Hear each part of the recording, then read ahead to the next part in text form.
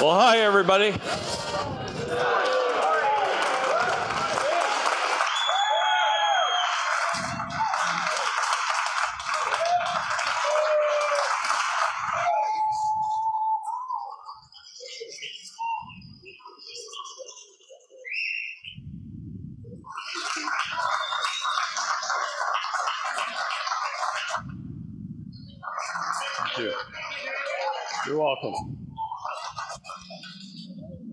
Welcome to Oklahoma.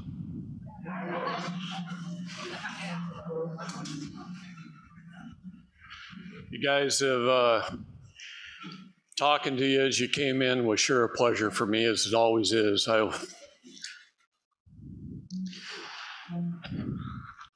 it's going to be emotional for me, I can tell. I love the people of America. I love this country. And it's so hard to see what's going on right now. I don't know about you, but I get madder and madder and madder when I see things. I'm going to talk about some of those things this morning before we get into the meat of things. We'll have plenty of time for that in the next two days. This seminar is going to be different than any I've ever done. There's not even a freaking whiteboard. Can you believe that? I don't know if I could talk without a pen in my hand, but I'm going to try. No, I don't want one. I, I don't want one. Um, there's going to be some material available for everybody that came on the website that you guys could download for free. And it's uh, most of this. So I'm going to tell you a little bit about this. I've had some great help, but before we get started, I want to I want to thank everybody that made this possible putting on, all the people that showed up to set up tables and chairs, Ron and Lisa for the food and the coffee and the waters and doing all that shopping and taking that off my hands. What a blessing those two are.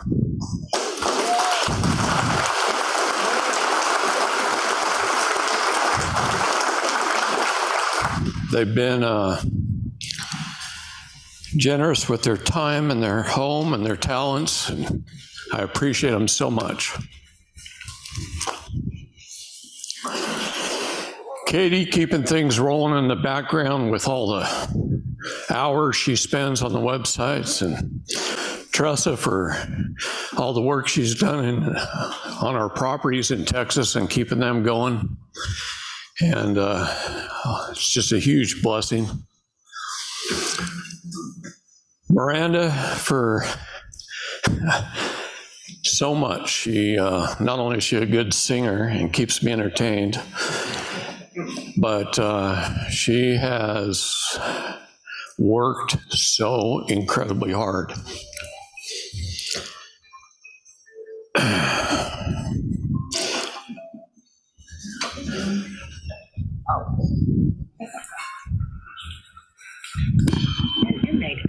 Hobby unit. This call is being We're going to have a prayer here in a second.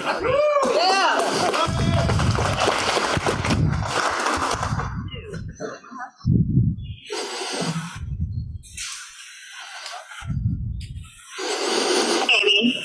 You're on speaker.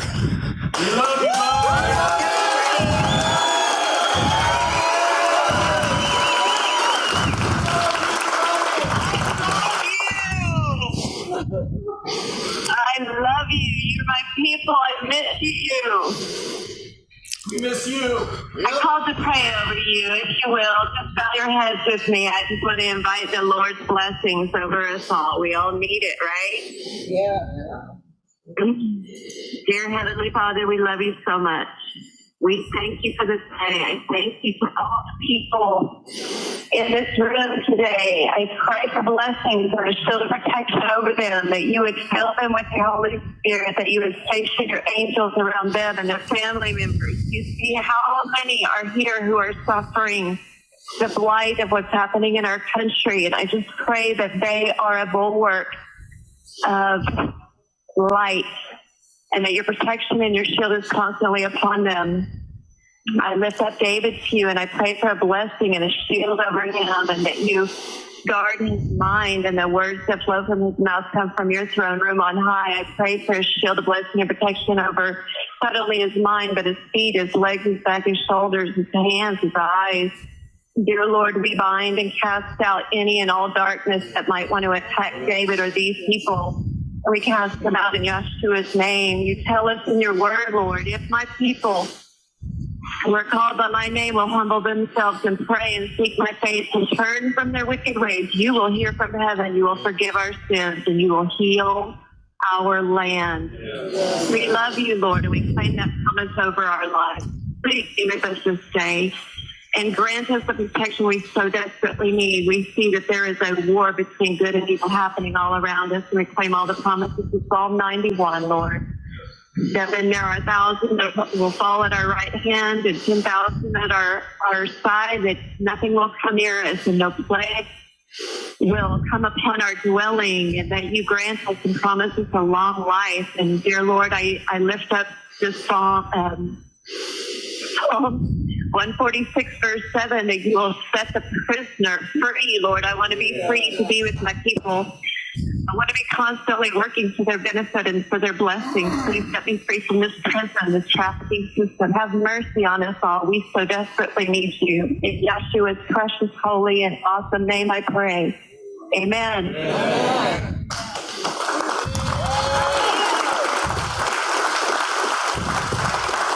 God bless Bless Oklahoma. Thanks, thanks for calling in. Love you.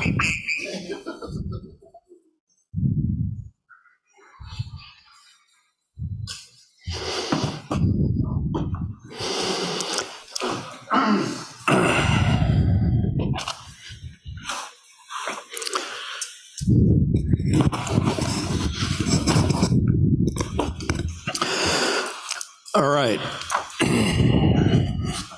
I'm going to tell you some of the things I'm maddest about right now.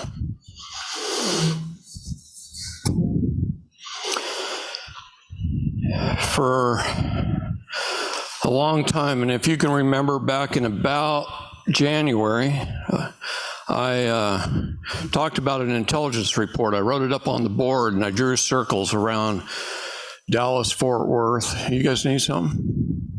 You need some?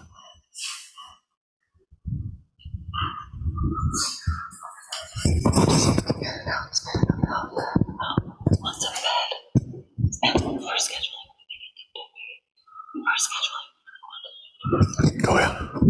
Here, here. Go, go to Tressa for scheduling for the quantum bed. You guys want to experience a med bed? That quantum, quantum technology?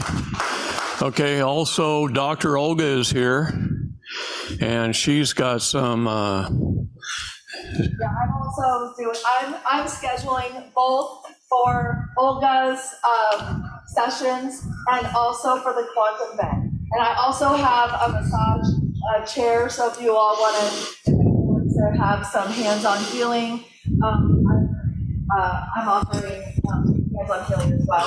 So, um, you can come and schedule with me for the quantum bed. Um, I have a list here for that, and then also uh, for uh, Olga's sessions as well. So, and then also for massage, if you like massage, come to me as well. So, I just want to let you know that, and thank you all so much for being here. None of this would be possible without you.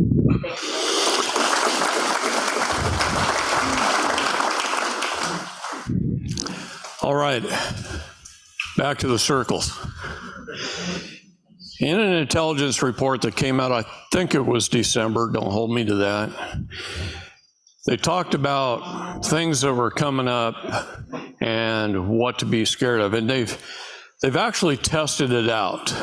I don't know if you've known, noticed, but they, they've done these little tests. They shut all the truckers down going to Costco for three days.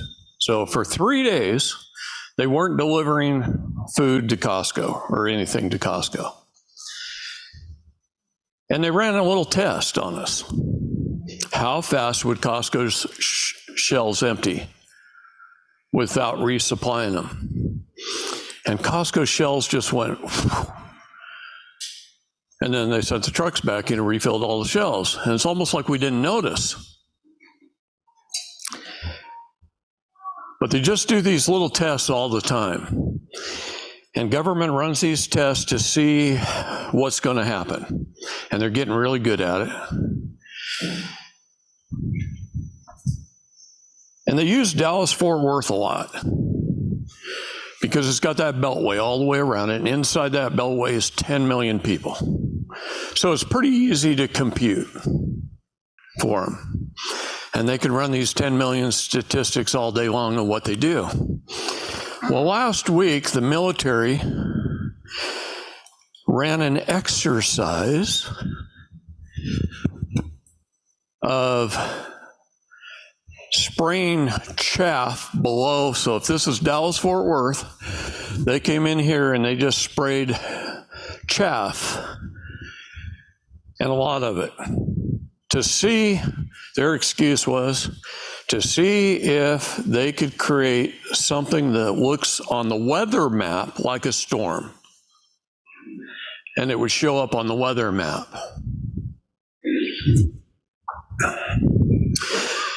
the wind was blowing to the north through Dallas Fort Worth. And as it got to the other side of the city, it dissipated. They figured out how much to spray that it would carry it just across town. And people saw the residual of it on their lawns. The chaff is heavy and it drops out of the sky but you could see it on the on the uh, on the weather radar map. Well, that heavy chaff is just filled with poison. Had barium, had aluminum, two of the big ones that they use, but it had sodium fluoride in it. You know what sodium fluoride is? Okay, it's a poison. And basically, they poisoned everybody in Dallas Fort Worth.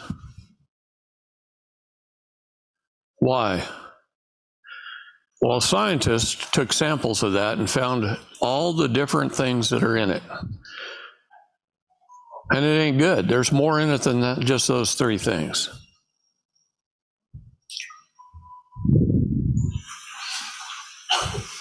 And everybody wonders why our government, our military, is poisoning our own people.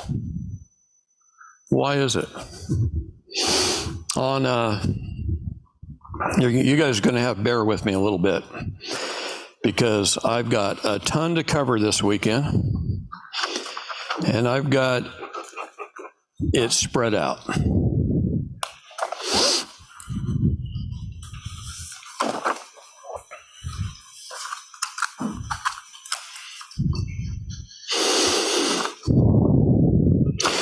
Now, some of you saw that when I was in Tennessee, I made a, a little 15 minute or so video and then another little 10 minute or so video talking about the power structure in America. Everybody see that?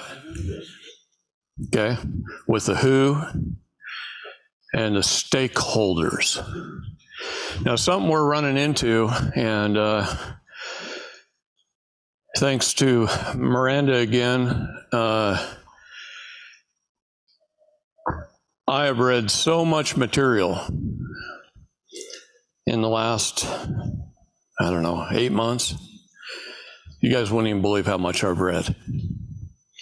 I locked myself away in little cabins here and there, Tennessee and Arkansas, and just read and read and read and read and read and read half the night. Went, went up to Ron's house for 10 days and read and read and read and read every night. He wonders why I have a hard time getting up in the morning. because I'm reading while he's sleeping.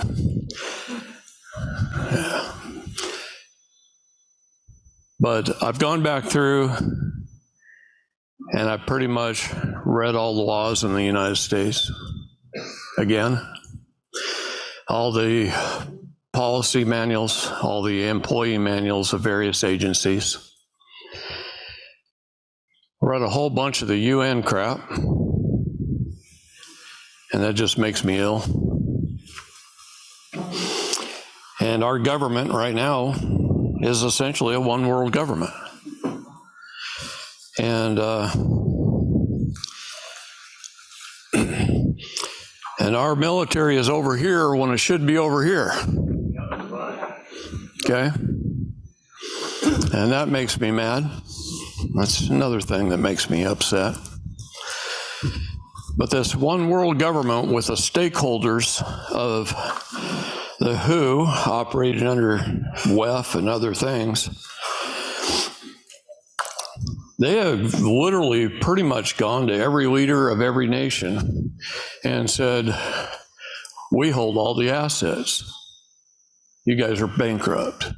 You're broke. You don't have any money. Because they hold the bonds to you. They hold the bonds to you. See, here's a funny thing that, and one of the reasons we got to come out of Babylon, come out of this corporate construct, is when a corporation has possession of something, it makes it hard for other corporations to control it. It makes it very hard. We, the people, have to unite. Stop the little petty differences and divisions and crap. And don't believe a lot of the stuff you see on the internet right now. And a lot of the things you hear, don't believe it. They, those guys can cut and paste like nobody's business. They put compilations together. And they do it to divide us. They do it to destroy us. And it does. It does. Some of us aren't strong enough, especially about your third year. Here's what I've noticed over 35 years that people join this movement and they start learning and they learn and learn and learn and learn and learn. And about the third year, having not done everything that they learned, they don't they don't get it done. But about the third year, they start going off on tangents. And then they find out, it takes them about a year, finds out that shit doesn't work. And then they work their way back. And sometimes they come back stronger and better, but sometimes their, their pride and their ego are hurt and, and they drop completely away. And that's sad to me. We don't want good people dropping away. Okay? We are all in the same foxhole together. You don't argue with the guy beside you in the foxhole. You keep your eye on the enemy and who they are. Heck with that. I can learn from all kinds of different people, right or wrong. They all got something. Nobody is 100% correct on anything. We never have been. We're human. We're never perfect. We're sinners. We sin, we try, we learn, we we fail, and we hopefully we learn from our mistakes, we adapt, and we get better. And we keep learning. And I've been doing this 35 years, and I'm still learning. But I keep my mind open. And I keep trying to figure stuff out. And that's what we all got to do. Just continue to unite, not divide.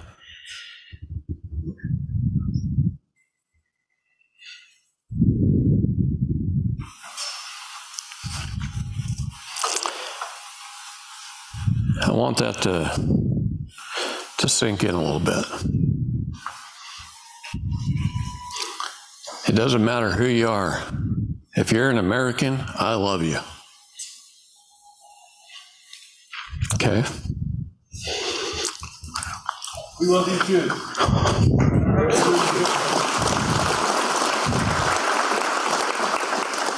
This is how close we all are. to understanding that our government is criminal.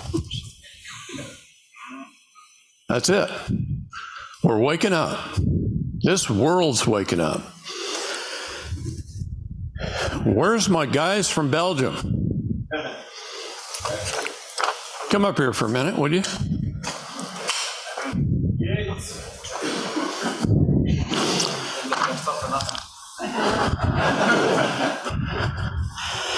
Hey, Rob, do you, we have another handheld mic somewhere? Neil? Okay. Run me a handheld mic. Make me nervous. I'm going to make you nervous. I put you on the spot. You didn't know it. These guys uh, flew here from Belgium. They've flown, they've flown in.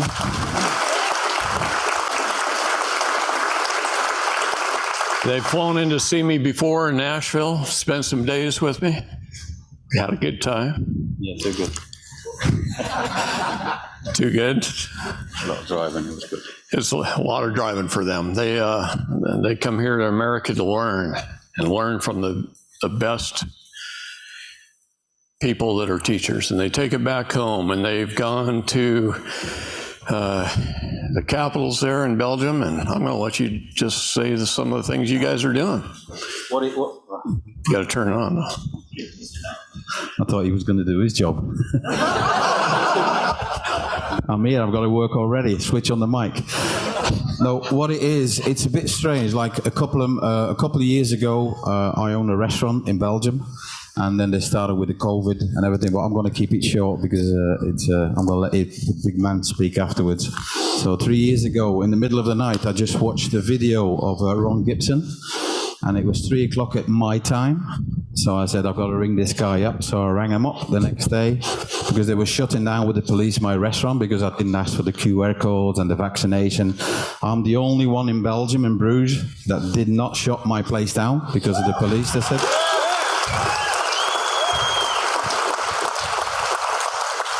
So they shut us down for about six months, and then I said, "This is not right." And as soon as I felt because of the vaccinate, I'm also not vaccinated. So uh,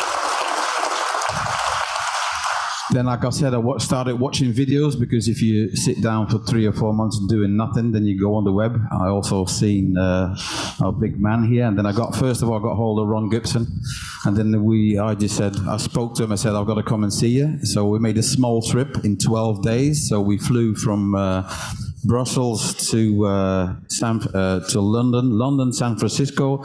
Then we took the car, drove all the way to Georgia, then drove all the way back down to Las Vegas to see one stupid fuck, Mr. Joe Brandon, people if you know him. And then we took the flight from Los Angeles through to Tennessee, met this nice man. We spent a couple of days in Tennessee, then we drove back again to uh, Los Angeles, and then we flew back all the way to Bruges, to Belgium. And then we went on the streets in Brussels. We took 500,000 people on the streets demonstrating about against our rights and about the sovereignty. And it's all because of this man. 500,000 stood up. Why can't we do it here?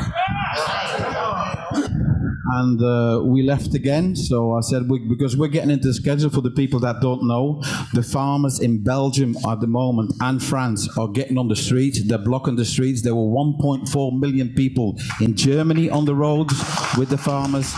We got everybody in Belgium now with truckers, as I got loads of videos, but I'm getting blocked. So, uh, because there were all the farmers on the street, Paris is already surrounded. They're ripping up the roads. They're ripping up the roads. The farmers have enough, and now it's up to the people to stand up. I just did a small live over here. I had about a lot of people watching, and everybody, because I'm driving through the night and it's different, we got six hours difference. So uh, that's what people in Belgium are starting to stand up, and also with sovereignty and everything else. So don't think you're alone. We're fighting. Even when we get back, we I drove. Uh, we went to Brussels. We got checked by the police when I was waiting outside. We got pulled over in a staircase. We got searched, everything. Then we flew from Brussels to England. We got pulled over again. Safety, security, because we say, what are you going to do? I says, we're going to get some more information. And not being funny, but the people, the police in Belgium, they're also starting to wake up because they're afraid, because at the end of the day, they also have to pay their bills at the end of the month. And if the farmers come and the police and the army going to stand up, so that's why we're here, to get as much information when we go back, and then we're not going to stop. So. You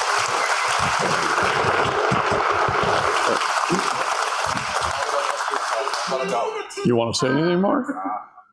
You organize that. Because clearly, we have no idea how to organize five hundred thousand.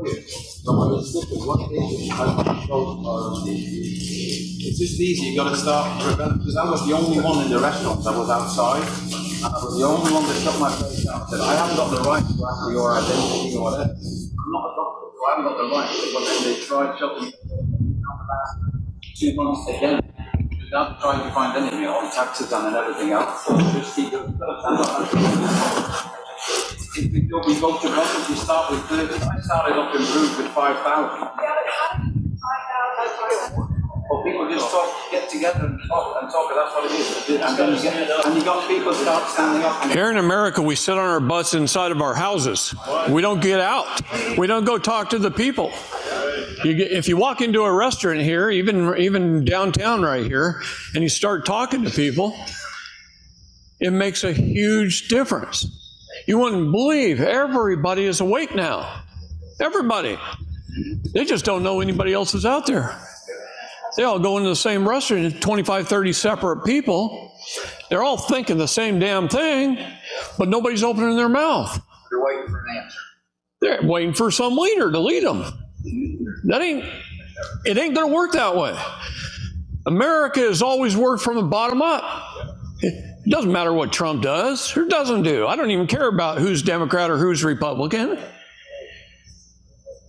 It isn't going to matter when he's the president of the White House Office Inc., unless he dissolves the corporation. The first thing he's got to do is he's got to kick the UN out of the damn country. And the CDC and the WEF and everybody else. That's what he's got to do. If he ain't doing that, he ain't doing shit. Might as well be Biden.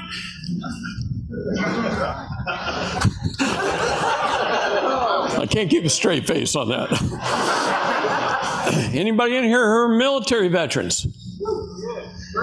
Okay, keep your hand up. Anti-war. Are you against war? Are you for peace? Raise your hands. Okay, keep your hands up. Do you love income taxes or do you hate them? If you hate them, put your hands up if you think they're illegal. They're illegal. They are illegal. Absolutely. Okay. She was a tax attorney, actual bar member. No. Anybody here consider themselves, as it's a duty in this nation, to be one of the militia? Yes. Keep your hand up for a second. Or anybody with alternative media and not the regular media? I know you are, Jerry. So put it up. Keep your hand up for a minute. All right? Are you an opponent of open border policies? Okay? Are you a member of a group or a small individual group that are against things such as animal rights, environmental, or any abortion? Put your hands up. Are you with the Patriot movement? Put your hands up. Okay. According to the Department of Homeland Security, you are an enemy of the United States government, and they have declared you an enemy. And I'm damn proud. and you're an enemy of government. You are considered an enemy of government. You have been since even before the Trading with the Enemy Act. Okay, the Buck Act, the Patriot Act, Obamacare made you an enemy of the government. The ATF made you an enemy of the government. The IRS made you an enemy of the government. The Department of Health and Human Services sure the hell has made you an enemy of the government. How many people in here like government? We are the government. That's right. You're all supposed to raise your hands. We are the government. The people are the government.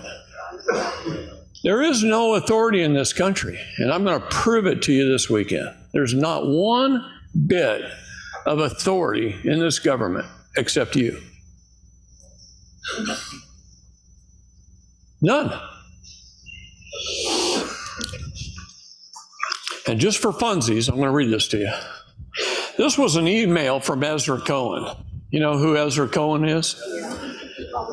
Uh, he did this about a year ago, and I've been saving it for the right moment, and this is it. This was sent to Stephen Hunter, this email. He says, I'm going to spell it out one time only for those are, who are lost and not registering the hundreds of clues that we've been dropping to you.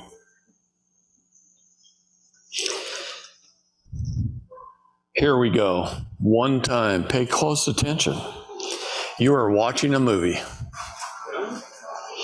A lot of what you are seeing is completely bullshit and fake.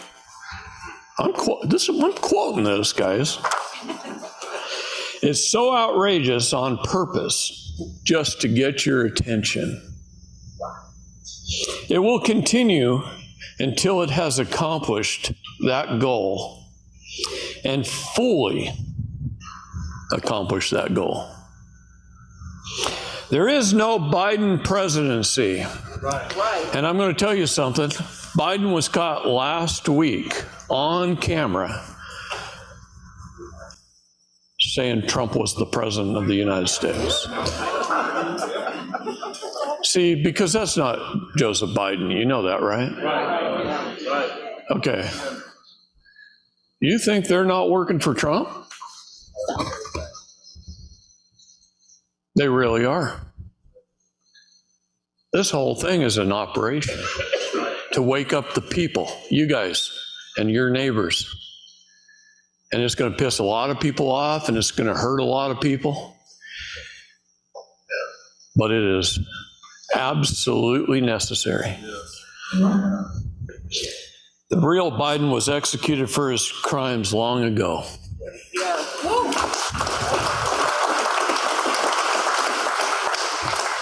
Along with Clinton. That woman in the purple the other day wasn't Hillary Clinton. You're seeing actors, and some have masks. That's why Biden keeps referring to himself as the mask president. This means they are the good guys in this movie and on the team of freedom. The entire election was fake. Without Biden becoming president and President Trump, you think he's stepping down, guys? Do you think he did? No, no. No, he didn't. Let me tell you an interesting thing that is, most of you probably haven't noticed. I hope you all have in this room, but I'm speaking generally that the Americans haven't noticed. When President Trump flies somewhere to a rally, lots of people show up. But when he flies, he flies on Trump Force One, the plane he ordered to replace the new presidential plane. Remember him showing the plane that he ordered? Told how much money it was and what a deal he got on it from Boeing? Remember that? And that's the plane he flies on. He doesn't always fly on the, his own Trump private plane. He flies on Trump Force One. And along with Trump Force One flies a C 135 full of an entire motorcade, full of Secret Service. And he gets out and he drives, and there's a long line of cars to where he's going. And Secret Service have been there and checked everything out first because they're the best, most efficient security team in the world. And if he has to make a little jaunt, Marine One flies with him. And you'll see three planes in the air. You'll also see two fighter planes, two F 35s on each side. And that's how Trump goes around this nation.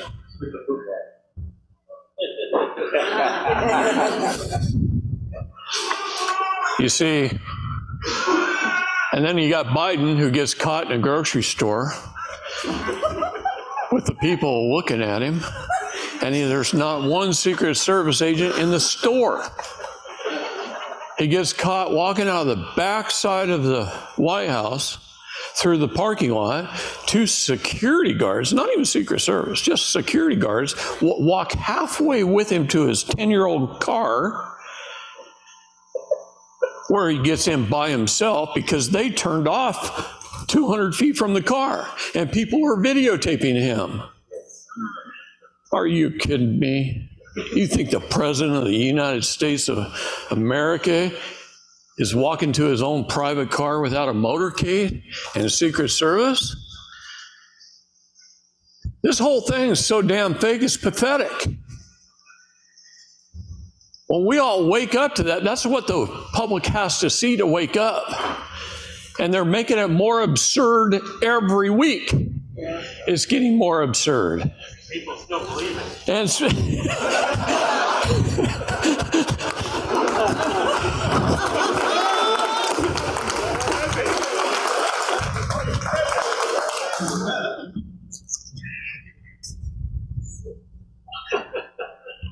He had a fake inaug- inauguration. It wasn't done at the right time. He didn't say the right things, and he only took one of the three oaths. They started up after after they well here. I'll just read this one. As of 15th of December midnight in 2021, the United States Inc. was officially bankrupted. The very next day, they started up the White House Office Inc., a new corporation under the District of Columbia. Bonnie, Bonnie in prison and me here have been studying the laws of the District of Columbia, and we've read every one. And I'll tell you some of the things we've learned. It's absolutely amazing. The amazing thing is, even the U.S. Inc. had no power. Since this country's been a corporation, especially since 1871, all the way back to the District of Columbia's formation in 1871, and this country became a corporation, the president's office has had no power as the corporation other than to direct the employees of the corporation. They've had no power. They just got you to consent to be an employee. They've had no power to do anything, no power to form laws. This is why a bill on Capitol Hill, that old cartoon, that teaches us as children how laws are passed in this country was a farce. They left out a big part. And that big part is that once a bill is written by the lawyers on K Street based upon how much lobbying dollars they got, it goes to Congress to be passed, and then it goes to the Senate to be ratified, and then it goes to the President to be signed into law. Baloney. It goes from the President's desk after his okay to the mayor of the District of Columbia. And if he don't like it, it goes back to Congress to be rewritten. And who controlled that corporation? Well, it used to be the crown and ultimately the Vatican through several little steps. All subsidiary corporations. Well, then the Vatican went away, and the City of London went away, and the Crown Inc. went away, and what's left? The District of Columbia, ran by the stakeholders of the WHO, controlling through the United Nations all of the health of the chattel property, which is you. And through that, through the Department of Health and Human Services, they hold the bond paper of about a hundred billion dollars each.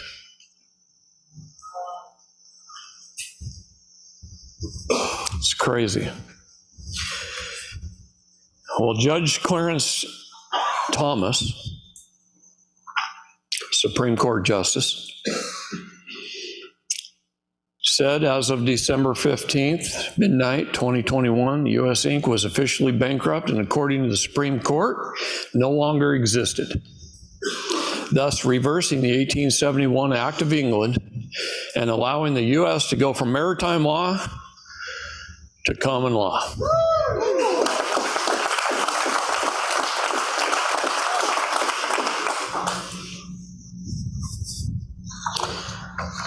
That's a big deal.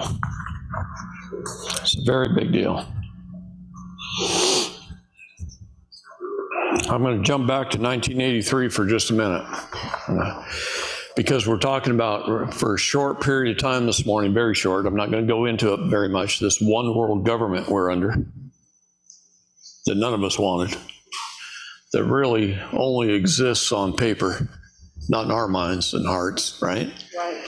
Okay. Public Law 98, 166, under 97 Stat 1096.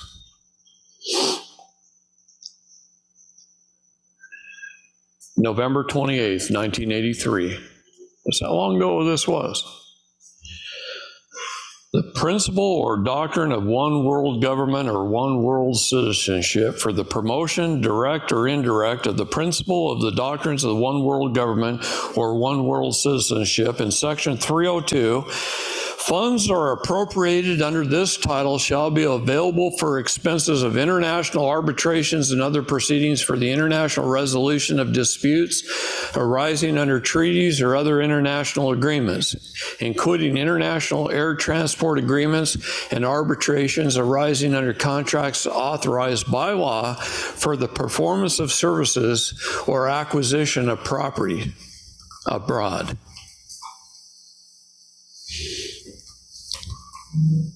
This cool guy that was in my Oregon group for a long, long time and pretty much running things over there now. He's six foot seven, skinny as a rail. He's young, and his name is Jared. He just told me the other day that a Chinese Communist Party bought 33,000 acres of Oregon right behind his house.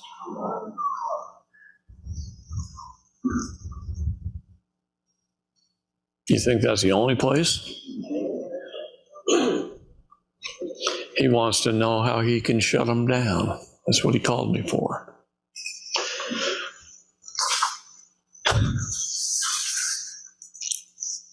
It's so interesting to me how long this has all has been developing and how long it's been going on. And we've all been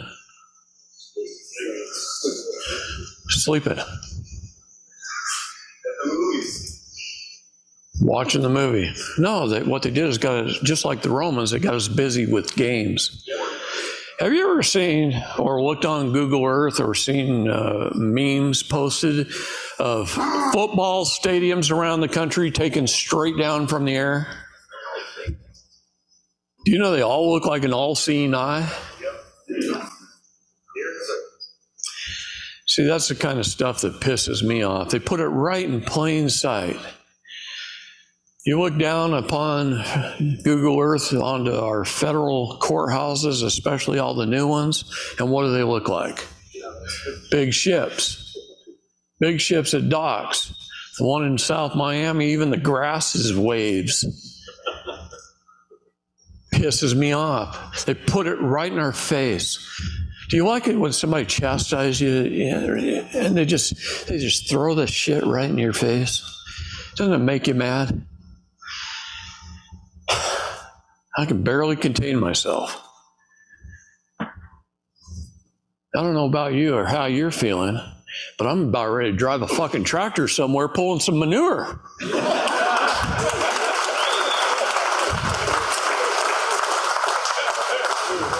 I don't like to cuss, but I, I'm looking at Spain and Italy and France and Germany and Netherlands and England even. I'm looking at Australia and some of the stuff they're doing over there. Ireland started. And Ireland will kick their butts. Those little suckers are tough.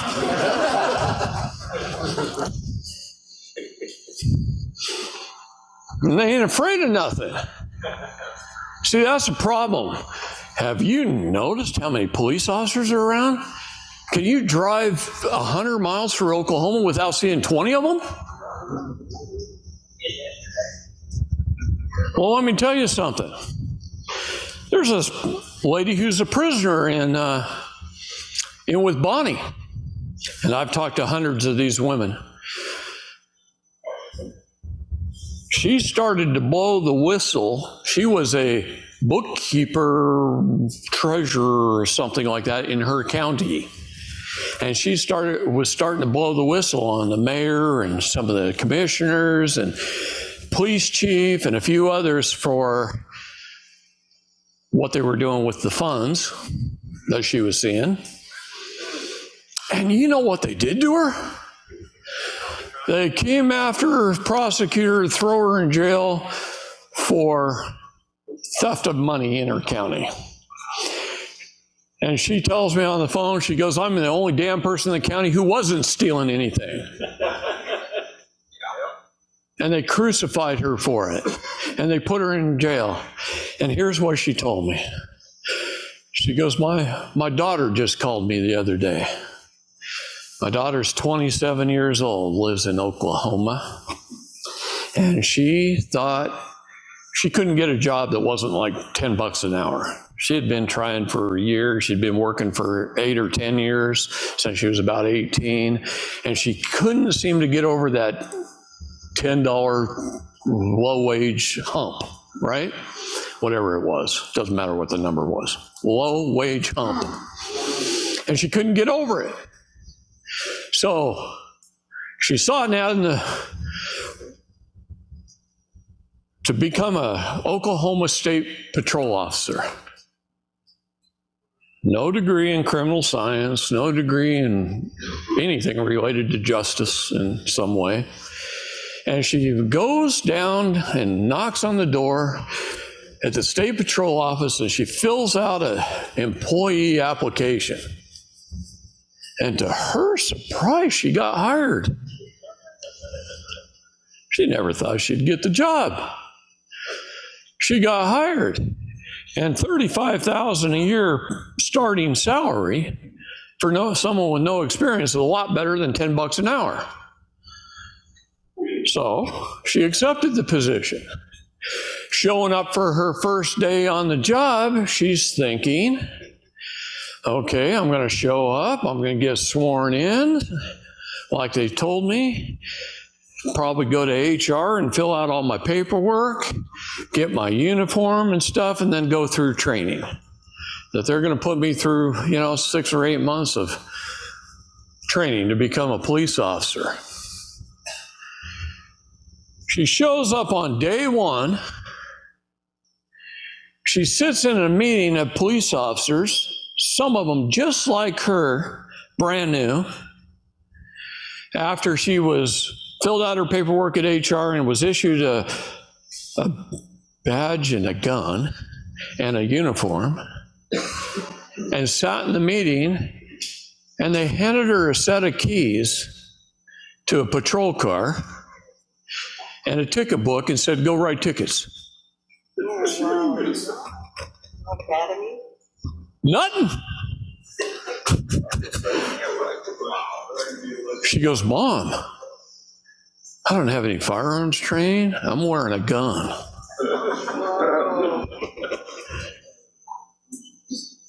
I'm driving a car. I'm out there stopping speeders. What happens if one pulls a gun on me? She's scared to death. Well, let me tell you something. You know what happens when you're standing in a foxhole and you got a guy there scared to death? You're worried about getting shot by him.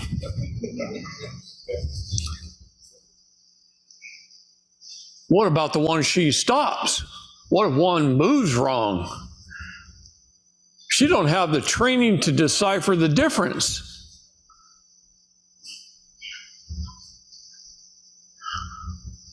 I don't know. That might worry you guys on the way home. but it does me. And they're just hiring them. You know why they're hiring them? Because they're expendable backup. They know we're rising up, the people. We got to do it peacefully as possible. Because these stupid guys will shoot you. They'll kill you on the side of the road. And one of these people that you try and expose might put a hit out on you.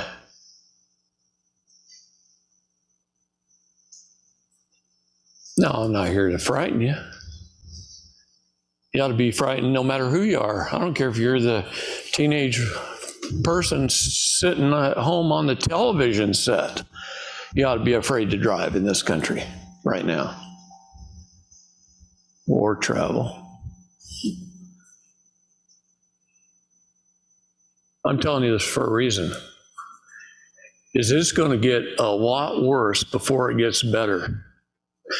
You got to be prepared. There's sometimes things more important than doing all your paperwork. Now, that's important too, because that's what sh- tells them we're standing up. Even if it's wrong, even if they don't accept it and they return it, somebody's reading it and it's making a difference by the millions of people. This paper has been our tractors. The 40 million AORs that the State Department's got, you know how much paper that is? Can you imagine stacking up 40 million? 50 pages deep, or 30 pages deep, or 20 pages deep, or whatever it is? How big a pile of paper that is? They got to do something with it. That makes a huge statement, guys, bigger than anything else. And these idiots that are telling you the AOR is not important, it's the single most important thing.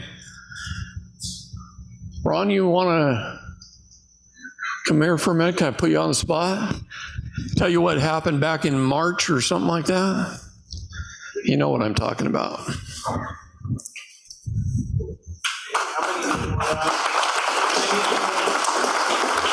Forty million. We on? Yep, Rob.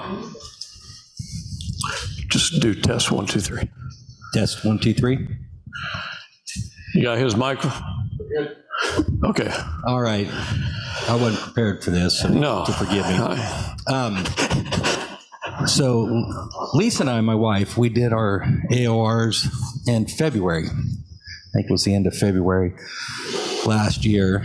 And um, I've got a relative in Oregon who's a state cop, and I asked him to run my passport, my driver's license, and I think it was he's it, because he's a state police. Well, you hadn't even had your pass, got your state national passport. Well, no, but I did this in August Wrong. Okay. or oh, kind of November. So anyway, he uh, he did run my report, and because he's a state cop, it was a uh, NCIC report, which is the FBI database, and it came back on there that name changed uh, March 10th, 23, and I thought, hmm. The only thing that we had done by March 10th of 23 was submit our AOR, and we hadn't even got the information back on that by that point. And we hadn't even got our passport. We didn't get our passports until the end of March. So I thought, they keyed in my AOR the Secretary of State as a name change. Now, I did get my name changed through Josephine County Courts in Oregon, but I did not get that done until I think it was August of 23. So that was interesting to me. So we uh, we did get, uh, we did get our names changed from the all capital letter to the upper and lower proper case. And I'll tell you a little story about that too. I forget where I'm going, help me out. Uh, I'm trying to take this lion's mane mushroom to help my memory, but I can't seem to remember where I left the lion's mane mushroom. anyway, um, I'll talk about the name change and tell you a little story about that. But we had an interesting uh, seminar, I guess, at our house. We've had a couple of them. Uh, Kiki came and put on some name same name change seminars, and uh, we had one interesting one that uh, David was at. And we had a meeting in our office, and it was David and Kiki and one other guy. I can't remember his name. Short guy, big loud voice. I don't know. We'll just refer to him as No Name uh, or No Body. No Body, because No Body is that all capital letter vessel. And he's tried to get his name changed several times, but can't seem to get that done. So he's telling everybody now that the name change is not important and don't bother going down that road. So uh, I had got a jury duty summons in the mail in Oregon. We're actually from Arkansas, but still registered to vote or had been.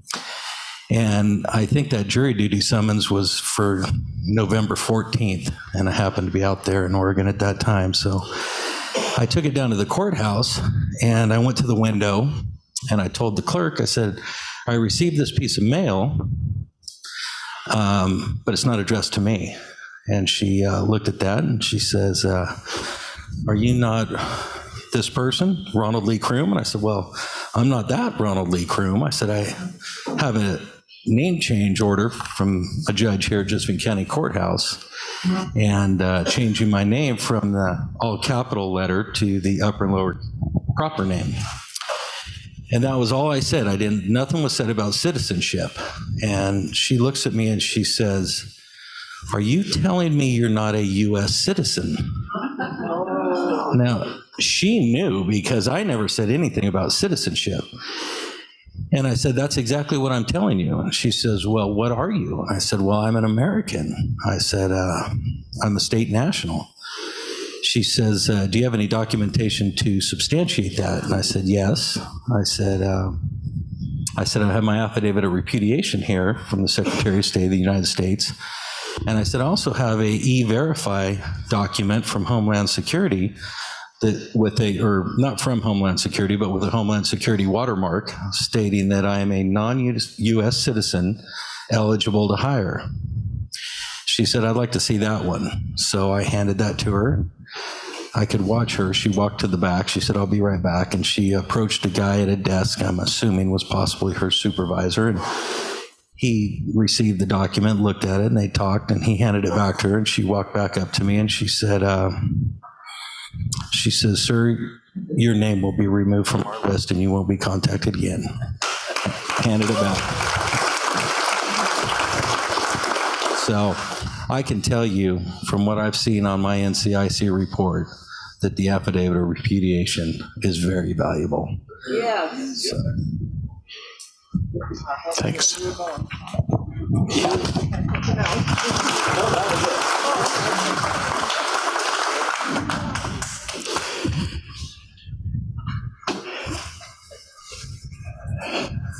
Thank Ron and Lisa again for all the coffee and snacks. So.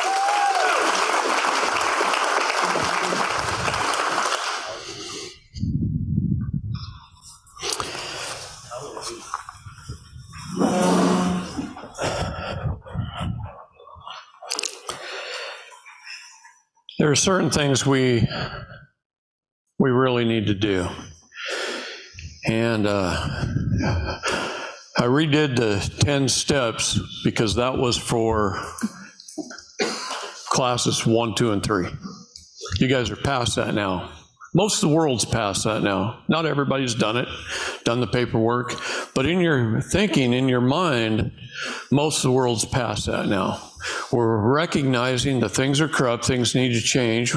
We need to change with them, and we're trying to be the Americans that we were meant to be. 90% of everything we do comes from here, comes from our heart.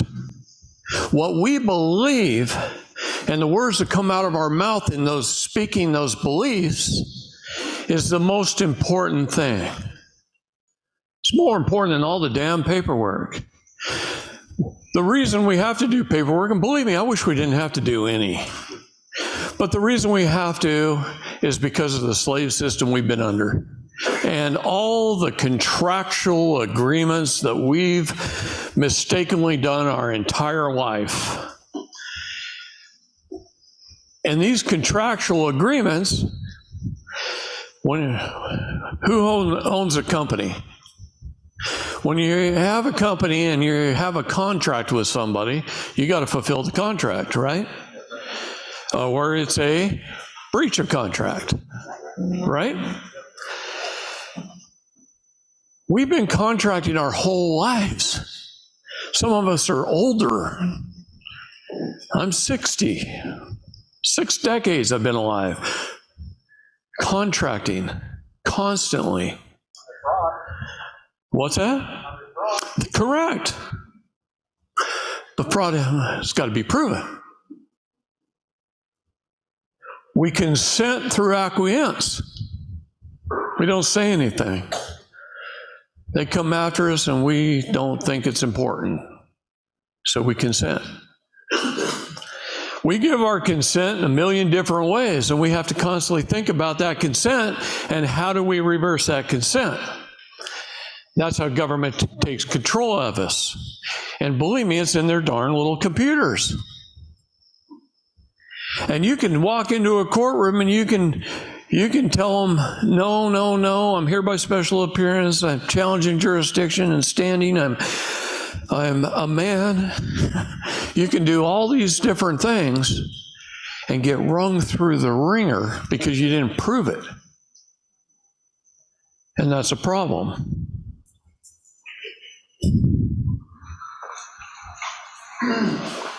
It's a real problem.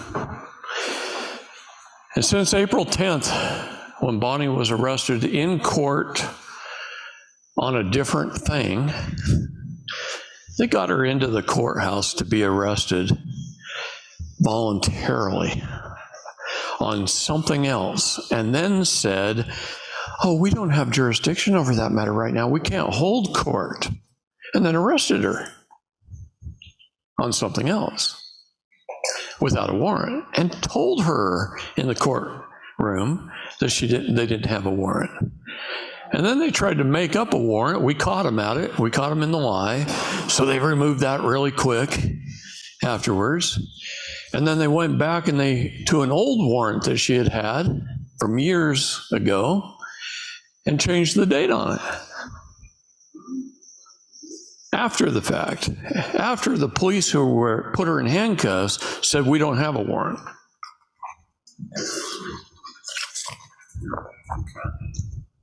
She never got due process. You know what's funny? I did our name change. I did Bonnie's name change, and I submitted that all with her DNA to the Texas Department of Criminal Justice Executive Director's Office and had him served. Two days later, she's paroled. She got paroled two days later. They still got her. Don't worry about it. They got her. Same bed she was in. But now she's officially a parolee and not a prisoner. They're just not going to let her go. There's a reason they're not going to let her go, but we'll go into that later. We beat her, beat them over and over and over again. They arrested her under a all capital letter name that was her former name from an old charge that had been discharged that she had already served time on that wasn't a charge at all legally wasn't a charge and they admit it wasn't a legal charge the parole board admitted everything with bonnie everything they admitted she never should have been arrested in the first place They admitted her trial was a sham. She never got due process. They admitted that she never had a parole contract and was on parole. So, how does she violate a parole when she never had a contract to violate? The Texas Board of Paroles admitted everything to Bonnie in her parole hearing. Everything. They admitted that her case was discharged and that it was changed to dismiss so they could bring it back up again. You can't just change it. It was discharged. That means the debt was discharged. And they changed it to dismiss and brought it back up again. And they tried her again, and she did a fabulous job in court. Oh my gosh.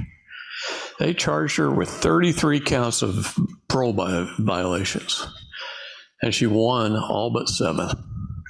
But it only takes one, and they can throw you back in jail. And that's what they did. See? And then they admitted they shouldn't have thrown her in jail the second time. And then we did some paperwork, and in about three months, she was released. Her case was abated. Uh, You, you all know the definition of an abatement?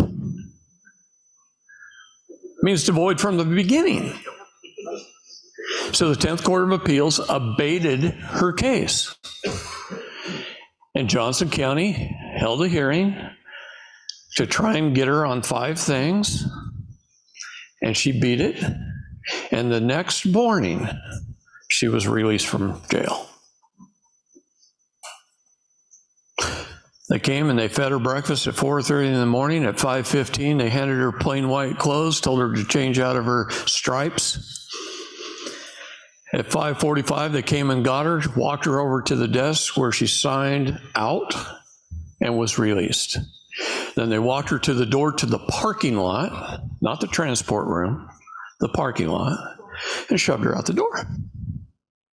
She walked a few feet on the sidewalk, and a police officer said, Turn around.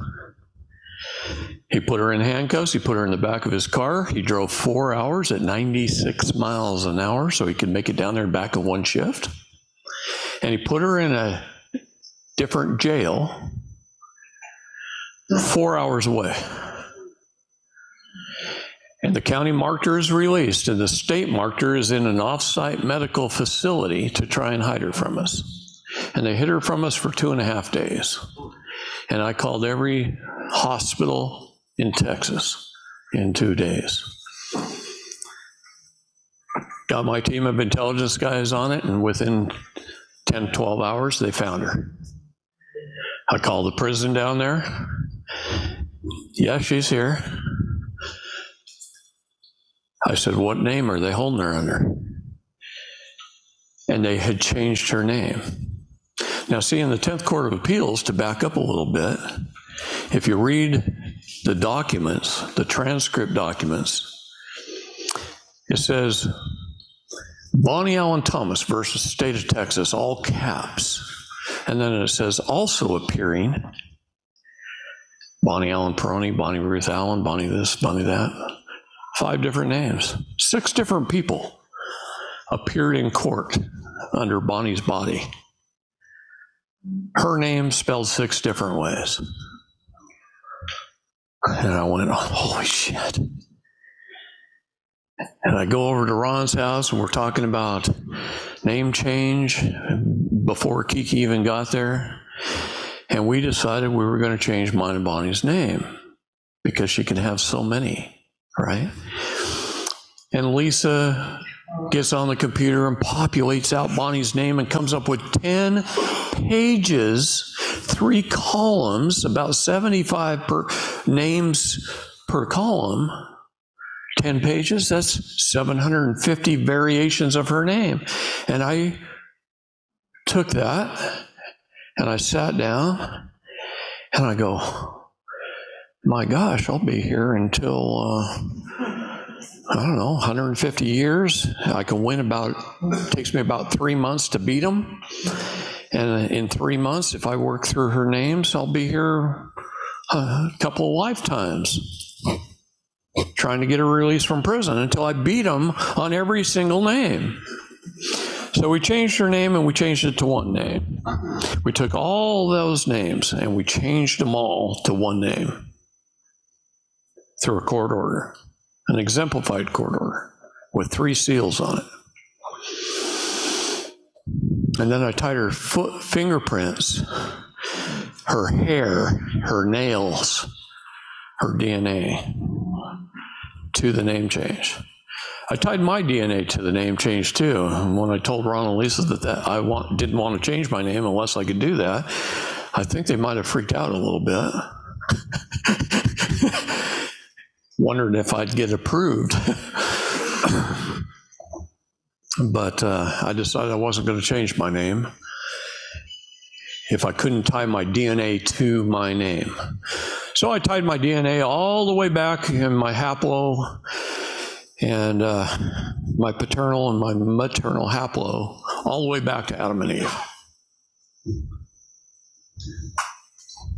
Just 6,000 years back. And I tied my DNA to my name. Because that's what they do, guys. So the people that are doing their name changes out there, if you're not tying your DNA to it, you better. You better get it done because Bonnie's body is held as the surety to whatever name they wanted to use. And literally, I'll bet you if they ran out of her name, they'd call her Marcy Smith and hold her body to it. All they've got to do is take her fingerprints and write Marcy Smith's name and tie that body to the name and go bond it. So they don't give a shit what your name is until you can only be identified as one name. You know, they did the same thing to me. Do you know the same day they arrested Bonnie, they arrested me? Most of you know that. How long did they hold me? What'd they do after they let me loose? They wiped me out of their computer system. See, what they found out really quick is that my name was trademarked. That, that name they couldn't use. They couldn't create a bond on it. They made me pay the little bonds. You know, those little bonds are tickets, they're tip money. It's like going into a restaurant. It ain't the meal, it's the tip. Okay? You got to understand that. Traffic tickets are the same thing. You know, you get stopped in a traffic ticket, that police officer creates a cause of action. That cause of action creates a case. They take you out of it. That is attached to a CUSIP, which is attached to a bond, usually about $10,000 bond, and you pay $197 for the traffic ticket. That's the tip money on the 10,000 that they made because they stopped down the side of the road. You think that ticket money even pays the gas in their car? No. This shit don't fund government. It's tip money. Those little fines they charge you guys on a million different things is tip money. It doesn't fund government. Taxes don't fund government. All the income taxes you've ever paid, not one dime of it, has gone to the federal government. That's a joke. It goes to the interest on the bankruptcies of this nation. That's it. President Trump says, quit funding the cabal. He told you to stop paying those taxes. Now, some taxes are right, some are wrong. I don't mind paying taxes that are right. We asked this government to provide us with 19 essential governmental services and no more. And I don't mind paying my share of that. But when they're giving you 6,000 services or more, and they're forcing you at gunpoint to pay for them, it's time to stop.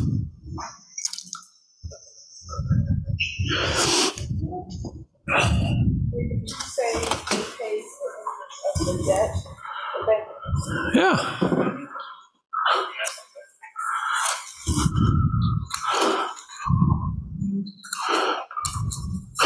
This is a Federal Reserve note.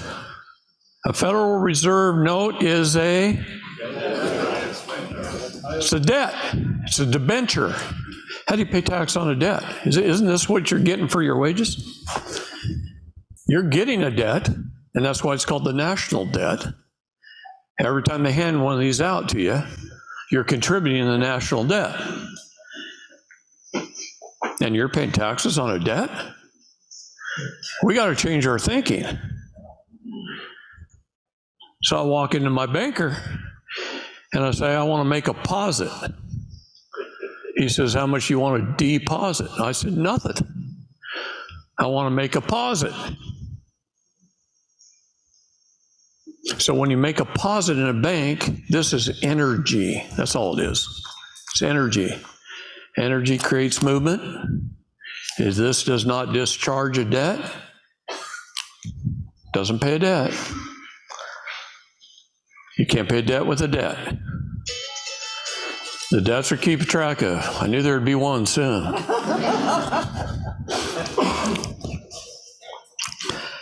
You can't pay a debt with a debt. When energy stops moving, it's put into the bank and it stops moving. It should be shown as a negative in your account. And it should show a positive coming out to pay and discharge the debt.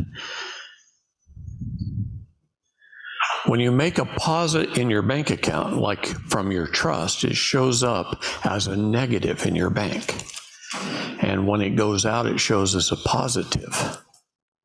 See, they've screwed you up this whole time in your thinking. Energy stops moving, it's not expending any energy, it's negative, it's not doing nothing. It's grounded, it's negative. When it goes to pay a debt and it's moving, it's positive. It's what starts the car. When we start waking up to that, your world will seriously change. People are getting their homes foreclosed on. How many people in this room have had their home foreclosure? Yeah, that's quite a few. I counted thousand. I think I was almost at 30. A little less than 300 in here. 30. It's what? 10%? One out of every 10 home gone. Was the note with the signature? If it wasn't, it was fraud. Supreme Court's ruled on that. Go get the house back. Be careful about injuring someone else. Go get the value of the house back and go buy a new house. Don't injure somebody else.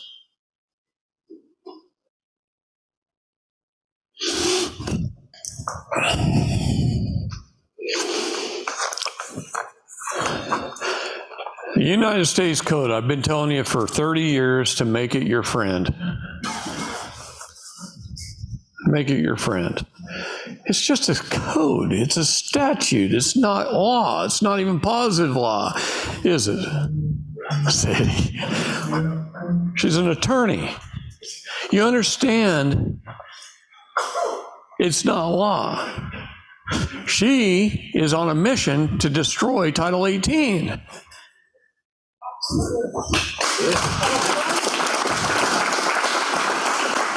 It's not law, and the government's using it against the people because they're employees of government, and it can only be used against government. It's an employee manual. The United States Code is an employee manual. But the reason I tell you to use it and learn it and make it your friend is because you can use their employee manual against the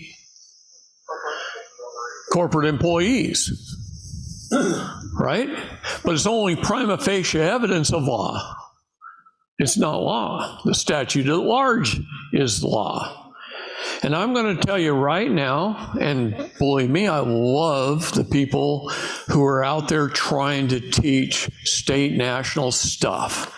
Name changes, anything. Uh, whether it's land patents or name changes or any little part of aspect of our stuff that I've been teaching it for 35 years. If you want to go teach it, go teach it. I don't care what you pick. Ron Gibson in 2009 became a friend of mine, and I love him for choosing land patents and becoming an expert on that and writing a book about it and be, be- being a qualified federal witness on the subject. Okay? I love him for that. Any aspect of what we do, you go out and teach it. I love you for it. I'm telling you that. People that are cha- doing the name change stuff right now, I love them for it. But if they're teaching it and they don't understand jurisdiction, land, air, and water, and they don't understand our court systems and how they work, and they don't understand the importance of tying your body, your surety to the name, then they might be doing a disservice in some way. But at least they're getting people on the right path. They're moving them forward. Right or wrong, 80% right, 50% right. If you're 51% right, thank you.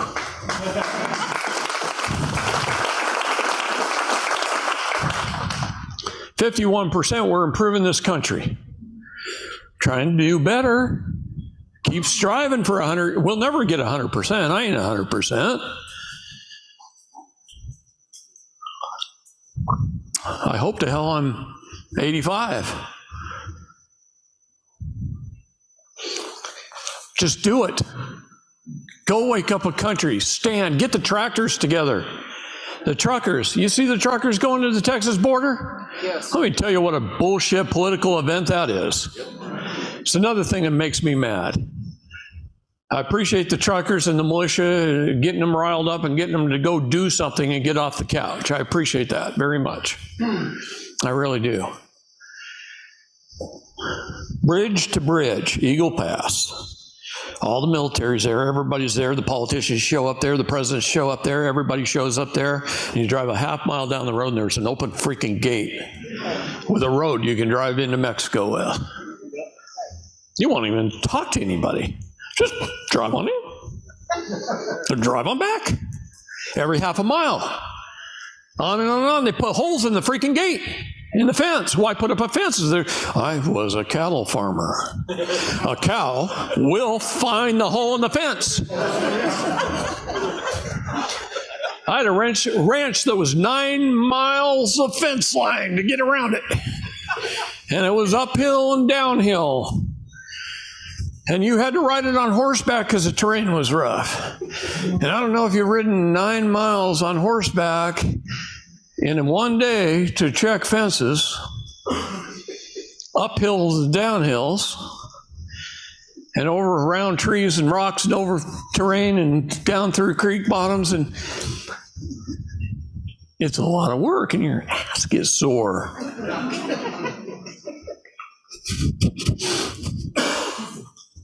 But you only got to drive on a flat road half a mile and you can drive right into Mexico. And 13 million people have come across the border.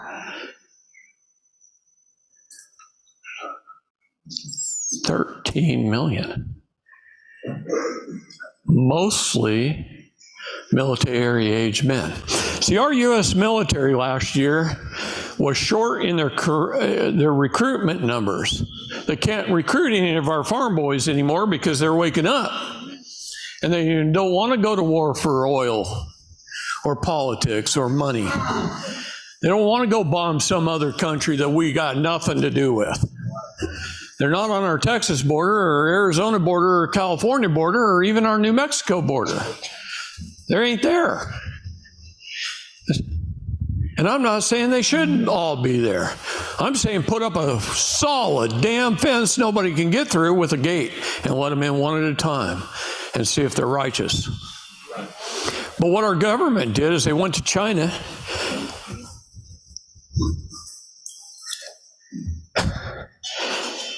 They went to the Middle East. One more time, I take it away from you. They went to the Middle East, they went to other countries, and they put up posters because our numbers were down 40,000 per branch of service last year in recruitment numbers, per branch of service. How do we maintain a strong military if nobody's joining? We're not joining, and I understand that because we're not fighting for the right things. So don't join. We haven't had an honest war in this country since World War II. Not one. It's all been United Nations authorized conflicts. Not one war declared by Congress since World War II. Everything uh, we've fought for is bullshit.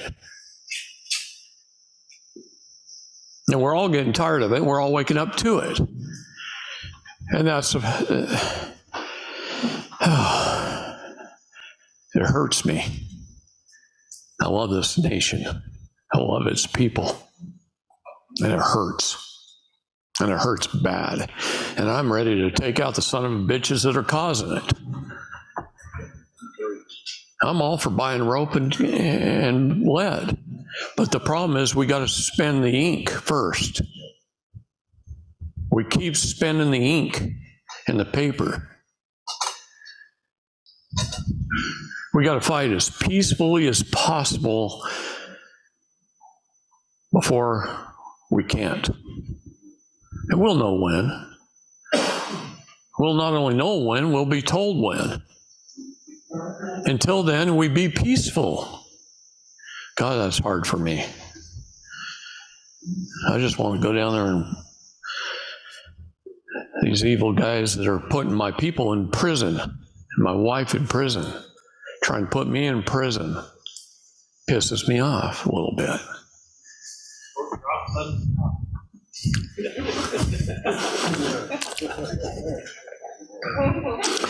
The only reason there's corruption in our government right now is because we didn't drag them through the streets.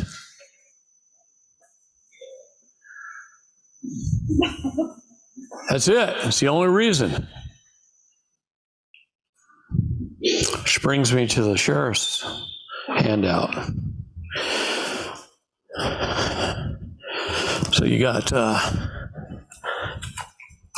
some books down here that some of our great people have put together to hand to your police officers and sheriffs Yeah. that might just change their minds. And some of the sheriffs in this country are on our side, and they're good people. We had a police chief that was going to be here today. He's been to three, maybe four seminars. I love that man.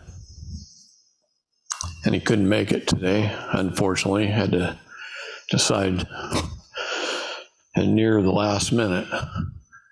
These are available for purchase. How much? That one's, that one's free, that one's free, Okay, this one's free.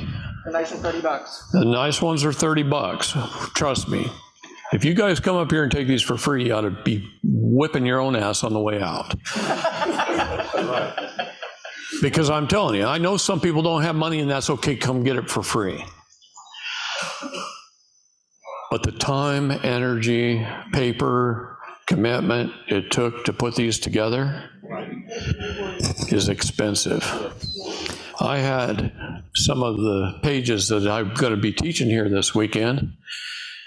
I went to a print shop, see how much it costs to copy it for you all. And I went, that's a car.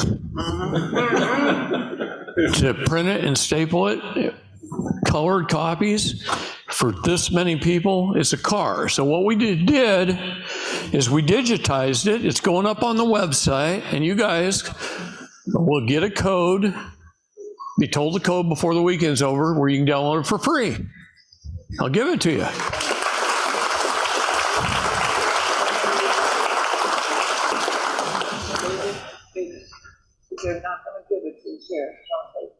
Yeah, if you're not going to give it to the sheriffs, don't take it. It ain't for you. You guys are awake. Go wake up a police officer with it. A son, a grandson, a son in law. Some of you probably have family or friends that are in the sheriff's department or a police officer. That's who you give it to. Can we get you the link that they can download that for themselves? Huh? Can we get you the link to add to yours that they can download it for themselves? Yes, Katie. Go see Katie. Tell her I said. She's busy out there somewhere, so. You have permission to copy that, Freeman, please. Yes, it's in the copy. Can they get one and make lots of copies and hand them out? Yeah. There you go. Okay, these guys worked hard to put that together. Thank you. So.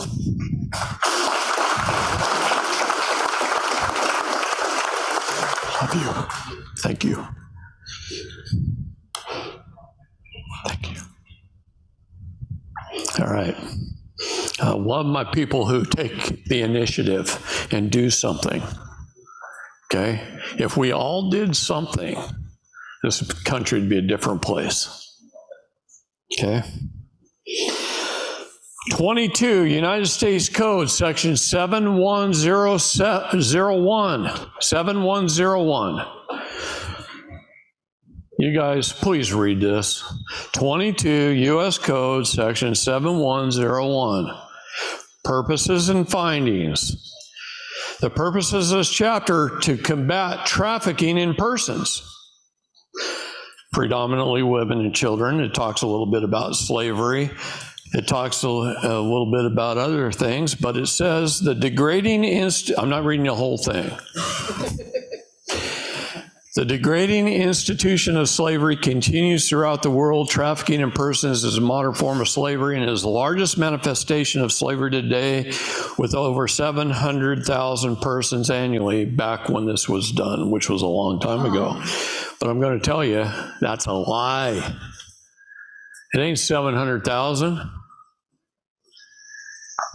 It's 7 billion. Because everybody's a slave. Everybody. Everybody is being trafficked. That's why they call it traffic. That's why they call the police car a cruiser. That's why it has blue lights on top, because it's in the water. It's in Admiralty. Remember when the cop cars said law enforcement, they had red lights? And they changed. Protect not. Exactly. Yeah, exactly. Mayberry. They were supposed to be law enforcement, protect and serve. They're not anymore. They're policy enforcement. It says policy right on their on their uniform. It says on the side of their car. What do you think the word police is? Police put a hyphen over its policy. They're policy enforcement. They all work for private for-profit corporations acting and pretending to be government under color of law, which is a fallacy. It's SMU. Yes. You making it cooler in here? Thank you.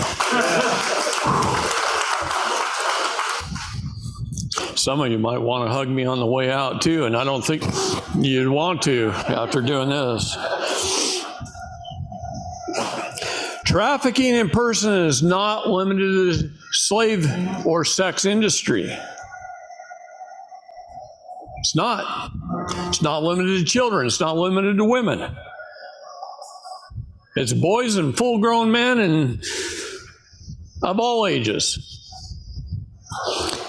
Traffickers often make representations to their victims that physical harm may occur to them or others should the victim escape or attempt to escape. Gosh, that sounds like a cop in a jail guard. Yeah. Trafficking in persons is increasingly perpetrated by organized, sophisticated criminal enterprises such as the courts. Such trafficking is the fastest growing source of profits for organized criminal enterprises. Profits from the trafficking industry contribute to the expansion of organized crime in the United States. Trafficking is in persons trafficking in persons is often aided by official corruption in counties of origin, transit, destination, threatening the rule of law under the color of law, by the color of law. Trafficking involves violations of other laws, including labor. Do you know you have a contract with your employer? Do you know government can't interfere in the obligation of contracts? That means they can't arrest you. You're supposed to be at work. Now, I'm going to get into this more in depth. It's, there are laws against kidnapping, slavery, false imprisonment, assault, battery, pandering, fraud, extortion. You know how much they've extorted me since April?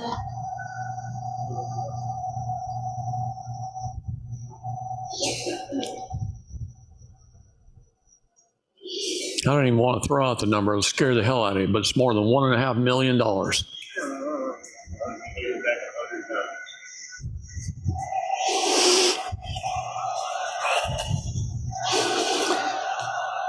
Trafficking in persons substantially affects interstate and foreign commerce. Of course it does. Affects your job. Let me ask you a question, Gary.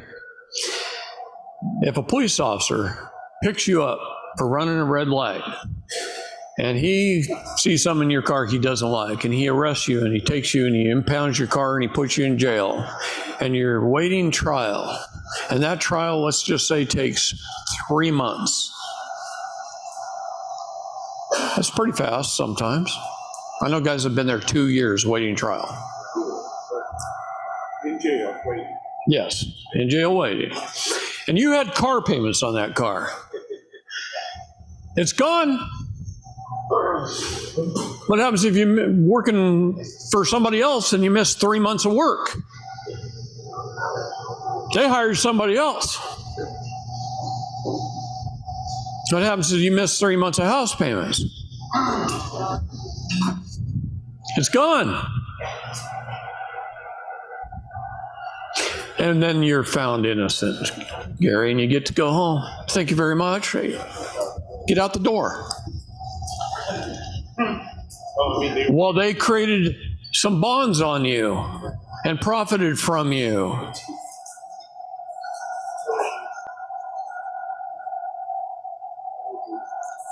I have talked to hundreds of women in prison since Bonnie's been in there. She, she teaches church on Saturday while she's in there. Bible study every night. Okay. She's on a mission. And she's gone to other countries on missions before. And she says this is no different.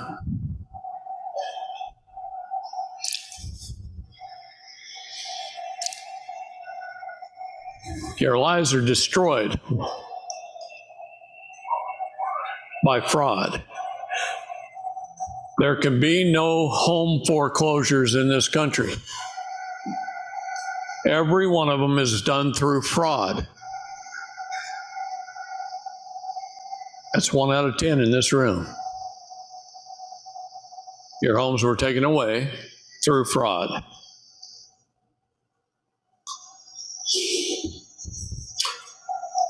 Trafficking for purposes such as involuntary servitude. That means they put handcuffs on you and put you in prison. You didn't volunteer for that crap, did you?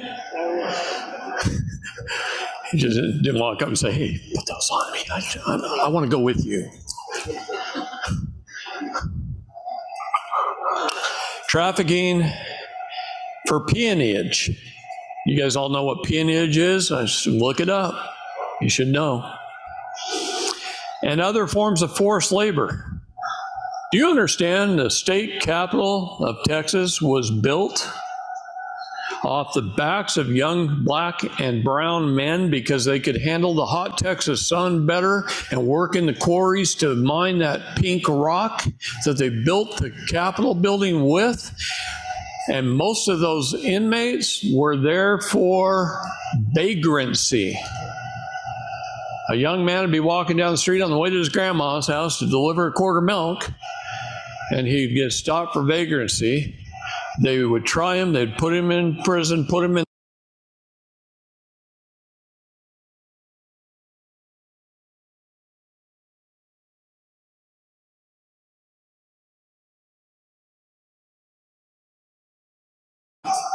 That's where the mining quarry is in Austin, Prisoner Hill.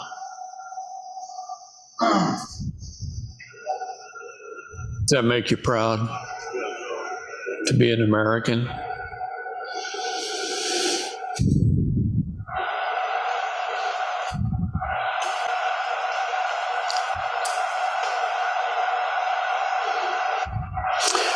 Trafficking includes all elements of crime by means of fraud, force, or coercion. False imprisonment, assault, battery, pandering, fraud, extortion. Trafficking in persons substantially affects interstate foreign commerce. Trafficking for such purposes as involuntary servitude, peonage, and other forms of forced labor has an impact on the nationwide employment network and our labor. And there's a United States code on that. That they can't target individuals. I got a call yesterday that made me cry from a family in Idaho who has been imprisoned in their house now for 90 days. And if any one of them leaves their house, they're arrested. The cops are sitting around town waiting for them to leave.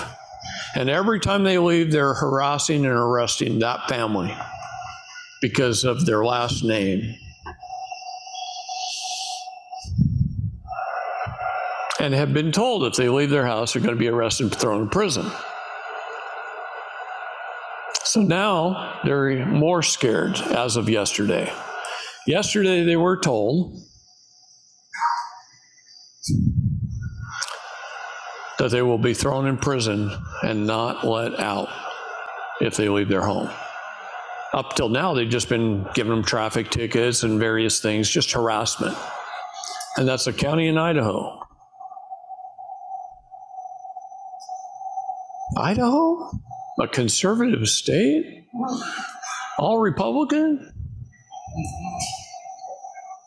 Texas is pretty much all Republican. Conservative state. Oklahoma, 20 cops a mile. Conservative state, all Republican. The only state where every county was Republican.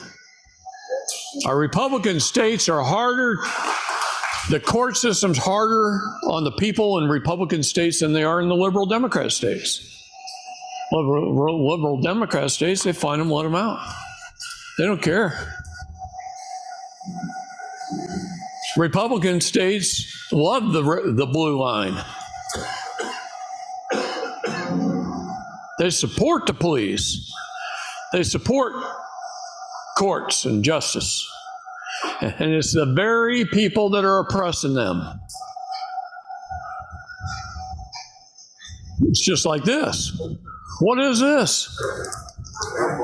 It's a war flag. We fly that uh, over our house and we designate our house as a military installation and we allow them to come in for quartering. The Constitution says no military quartering, right?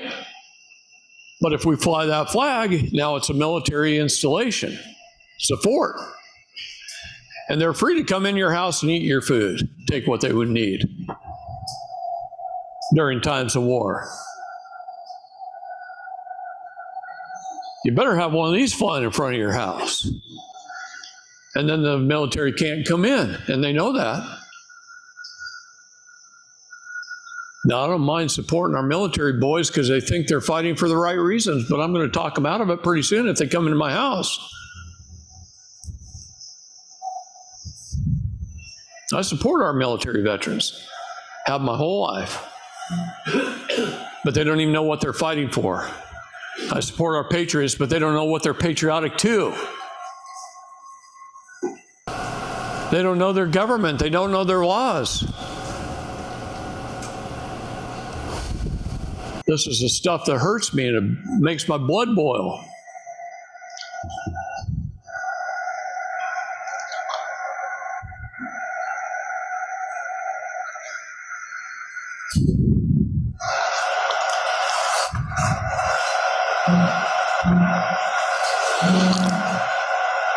In the United States, the seriousness of this crime and its components is reflected in current sentencing guidelines, resulting in weak penalties for convicted traffickers. A lot of these judges that are, tra- believe me, we got one case alone in a state right next to here, Missouri, where in one case we are we went through 13 judges. Two years. We removed 13 judges from the bench. Doesn't matter. It doesn't matter. They get a slap on the wrist.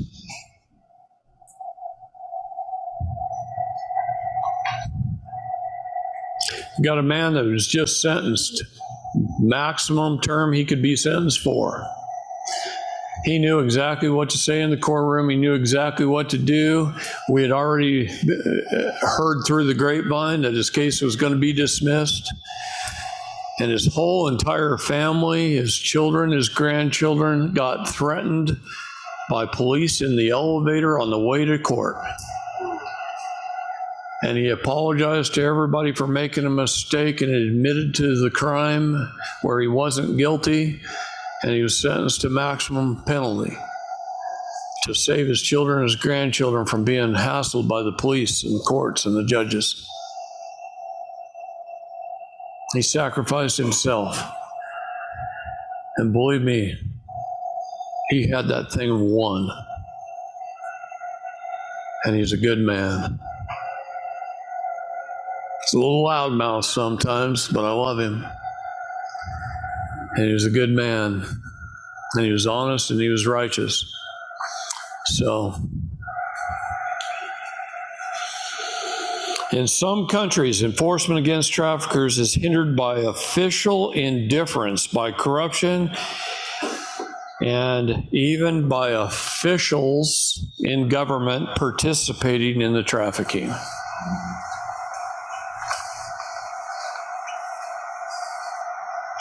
Because victims of trafficking are unfamiliar with laws, cultures, and languages.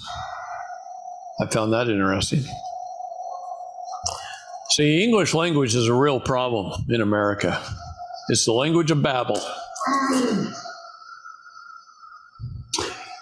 I wrote this really good legal document. Man, I sat there and I went through and I perfected it and, and read it, and I even had a retired judge helped me write it. And I took the advice of one of our fellow state nationals,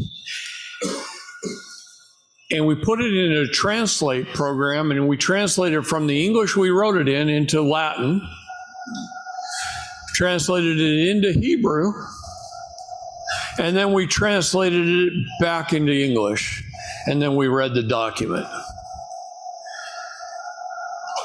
And I went, holy shit, I know why our people are in jail.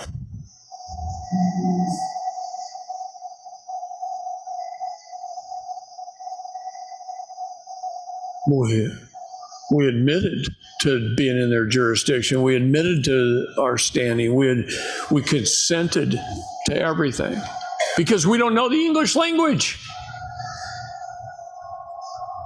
We haven't been taught the English language.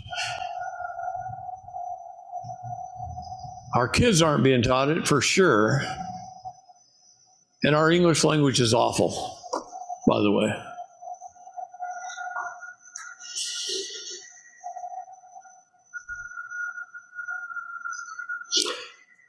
One of the founding documents of the United States, the Declaration of Independence, recognizes the inherent dignity and worth of all people. It states that all men are created equal and that they are endowed by their Creator with certain unalienable rights. The right to be free from slavery and involuntary servitude is among those rights. Acknowledging this fact, the United States outlawed slavery and involuntary servitude in 1865, recognizing them as evil institutions that must be abolished, abhorrent to the principles upon which the United States was founded. And then they created the 13th Amendment to the Constitution and the 14th Amendment to the Constitution. And they made all of you slaves.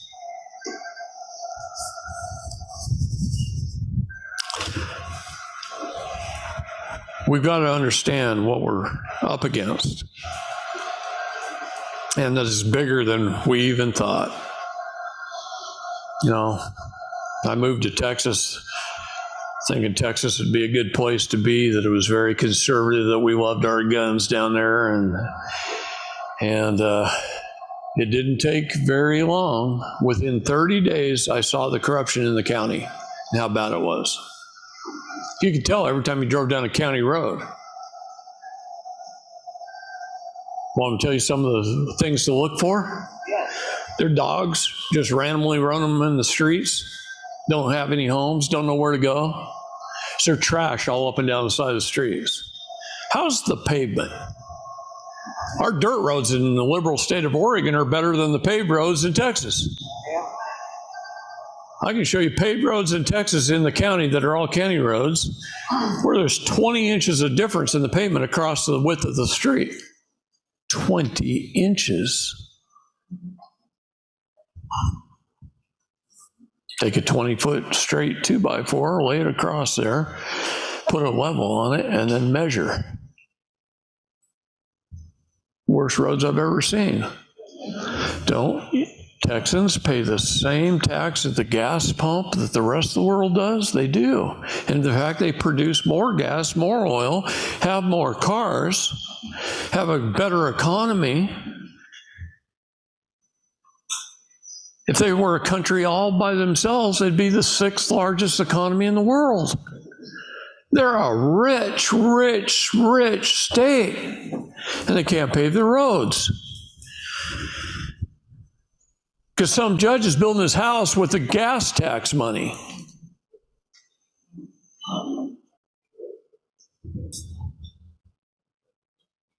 I'm telling you, the corruption is incredible down there. The biggest crook is the county treasurer, commingling funds amongst two or three hundred corporations in the county.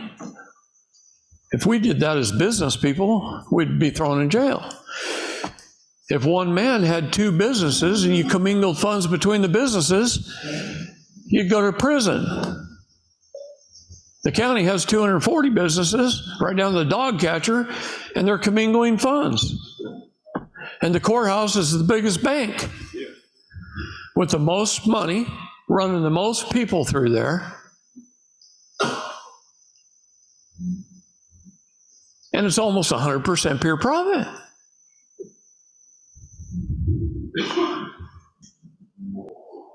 Is the courthouse bigger than the Wells Fargo branch? Yeah, if Wells Fargo had as much money per branch as the, in every county, they'd have big buildings too. But the court has more. Because the court can create any bond in any amount they want to and sell it under their international securities identification number. They just arrest you for something, anything, little, an ordinance even. And they create a cause of action. That creates a case number, which creates a CUSIP, which is attached to a bond, is sold under their ISLIN number out the back door of the courthouse to a broker, usually from Bear Stearns or somewhere like that, and it's invested on Wall Street into a municipal bond fund or a prison bond fund. And the judges own all the programs in the prison for the prisoners. They can't make any money off the bonds on Bonnie now because of her name and what we did. So they paroled her so they could force her into parole classes where the US government pays $12,000 per prisoner to take each class. And the company that owns the classes, the school inside the prison, is owned by the judges in the state.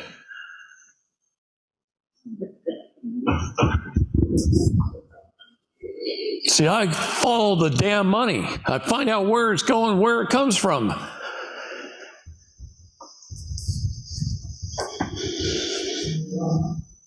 Let me tell you about a young woman down in from San Antonio.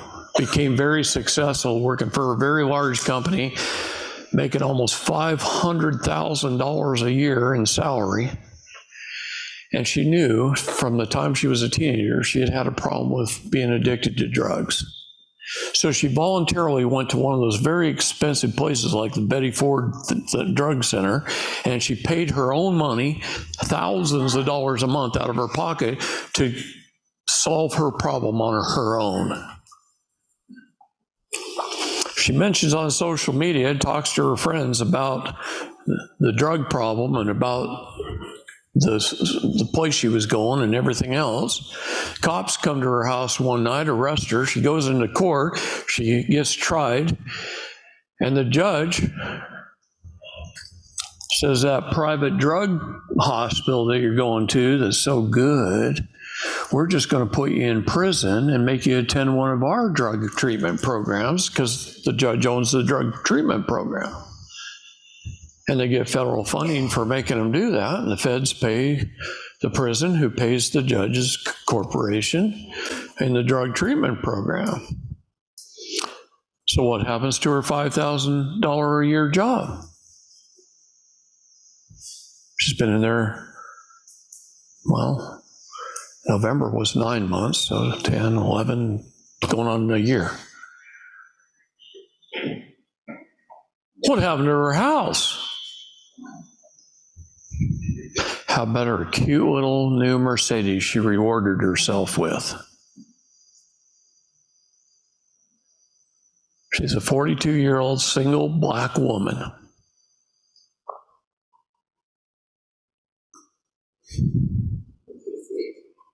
Solving her own problems with her own money, living a good life. And now she's lost her job. She's lost her. What's the odds of her getting a job as a felon when she gets out for five hundred thousand a year? Zip. Her career is over. Did she deserve that? Was there a victim? She is a victim of the courts. This is stuff that's got to quit. I am tired of talking to female prisoners. I can't find any that belong there. We've been looking. Bonnie and I have been looking. Bonnie had no idea. You know, the average person out there, before you knew any of this stuff, somebody been to prison, well, what did you do wrong? And that's what the public perception is. What did you do wrong? What did you do? They got you there. Now she's in prison, and I'm talking to these other prisoner ladies, and I'm trying to find something they did wrong that hurt another individual. And I can't hardly find any. I found one woman. This this story, oh my gosh, this one hurts. She's 17 years old. She was dating a 21 year old boy. He took her out one night, proposed, and they celebrated. And he got a little drunk. And the bartender took the keys away from him, gave them to the 17 year old girl who had a driver's license and wasn't drunk, had only had one, wasn't drunk, handed them to her to take him home, and made him her promise that she would take him home. So they walked out to the parking lot together, and the 21 year old man, boy, made her get in the passenger seat and took the keys away from her. And she's yelling at him, she's screaming at him, she's telling him, You're not fit to drive. I want to get home, blah, blah, blah. He says, Shut the door, let's go. I'm okay. And they drive through town and they hit somebody in a crosswalk and killed him. The 21 year old man was sentenced to life in prison, we got the death penalty. And the state has now ended his life. And her, being an unwilling passenger, having done nothing, the lawyers told her she was going to get 60 years, scared her to death, told her she could plea for 40 if she just signs this document. Scared her to death. 17 years old. She signs the document, thereby a contract. Never had trial, never had due process, never had an argument by two attorneys or whatever in a court, never got to see a judge, other than her little arraignment, plead guilty or not guilty, right? And has now, she is now 40 years old. Oh, She's been there since she was 17 in the same building Bonnie's in now. She didn't do a thing. That was some prosecutor wanting to tell some family of some victim that they got them prosecuted. They can never do this to anybody else again. And he made the paper. We found the newspaper article. Did, did she deserve that? 17 years old, she's 40. She's eligible for parole in 2028. She shouldn't even have been there in the first place. I'm telling you, I could tell you, sit here for the next three days or two days telling you story after story after story. I'm not going to do that. But we can't find anyone in prison with Bonnie where there was a true victim of the crime. Did some of those people make a mistake? Yeah. They had drugs. They got drunk. They had did various things. That's called a drug treatment program. That's what they should have been sentenced to. Not prison. They should have got forced to have help. Corrections? That's funny, Zadie. That's funny. I am so mad, and I get madder every day. I'm trying to tell you, I don't even know how to remain calm anymore and how to keep the stress level down. I have bled so much in the last five, six, seven months. You wouldn't believe it.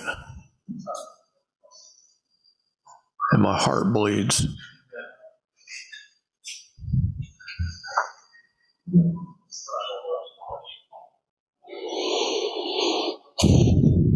Julia. We've got to do something about this. I'm taking down the eight. Title 18 is my mission. For those of you that don't know what Title 18 is, It's the criminal code. it's the criminal code. It is completely unconstitutional. I'm going to prove it. If I have to take it down to the Supreme Court. Which she will. Yeah, I know, you can't hear her. So Title 18 is, is the criminal code. She's going to prove it, even if she's got to take it all the way to the Supreme Court, which is what she just said, and she will have to take it all the way to the Supreme Court. That is unconstitutional. Exactly right. The problem, the reason is they're using it against the people. They're not supposed to be using against people. It's for the people to use against government officials who are corrupt. That's what it's for. It's not for the, the, the corrupt politicians, corrupt DOJ, corrupt FBI to use against you. It's not for that. It was never designed for that.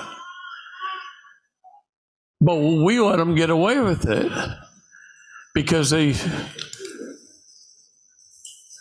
they had us do unconscionable contracts that we didn't know about, right down to our mother before we were born. When our mother walked into that foundling hospital and gave birth to us, she signed an unconscionable contract as an informant, giving us up to the state through a birthing ward where they took our soul and our blood and our life and sent us out to sea where we're presumed dead. And part of the seminar is going to, this weekend is on the presumption of death because you're all dead. Until you've reached the status of in full life, where you're declared in full life, you are dead. And that's what we all have to achieve where we've reached the status we're in full life. See, being an American state national is great. It's also known as an American national. They're literally one and the same. We're not U.S. nationals and we're not U.S. citizens. We're Americans. First and foremost, sons and daughters of God a creator who created this world. And boy, this world is old, yet mankind is young. In the middle of March, when our moon changes, we will enter our 6,000th year since Adam.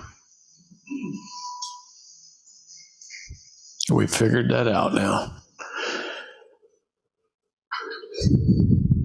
Because that when that moon changes, that's the one and a quarter day month of Nisan. And then we enter April in the middle of March. And April goes for 28 days. And then it becomes May, because April is the Alpha and Omega month. The beginning and the end.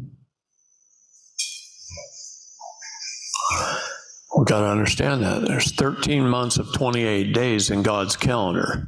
45 years before Christ, they created the Julian calendar. Before that, we were on God's calendar, which was a Hebrew calendar, and they've lost some of that guidance over a few centuries. The Greeks lost it a little bit. Um, the Aztec calendar, they lost it by several years. And then the Gregorian calendar, which we've been under.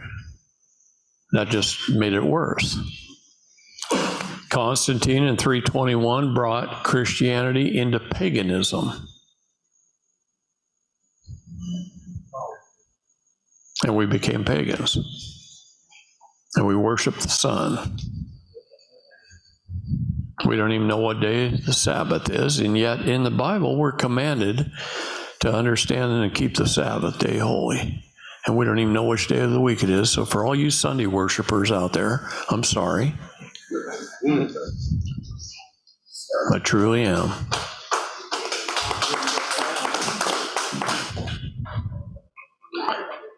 That's why they had to rush on Friday to crucify Christ and get him up and get him dead before the sun set on Friday night. Okay?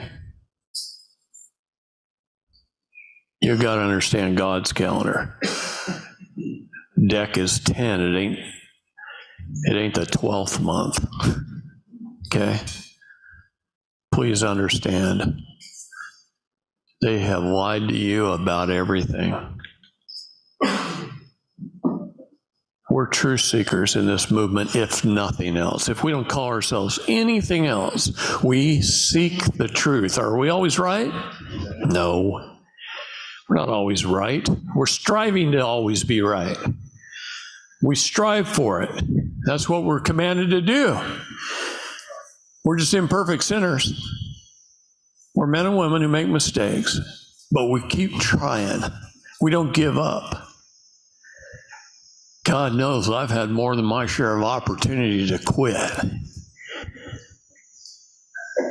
You won't believe how many times Costa Rica or Argentina have called my name.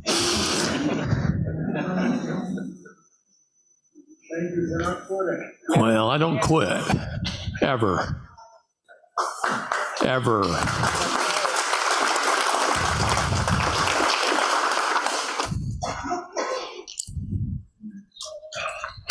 So I'm going to read you something out of the Bible. And ye shall teach them that the law of consecration is the holiest and most sacred law of all the laws of God. And it is this law that governs the celestial glories of the kingdom of God. Behold, it is this law that bringeth the greatest amount of joy and happiness to an eternal soul.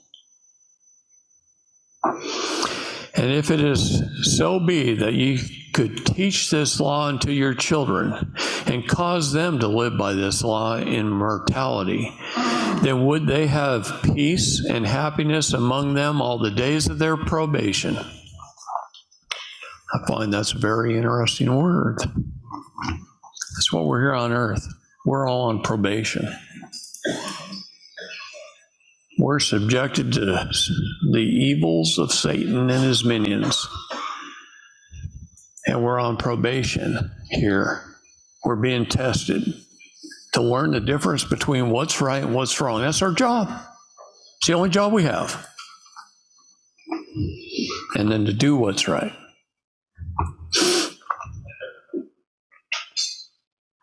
Nevertheless, the requirements of this law are opposed to the plan of Lucifer, whose purpose and intent hath always been centered in selfishness. And he hath great power and influence over the hearts of the children of men, and this because of the veil that hath been placed over their minds, that they do not remember the things of the Father. For the law of consecration is this that all those who live this law shall give of all that they have been blessed with, yea, even from each according to his abilities, to each according to their needs, that all might be blessed equally according to their needs and their wants. And their wants shall only be those things that they shall need, and they shall not want that which they do not need.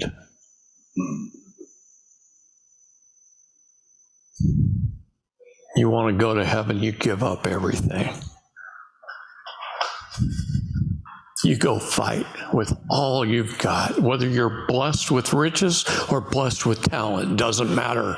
Go use those talents and those riches to do good for your fellow human beings. That's it. This is how we got the 13 royal families together. This page, these scriptures that I just read to you, got all the 13 royal families to understand that they were just merely the trustees for the benefit of the people of the world in the end times. And that will bring in the thousand years of peace. When there is no rich and there is no poor, and all men are equal.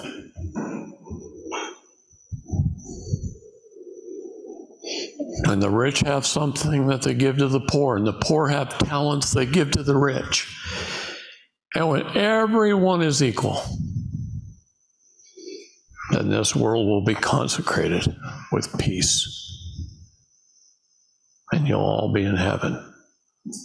And the ones that don't do that, well, they're going the other way.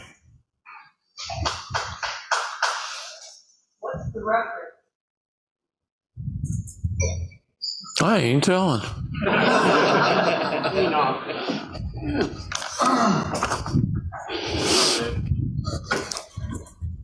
I want you to go find it. I want you to look it up. Don't take my word for anything. I read and I read and I read until my eyes bleed, and then I read some more. And I try and impart that knowledge to you. I don't want you to believe me. Go find it. I can prove it to you over and over and over again and everything. And right now, I'm going to prove to you why the name changes aren't working for people out there yet. Because they can work. I'm telling you how important it is. It's incredibly important. The name change is important, but you have to have some some understandings. You one, you've got to tie your body to your name. It's the only thing you have. Tie it to your name and then stand on it. Then you can stand on it under God. Because I could be called a number a number of things.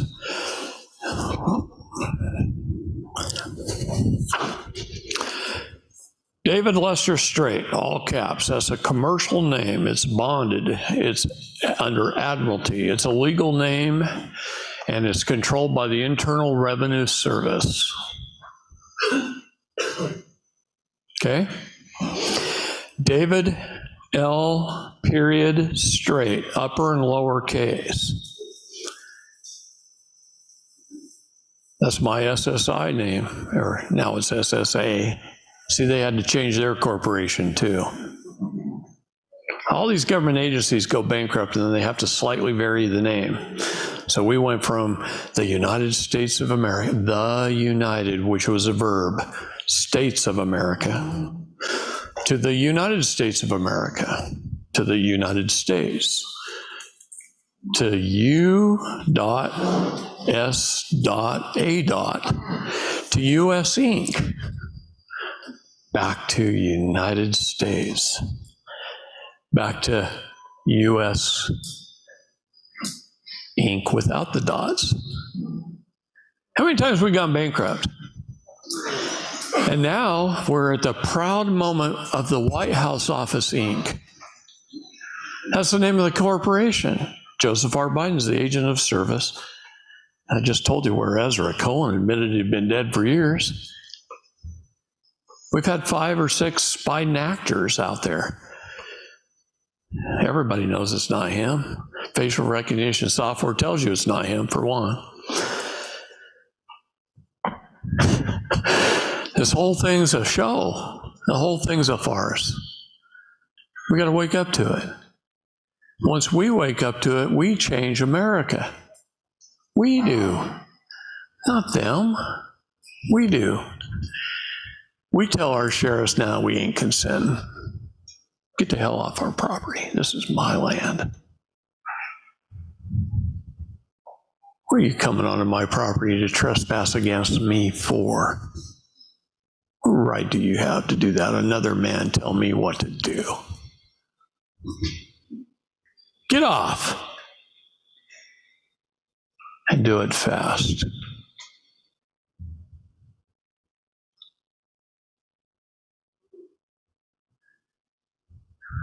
We got to stop thinking as debtors.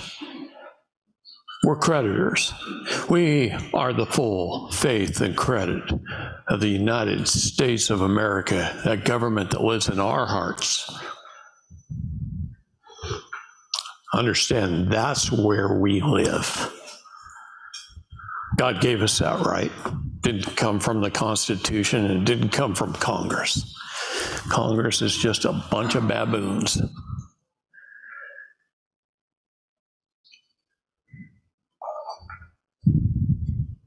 They're all squirrels in my world gathering nuts. All these people. That's all they're doing. And I don't care a damn thing about them. Other than they better do what's right if they're going to take on the responsibility. And they better benefit us. That's all I care about. I don't care who they are, what party they're from, what they do. Just the parties alone were there to divide us. We're not going to be divided anymore, are we? No. You're going to let somebody three years in with an ego divide you? No. Love everybody. Tell them they can go their own way if they want, but they're idiots.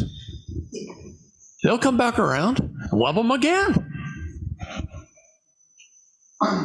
Don't burn the bridge. Just keep your heart open. They'll figure it out. Everybody's got to make their own mistakes. Love them the same. Doesn't matter.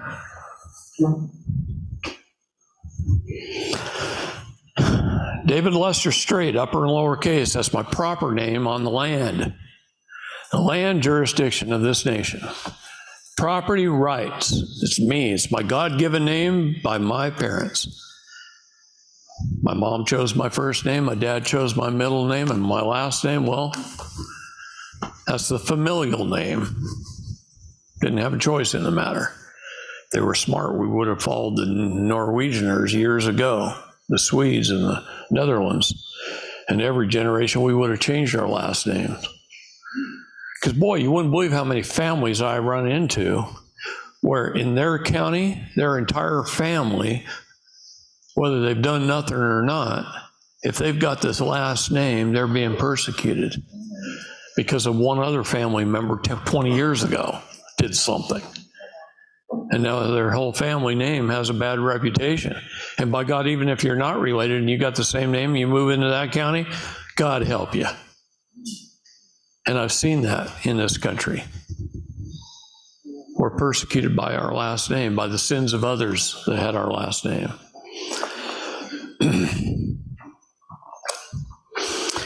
David Lester, upper and lower, I mean, all lowercase, with the last name straight, with a capital letter straight, is the familial beneficiary name.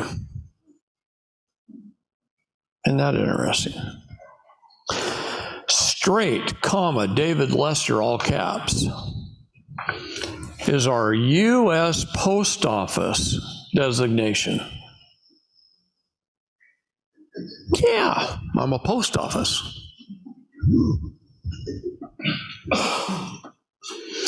Straight, all caps, comma, David Lester, upper and lowercase, is owned by the Vatican. I'm sure my parents didn't give them ownership. Straight, comma, David Lester, upper and lower case, is owned by the United States military under military jurisdiction under the UCMJ.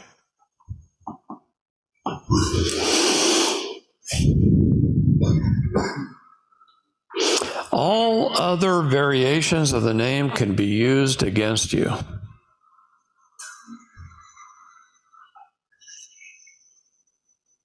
include all those variations when you change your name? You know, this was my purpose for the deed of reconveyance years ago, is to put the combinations of your name on there, redeeding them under, reconveying them under one name and filing it on the county records.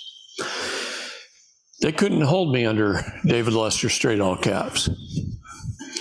They arrested me again. They couldn't hold me under David L.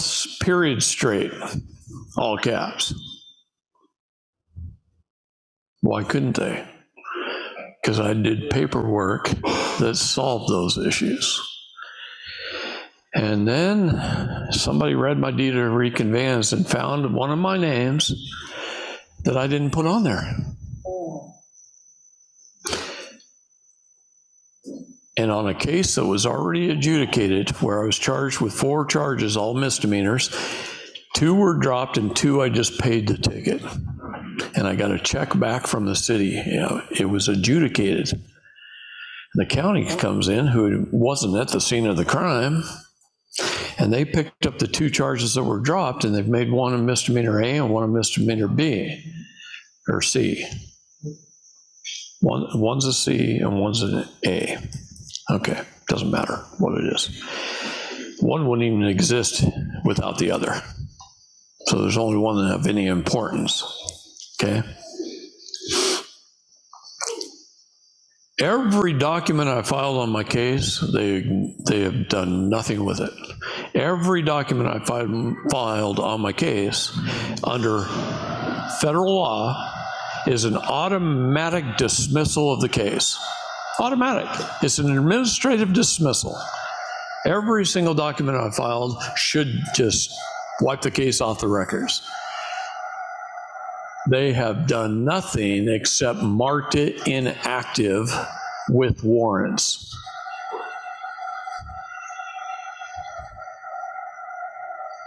They've marked my case inactive with warrants. The warrants are only good in the county and the surrounding counties. Yeah. Yeah. It's right on the docket. And and then they kind of put a hit out on me on all counties in Texas through email.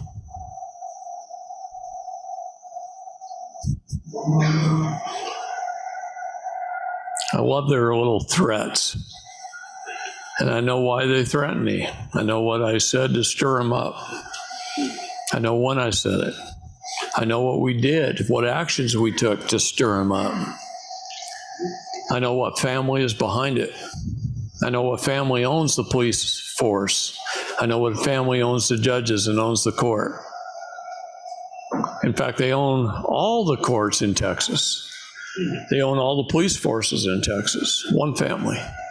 They control it through the Grand Lodge in Fort Worth and uh, through all 900 Mason halls in Texas, which all the judges and all the attorneys and all the police are members of.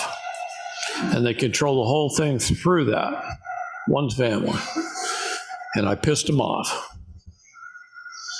And they're only worth 10.8 billion. That's their net worth.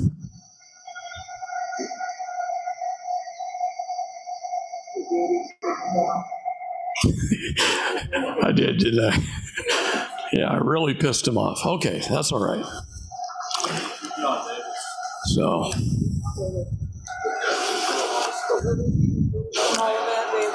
oh, I just figure if I got to do it, to do it in a big way. Will I be removed from all that? Oh, yeah.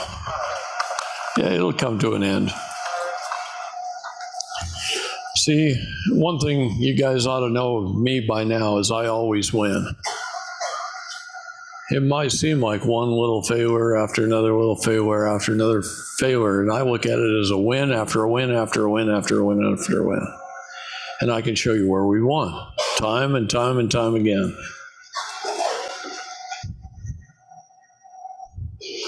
Didn't I have the prettiest mugshot on earth?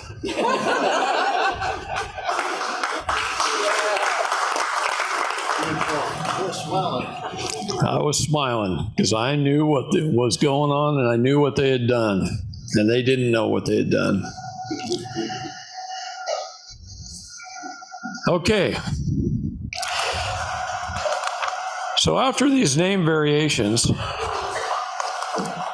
I want to show you how dumb we all are and how much we can learn from our mistakes.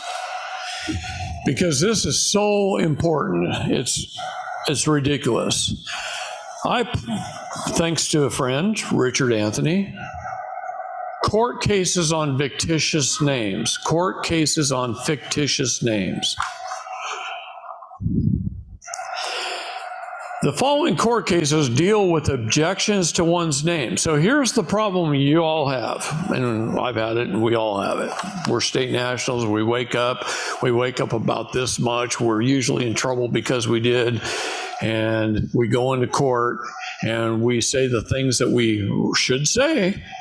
We do the right thing. We're the perfect quarterback sometimes. Sometimes we're a little less than perfect. But we do the right thing and they rule against us. They rule against us because we didn't know enough. We have to learn precept upon precept. We have to make our mistakes. Sometimes they hurt. Sometimes we get better. But I'm going to teach you some things this weekend about the course that you all didn't know. And it's something I've learned. The fat lady never sings. There's your lesson.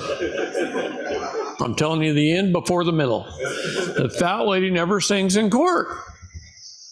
It's never over. Everybody thinks it's over. They go into court, they lose, they think, oh, shoot, the judge ruled against me, it's over. All right. Most of these people learned a little bit and they they started arguing in court that the name is spelled wrong or the name is all in all caps or the name is this or the name is that and the courts continue to rule against them all the time. So we can learn something about these neg- what i call negative rulings okay russell versus united states petitioner claims because his name is in all capital letters on the summons he is not subject to the summons completely without merit patiently frivolous and will be rejected without expending any more of this court's resources. To argue that your name is spelled in all caps is wrong. It's the wrong argument because then you're admitting it is your name.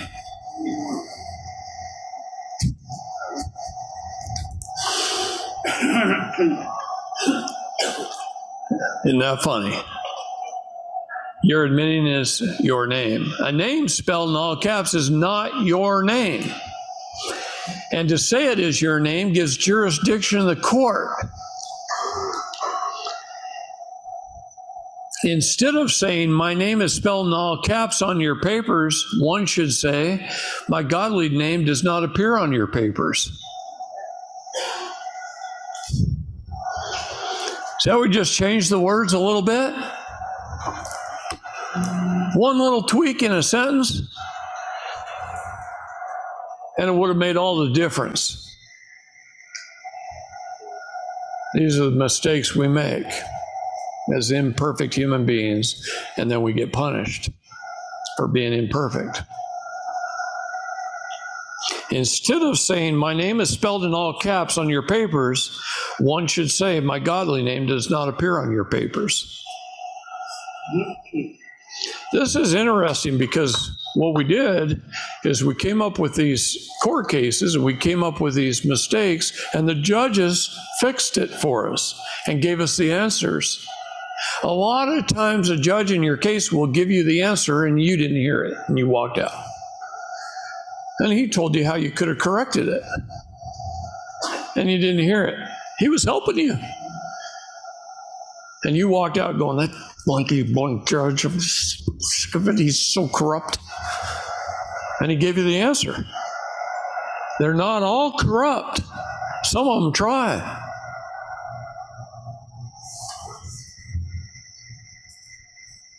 Wyatt versus Kelly, who was a chief bankruptcy court judge of Texas, by the way,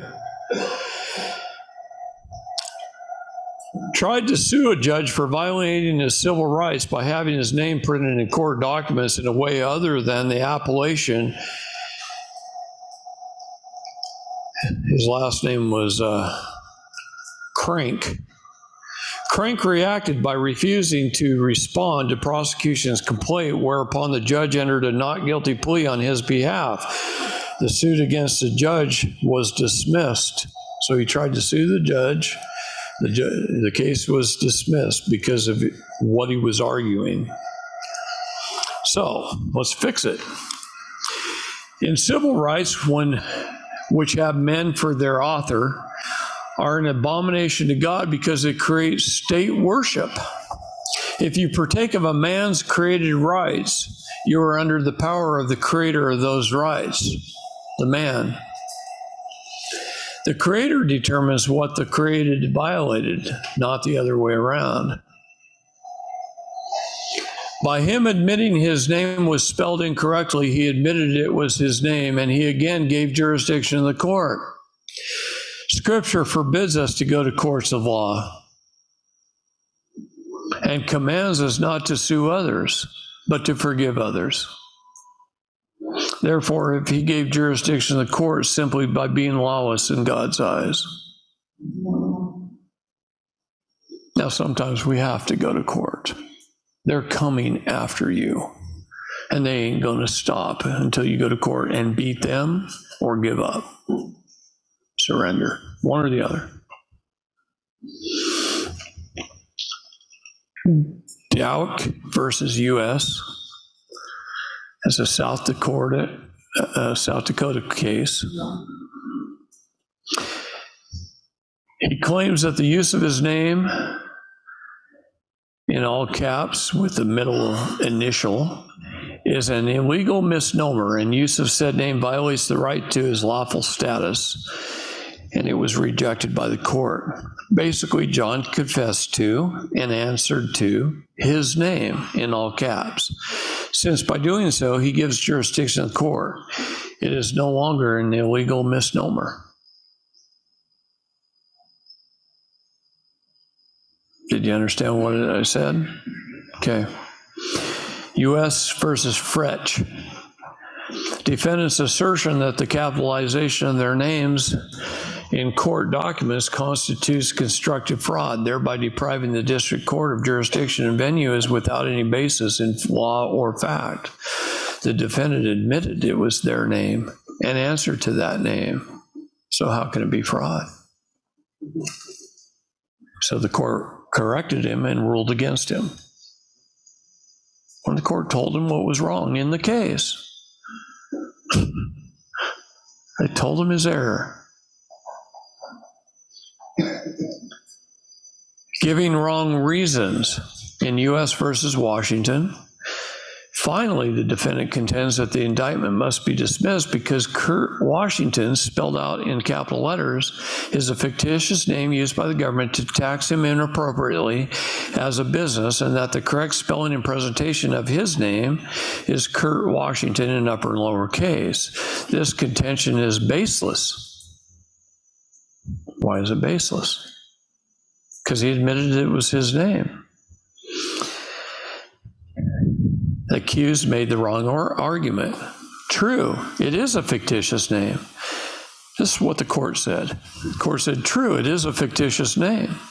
However, to say it is used because the government wants to tax him improperly as a business is hypothetical and speculative. Opinions are not law and have no standing in law. There are no other reasons why the government uses fictitious names, and to claim this one without proof is not a reason to dismiss the case. So, see how the court told him what he did wrong? Jagger versus Du. I'll screw up the name of this county. Dubuque County, North Dakota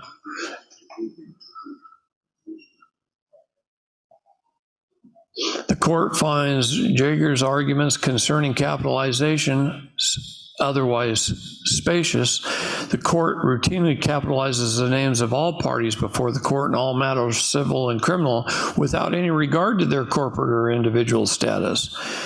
The court qualified the term status. The court did not say without regard to their status, but only to their corporate or individual status. Under the law, corporate and individual status is identical.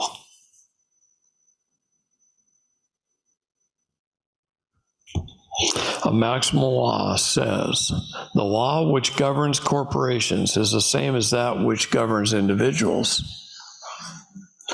Jager's error was as follows either he admitted he was an individual, or he did not rebut the presumption by his accusers that he was an individual. Can't use the word individual either. See, these things we learn from, right? Davis versus Deddens, Ohio. I believe that not only is this case subject to dismissal, but is also subject to sanctions under Rule 11.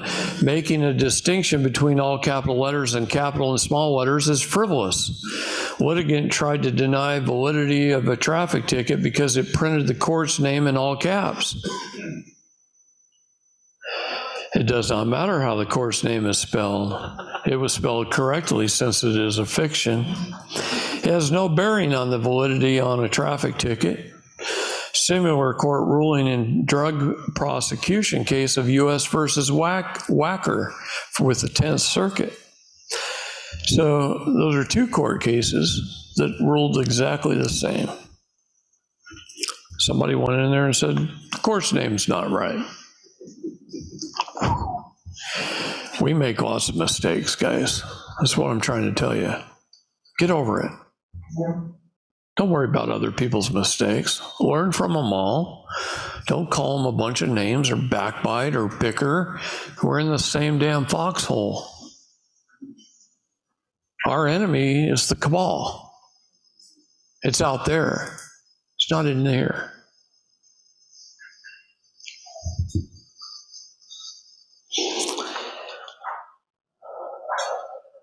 Rippey versus IRS. The plaintiff's response consists of nothing more than a protest against the capitalization of his name in the caption.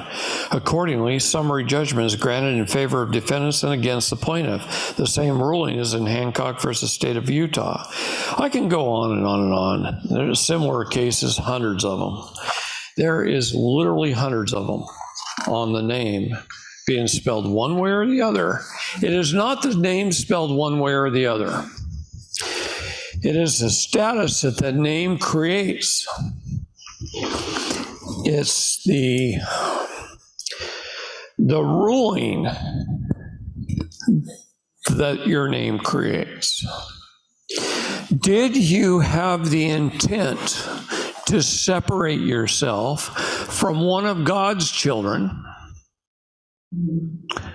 to be in a corporate fiction?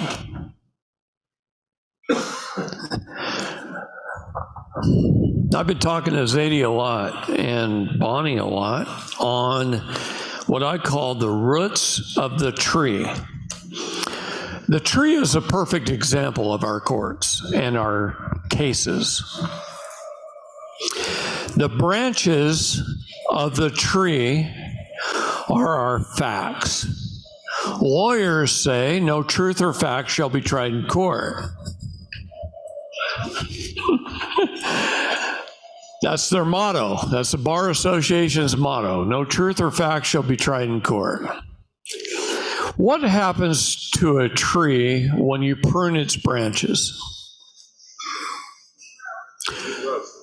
New growth. It gets stronger. It gets better. The roots go down deeper. They, it's harder to kill.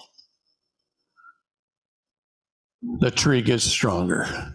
We argue facts all the time. Facts don't matter. Bonnie was so bad at this. She could argue the fact off of anything. She could. And I kept chastising her for it. And I don't like chastising her. But for her, it was all about the facts, all about the facts, all about the facts, the truth and the facts. Well, that's great. Everybody should put their affidavit of truth and facts into a case and then forget about it. Do your affidavit of truth and facts and put it into the record and forget about it, except for standing on it in a hearing. But that's not the argument. The biggest argument is did the court or the police or whoever, some agency of government, did they have the authority to even talk to you in the first place? To take you into court in the first place? Did they have the status? Did they have the standing? If you've separated yourself and you've corrected your errors and your contracts and you have the right status, did they have the status to talk to you in the first place? Okay, let's solve this right now. And I'm going to solve Kiki's problem. I love Kiki, I really do. She's not right all the time. So I'm going to solve her problem right now. It's not, a, not an issue. It is the understanding of our court system today. We have the Supreme Court of the United States and the Supreme Court of Pennsylvania. And the Supreme Court of Pennsylvania is higher, with higher jurisdiction than the Supreme Court of the United States because it was created first. The UCMJ was created before that, and it has the highest authority. Our military is in control, by the way. They have the highest authority. Now, whether these three star generals are all corrupt or not, that's uh, uh, anyway, whole nother class. So, we have the Supreme Courts. Congress, through our Constitution, we the people gave the federal government in our first Constitution the ability of our Congress to create Article 3 courts. How many did they create? Who knows the answer? See? Shit. No.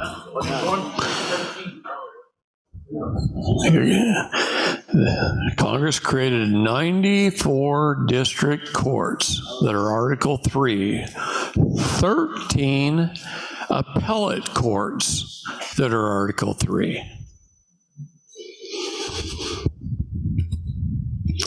And there is approximately, and this number is changing right now, so it's fluid. There are 36 chancery courts in the United States. Set that aside for a minute. I'm going to talk about that later.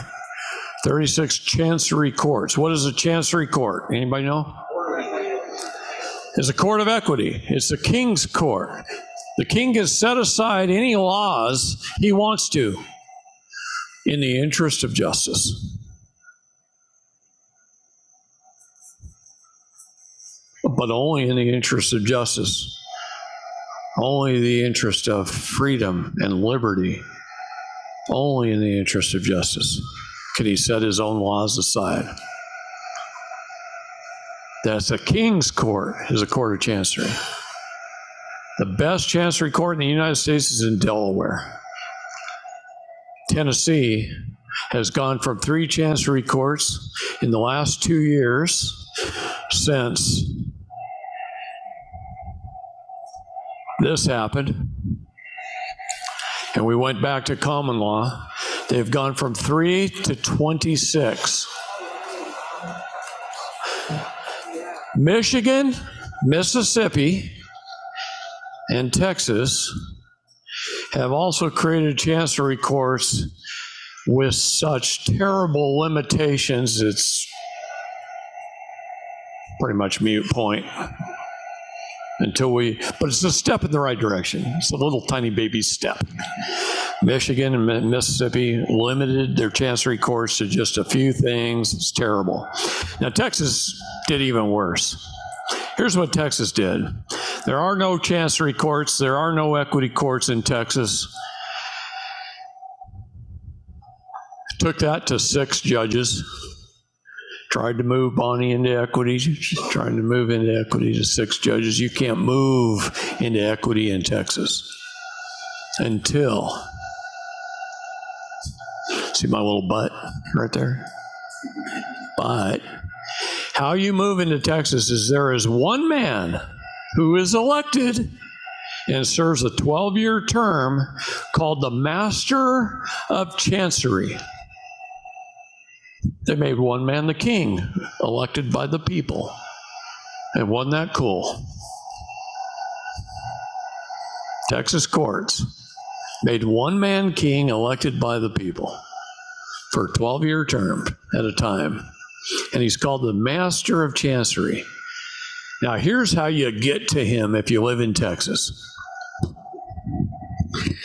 You work your way through the county court system. You go into the appellate court and you fail, and you go take it to the Texas State Supreme Court and you fail again.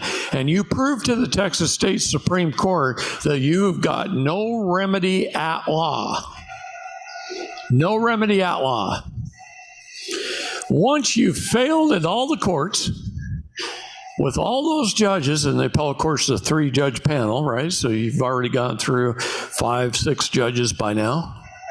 Once you've done that, failed and failed and failed and failed and failed and failed at law, and you did not receive remedy, and you proved beyond a shadow of a doubt to the Texas State Supreme Court that you can't get remedy at law, well, then you can petition for equity through the Master of Chancery of this Texas State Supreme Court. And he can set aside all those statutes in order to achieve justice and get you remedy. And that's his job. And that's how Texas set up their Chancery Court.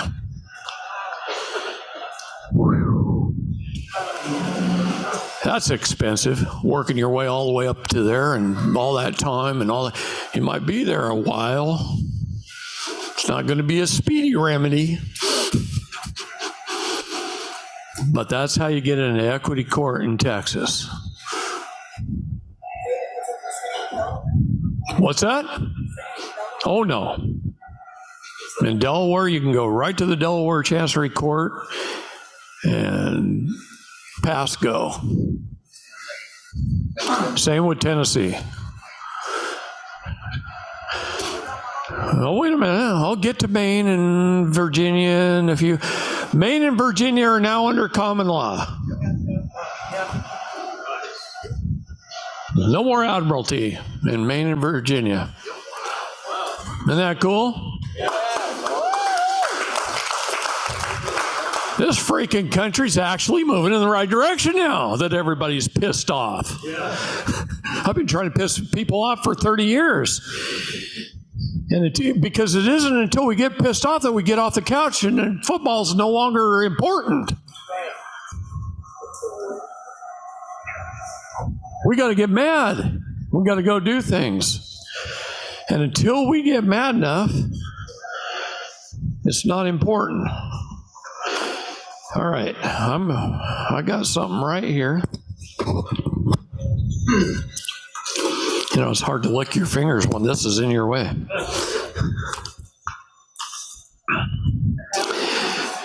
I pulled this off of uh, Tennessee Chancery Court's websites. Just a couple of pages. Uh, this one happened to be in Franklin County. Franklin County Chancery Court is a 12th judicial district which consists of six counties. So the count, the uh, Chancery Court in Franklin represents six of Tennessee's counties. Okay, there's 23 Chancery Courts, 26 now. They just went from 23 to 26 in Tennessee, but there's more counties than that. So they share. So Franklin, Marion, Grundy, Bledsoe, Rhea, and Sequatchie counties are all under the Franklin Chancery Court. And the chancellor for their judicial district is Melissa Thomas Willis. All three names properly spelled in upper and lower case. And yeah, beautiful. Right there off their website. Her proper name. What? That's up to you. Which court do you walk in? See, it's always up to the people. She asked me if they that replaced other courts that were out there. I said, that's up to you. Which one do you walk in? You have options.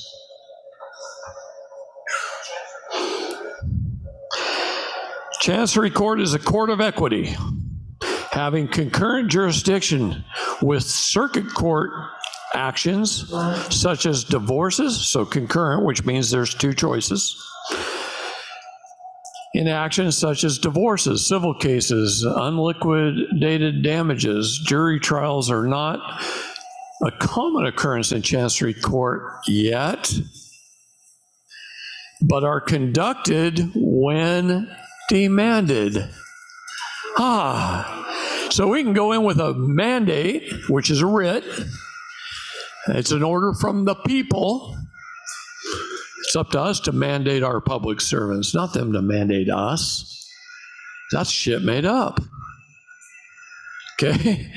It's our job to put in mandate, writs of mandamus, writs of mandamus. So,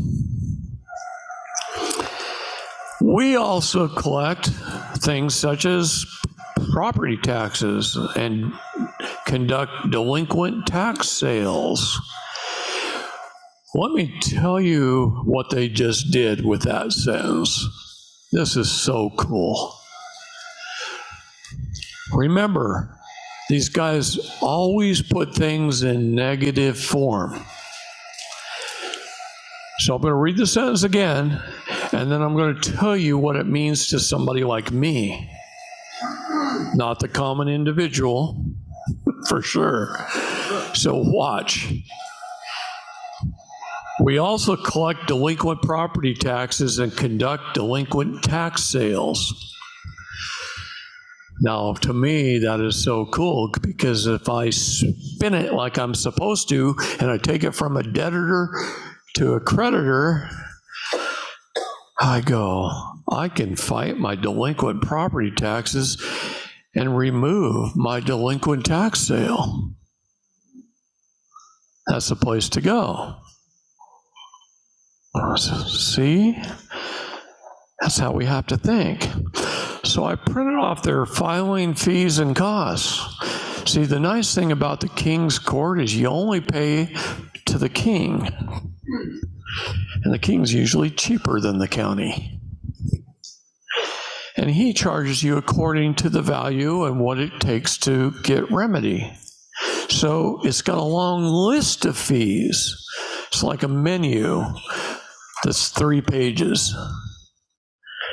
And if you order a hamburger and not a steak, you only have to pay for the hamburger and not the steak. See, in county courts, you got to pay for the steak, and maybe you'll get a good hamburger.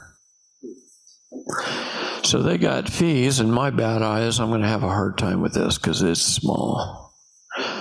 A divorce involving minor children, the fee is $299.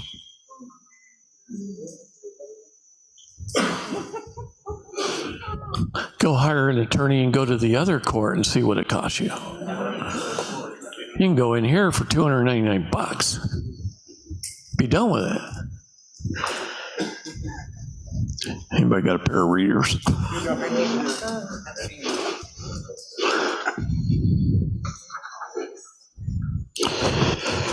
Laugh at me because I refuse to admit my eyes are going bad.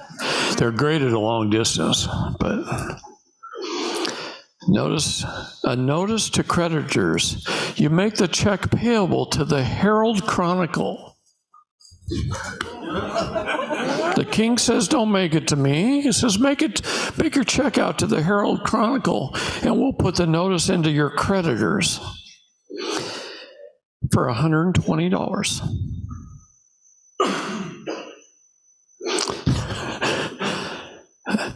You want to settle your estate, a small estate, put in your affidavit, and it's $140.50.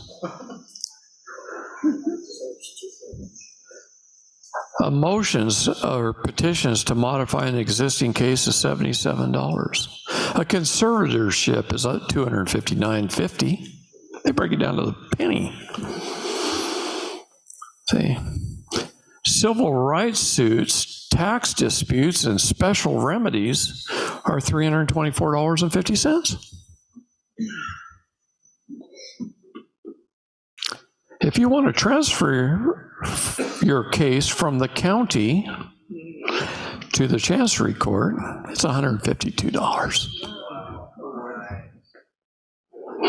If you want to appeal your case from the county to the Chancery Court, it's $249.50. If you would like to do a writ of satori, it's $249.50. If you want to do a condemnation or inverse condemn, con, condemnation, it's $249.50. If you want to do an adoption, it's 199 bucks. Paternity or termination of parental rights, if you want to argue that, it's 199.50. A name change,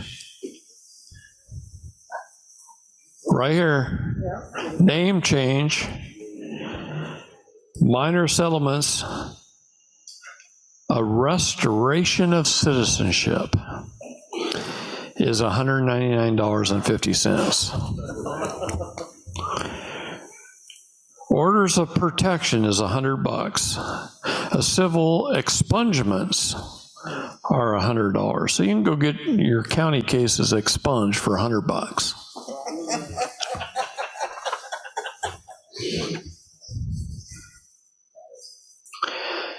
Now, I don't know what a category four case is, but it's seventy-seven dollars. Modifications to parenting plans are seventy-seven dollars. Civil contempt actions are seventy-seven dollars. You starting to get what I'm saying? Yeah. They're fair and equitable. We need chancery courts in the United States. Contact your state legislatures and let's get on it.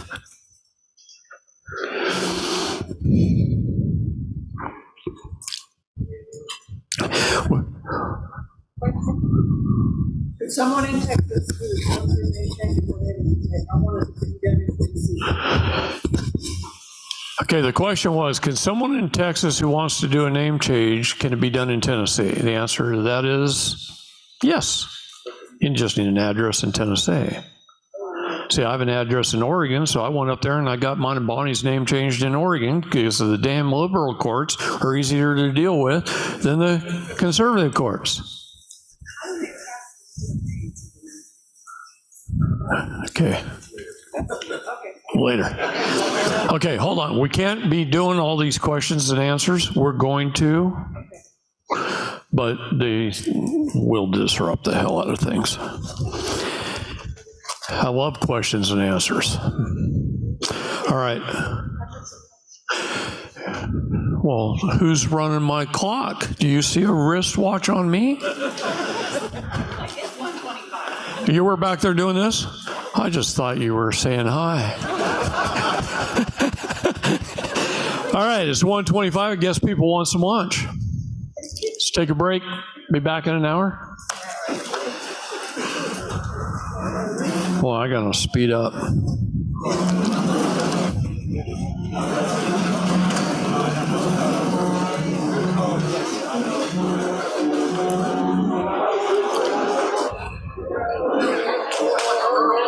Boy, keeping all this straight in my head is not easy.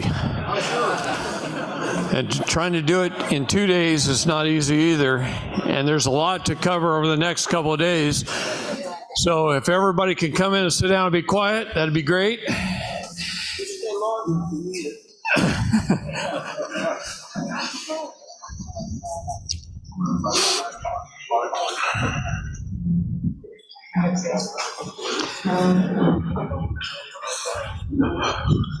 All right, I want to really quick before I go back into the courts and talk about that. I want to talk about Adam and Bo and Fremont, Freeman Bot. These guys have the ability to change this country with our help. All of us. And we're going to be putting a lot of documents on there that everybody can go to, everybody can do. It's going to expand. Freeman Bot's is going to be better than State National US ever was. But it's more important than that. So I want to get this through your heads.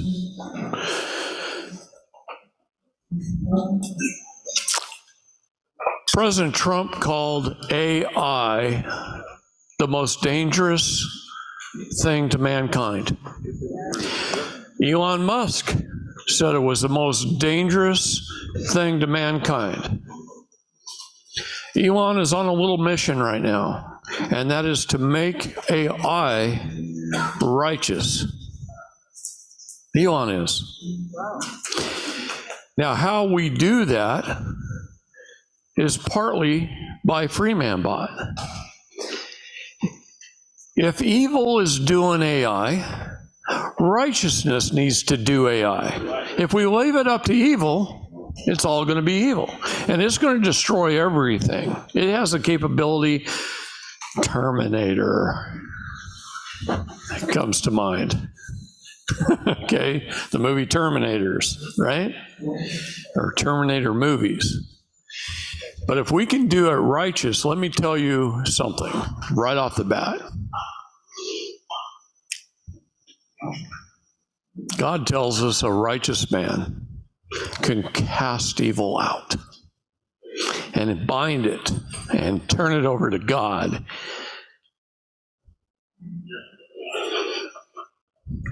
And if we can develop a righteous AI to bind evil and cast it out and turn it over to God, there won't be an evil AI. See, that's how powerful God is.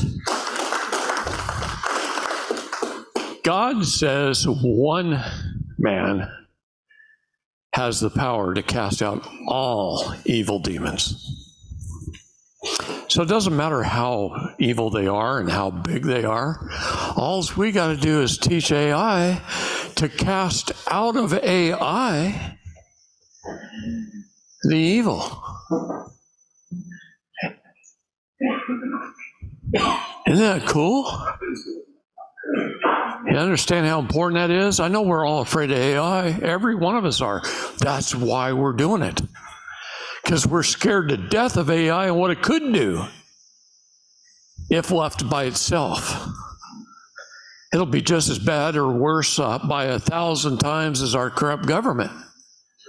Because we stayed out of government for so long, it's gotten so bad. Now it's coming back to bite our own ass. We can't let AI do that. It'll do it 10 times, 10,000 times more. But it just takes a little AI with God's words to cast the evil out of all of AI. It doesn't even take as much. It could be a pencil compared to this whole room. See? That's the power of it. I encourage everybody to get on Freeman Bot and start supporting it. And it costs a lot of money to develop. You guys don't realize the cost. The minimal charges, I know it seems like a lot sometimes, but the minimal charges it takes to create that and get that going, it's like tip money compared to the work Adam and Bo and his team, their teams are putting in. It's a team of people doing this. Support it all you can. I've never asked anybody to support more than they can afford. But I have asked you to have a vested interest in your own education. That's important because we, if something's free, you do nothing with it. I've, I've tried 30 years or 20 years of that anyway, and it didn't work. But when you have a vested interest in yourself and your education and your family and your friends, and you understand the big picture and you start giving back to that big picture, that's worth everything. Okay? Everything. So keep that in mind. We're going to be uploading more and more stuff. I've got a ton of stuff to hand to those guys this weekend, and more to come. So it's going to continue to grow. Growth is slow at first, it's painfully slow sometimes. We all wish we could just snap our fingers and have this all be done, and none of this would be necessary, and you'd all have your trust, and everybody'd be happy. And believe me, that's coming. We know it's coming. We can see it.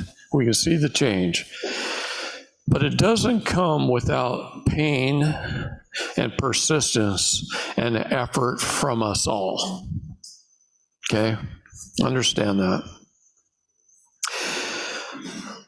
This is already on Freeman Bot. This was the old 10 steps, which is now more. But here's what we did. See, the 10 steps was for phase one, two, and three. It gets you to a certain point, and then you used to have to spend a lot of time learning from me to feel comfortable enough to go into a federal court and get access to your trust. And very few people can even pull it off. It's not their fault. I don't blame anyone, no one. I blame our parents, our grandparents, our government, and everybody else in the past for letting it get this bad anyway, for making it this hard. Should never have been hard. Should have been easy. If we could go back to 1900 and take care of some things before 1933, this would have all been over. Okay? But that whole Federal Reserve banking bull crap making us all slaves and now worldwide slaves, it's just gotten worse and worse and worse. Now we got a job to do and we got to buckle our shoes and get it done. And it's going to take some work, it's going to take some effort uh, for all of us. And it's could be as simple as a few things I'm about to talk about. Very few things. So first of all, this is the list. You, can get it off FreemanBot. Um, I think we are going to put it on a channel or two later, but FreemanBot right now. And what we're going to do is we're going to take all that difficulty of going to a federal judge out of the picture.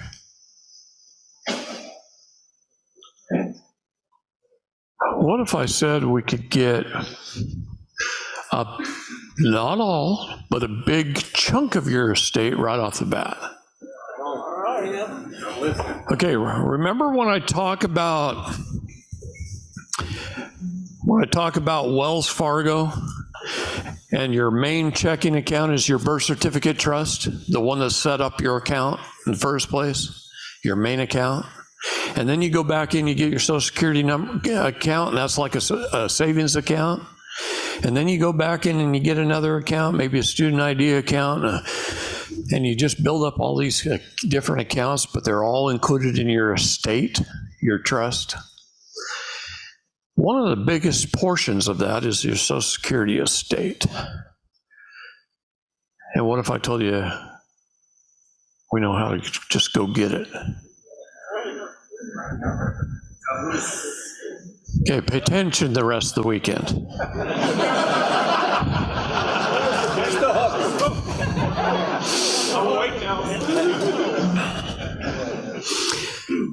So we were talking about our courts turning over to common law courts. They're doing that slowly. Maine and Virginia already have. Tell you what Oregon did. Oregon actually passed a law that says a person who's going to law school can go to law school and graduate. She can go to work for an attorney firm for four months and practice law in the state of Oregon without ever having to pass a bar or be a bar member. Hmm. Okay, one of our most liberal states in the United States just found a way to begin. It's a step, right? It's not the top of the stairs, but it's a step to getting rid of the bar in this country.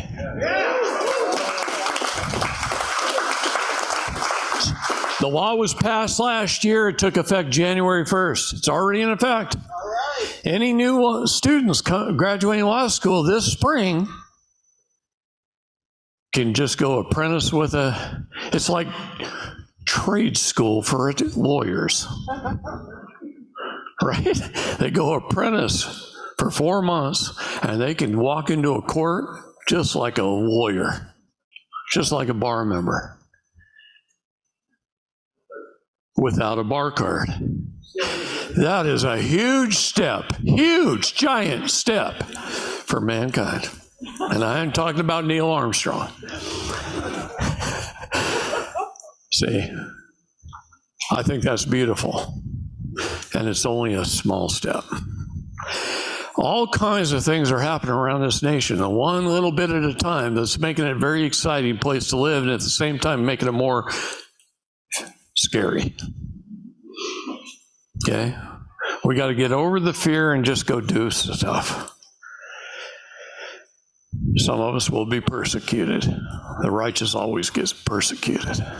We're in good company. It happened to all the apostles, happened to Christ himself. Who persecuted Christ? Wasn't the Romans. Right, it was the Pharisees, the Jews, the Khazarian mafia of the day. The ones that got kicked out of uh, Jerusalem, who fled up the Silk Road to Ukraine. I'm going to let you guys in on a little hint, and it's starting to come out more and more. I'm seeing these little hints and these little signs out there, and I just look at them, and it's stuff I've already known for a very long time, and I go, Isn't that beautiful? Look at what just came out. I'm starting to see Christ's pictures that are getting more accurate to what he really looked like. See, those old paintings that you've seen of Christ were developed after about 300 years after his death, and they were painted, and the depiction of Christ was not right. That's not what he looked like. How do I know this? Because in a museum is a letter from Pontius Pilate to Caesar. And in this letter, Pontius Pilate describes Jesus, Christ. That word, Christ, that came later. Christ is a title, it's not his name. His name isn't Jesus Christ. That's not his first and his last name. Actually, no. Jesus' name is spelled I E S U S. Write it down. I E S U S.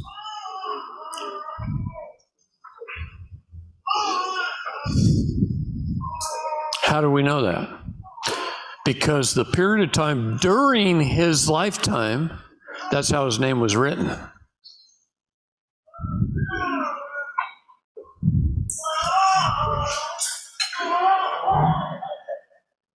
I E S U S. That's how he's described in Pontius Pilate's letter to Caesar as well. And they describe him. First of all, Mary and Joseph traveled a long, long way to Bethlehem. Okay? I'm going to give you a quick little history lesson to warm things up. A long, long, long way to Bethlehem. The Silk Road went from Scotland all the way down, and I'm going to name modern day countries so you understand what I'm saying. From Scotland through Ireland, through England, down through Germany and Poland, which is now Ukraine, through modern day Georgia, the country of Georgia, not the one in the United States. Modern day Georgia, which is a lot like Napa Valley. There's 5 million people in that whole country, and it's like one big valley with mountains on two sides. And the Silk Road went right down through the middle of it. And now it's all beautiful winery and grapes. It's a beautiful country to go visit if you want to go visit and it went right into Constantinople, which wasn't called Constantinople back then. Okay? Which is Turkey. Then it went like this and over to Acre, which dabbled in northern Greece. Acre, Jerusalem, Egypt, and then over through China and all the way down through Vietnam and to Thailand. And I'm using the modern day countries' names. So Jesus of Nazarene, uh, not of Nazareth. Nazareth is a city that's close to Jerusalem, not too far. Did he travel not too far, or did he travel a long, long way? he traveled a long way. Naz was the name of the country. Irene, E R E N E, was the name of the city where Joseph and Mary lived. It was a very industrious city along the Silk Road. In what is later became, went from Naz to Allegheny to Germany. And Christ had blonde hair, a dirty blonde hair with a red beard. And he was tall. And that description is in Pontius Pilate's letter because Pontius Pilate went to Jesus and offered him sanctuary because Jesus was speaking bad about the upper middle class people of Jerusalem, the Pharisees and stuff who wanted him dead. And they were and Pontius Pilate, the Romans were afraid they were going to kill Jesus. So he offered him sanctuary and the full backing and power of his office of Rome, and he was just an officer of Rome. So it's kind of like if Fort Hood, Texas, opened its doors to offer sanctuary from Texas.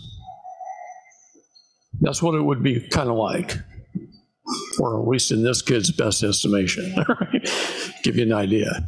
So they offered him sanctuary. Fear he was going to be killed, and Jesus refused. And he went right back out and preached against the corruption of Jerusalem, the upper middle class, the Pharisees, the bankers, the ones God had already kicked out of Jerusalem several times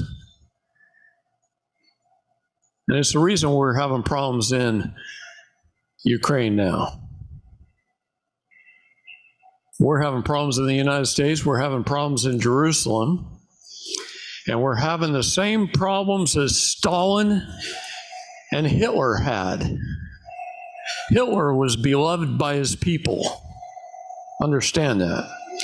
They would have done anything for him, and they did. They fought and they died for him because he was trying to get the evil bankers to stop usury of his people, stop foreclosing on their homes, start lending them money they couldn't afford to repay at high interest rates, to stop all these things. That's what they were doing. Same thing with Stalin. Our history book says he was killed 20 million of his own people. Well, what area of Russia did he kill those people in?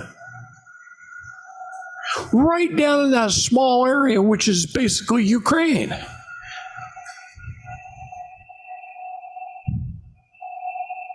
They didn't, they didn't kill him in the rest of Russia. So Stalin wasn't out to kill his own people in the rest of Russia. He was killing people in that area who were usury, usury the people of Russia. Usury is lending them money they can't afford to repay, foreclosing on their houses, stealing their stuff. Same thing our courts do every day. Who's running this country? Who's our news media? Who's directing our news on TV? Who's programming? Who's running our CIA? Who's running our government? Same damn people over and over and over and over and over and over again. And it's the same problem we're having. And the Bible tells us how it's going to be fixed. Tells us why. He revealed everything to us. We know that there's going to be a massive bomb going off in northern Israel. A bomb that'll melt the skin off the people. Because the Bible says that. Well, what kind of bombs melt skin off people?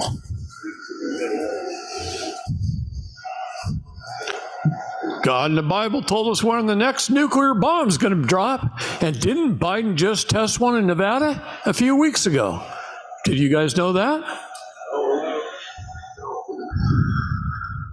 You got guys sitting as far away as Arizona, just over the river from Las Vegas, looking towards the south into town, and they watched a nuclear bomb go off in Nevada. And they were going, Holy crap, was that our casinos? No. it was a lot farther away than that.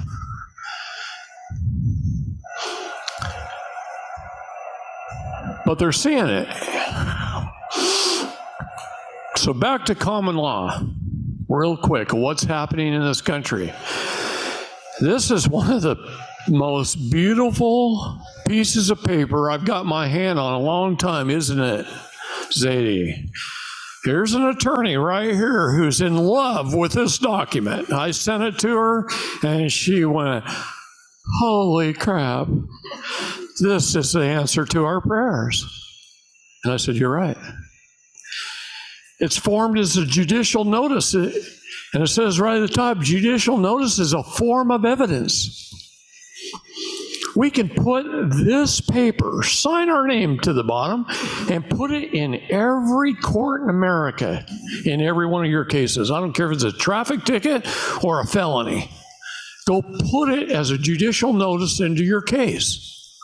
And I've got more judicial notices. I have judicial notices that I put on every case. So I brought a few of my own with my name on it in my cases. I always put judicial notices on because I am setting them up at the window. When you do judicial notices in your case, you set them up at the window. Then, if the local courts fail you, which they will, you win at a higher court. That's how I got Bonnie out on a, uh, through the appellate court and released. She's still there. They refused to turn loose of her body, but her case was released. She was released and rearrested outside the door. But they'll do that. it is my immediate Listen to the words very carefully. It is my immediate demand, wish, and order that you restore all that has been unlawfully taken without constitutionally mandated due process. All past cases that bypass the common law are unlawful. Justice Gorsuch.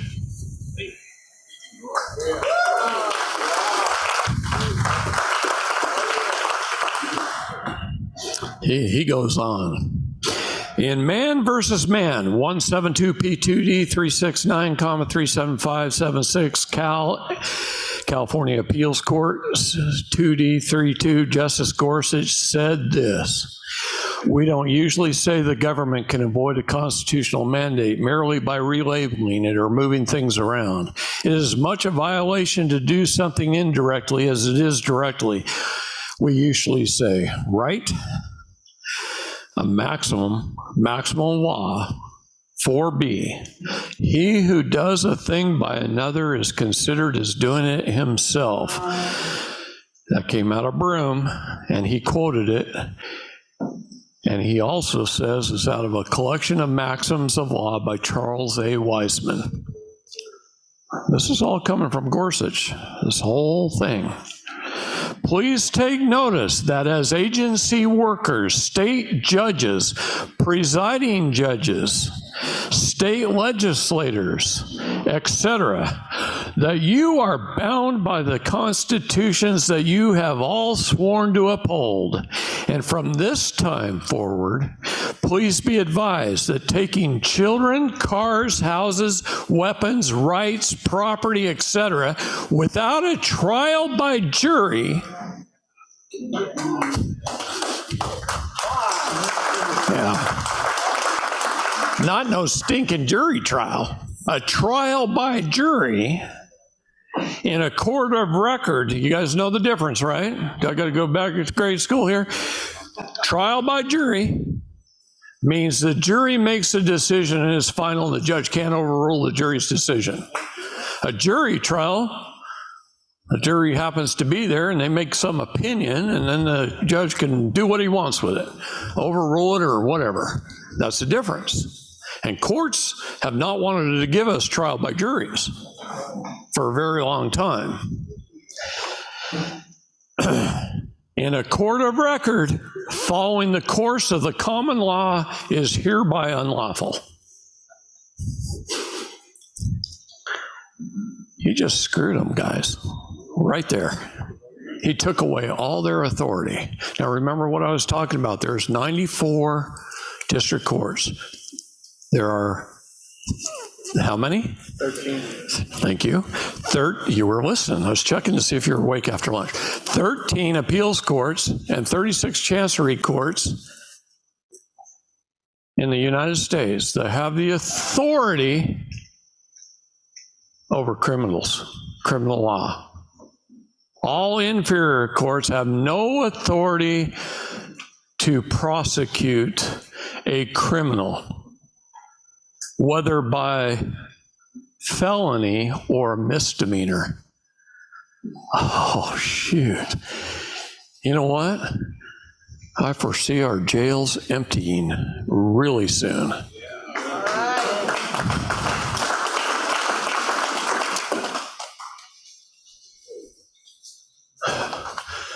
A friend of a friend who's a court clerk in one county in Missouri said the U.S. Marshals came in there for, for a few days and reviewed a whole bunch of cases, and they left with 194 files. And that is the same court that 13 judges have kind of gone by the wayside recently. So that's a little hint of what's been happening and what's being done on the backside of things. That is the, one of the most beautiful things I can tell you. It's happening, but we, the more of us that do this, the quicker it's going to happen for all of us. You understand that?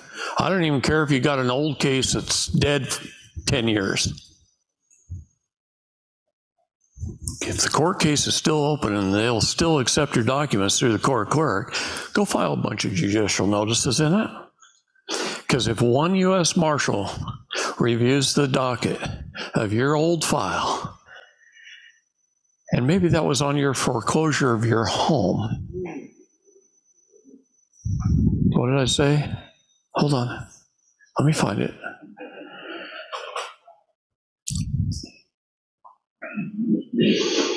Your children, your cars, your homes, everything they took from you will be returned. Now, they may not return that house because they can't damage somebody else who ha- is living there now and thinks they own it, bought it. But they have to restore you the value. Wouldn't that be nice? For the one in 10 of us, right there, that's beautiful. Well, what if they took your kids away eight years ago? What's that worth? And exactly right. You see just the re- the restitution that's coming to the American people pretty soon.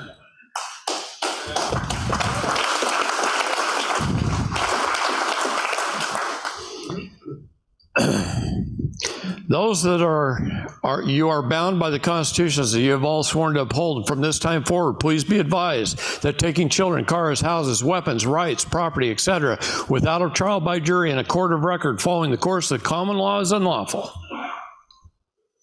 What a powerful statement. Please also take further notice that he ain't done. Attorneys who don't have their name on the line as they are not in positions of service and contract with the people.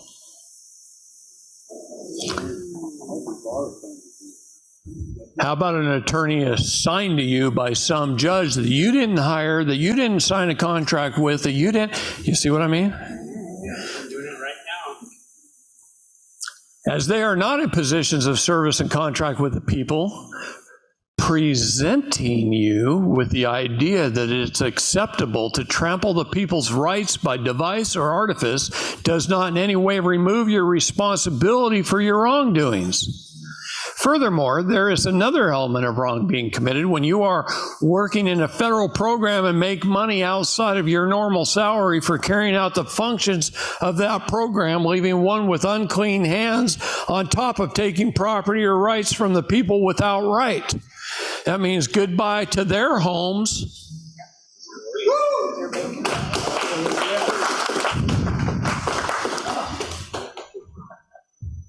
I'm telling you guys, this is this single piece of paper is incredibly valuable to the American people because it was written by Gorsuch. All past cases that bypass the common law are unlawful. Therefore, it is my immediate demand, wish, and order. I can hardly read this without getting choked up. That you restore all that has been unlawfully taken without constitutionally mandated due process and notify all those who were harmed. It's their damn responsibility to notify us. When those cases are reviewed, put in the judicial notices and make it quick. I'm trying to tell you a hint here. Make it quicker. And notify all those who were harmed. Or you agree that any wrong that is done in this regard in the future or that has not been corrected from past trespasses is done purposely with full knowledge, intent, and malice and will be recognized as such by the people whom you swore to serve and protect. This notice is sent to you in the peace and love of Jesus Christ, that you may repent and do works worthy of the same with emphasis added. Hallelujah.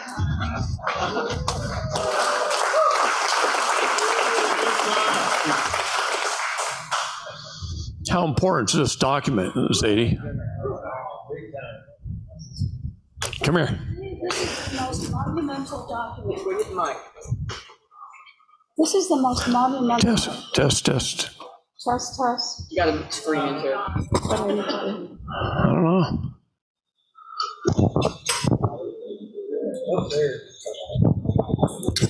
Testing. There it goes. Can you hear me? To Put it me, right to your mouth. This is the most monumental document that we have received from the Supreme Court. And, I mean, even with Roe v. Wade, et cetera, in decades, because it has given us the framework for us to invalidate every single code, regulation, of every statute that has been forced upon us ever since 1871. And it's up to us, it's up to us to understand what those things mean and apply them to each one of our specific cases. Because, let me just, let me go back up. When Justice Rehnquist was in, in, in the Supreme Court, he made a statement that I never quite understood. And that statement was, now, 100%, not 99%, 100% of every single prisoner who is or has been in prison, whether federal or state, is there voluntarily because they do not understand the law. And that sent chills down my spine. I never quite understood it, exactly what it meant, until now. I understand it very clearly now. Because back then, I didn't know anything about 1871. I didn't know anything about the corporation. I didn't know that every single statute, regulation, code that is imposed upon 100% of us at every single level is null and void ever since 1871. For fraud, putting it mildly, and because it's unconstitutional.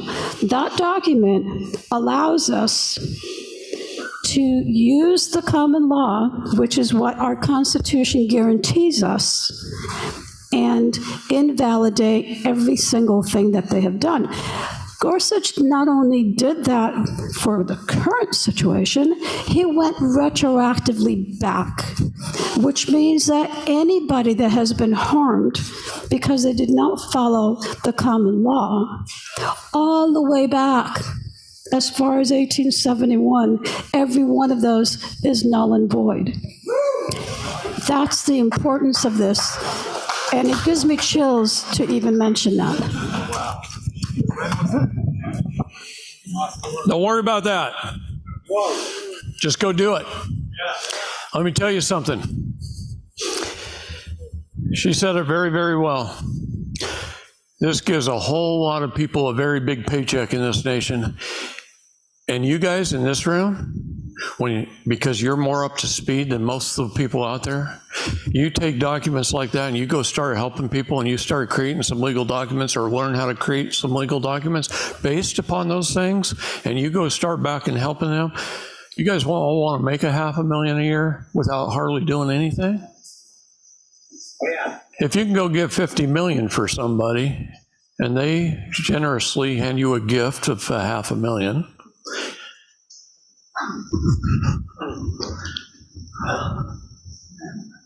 I rest my case. Okay? I've gotten a few very big paychecks that I never asked for. I've helped people with their IRS cases and saved them millions of dollars, and they came to me and said, David, here's a hundred grand. You know how nice that is? I didn't ask. I would have helped them for free because I love my people. But you don't refuse God's gifts. And you bless others with a willing heart and a helpful heart, and He will reward you. And that's how He rewards you. You just say, Thank you. I appreciate it. See? And that's it. And every man is worthy of his hire. So if somebody helps you, you return the favor. You go give them a gift. Okay? And we all start helping each other that way. And we ain't worried about no stinking house payments. You see what I mean? You guys are so much farther ahead because of the knowledge you've been following for the last few years that there is so much opportunity to help others and gain your own success as a byproduct. You don't even have to think about the money. Somebody that's, their kids were taken 10 years ago. What if you could go make that right? They can't give you back 10 years of your children's life, but maybe that's worth a hundred million. Would you kindly accept $10 million from me if you got me a hundred million? Please take it from me. Do you understand that's how Americans should be with each other? And now you just blessed two families beyond belief.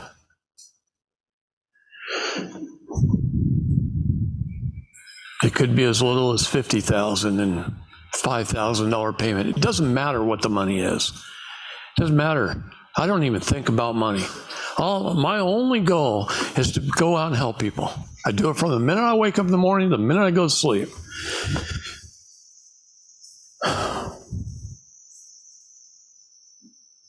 And just do that. And God puts money in your pocket.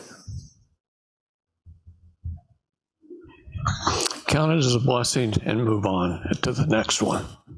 Okay? Here's another big thing that can help us.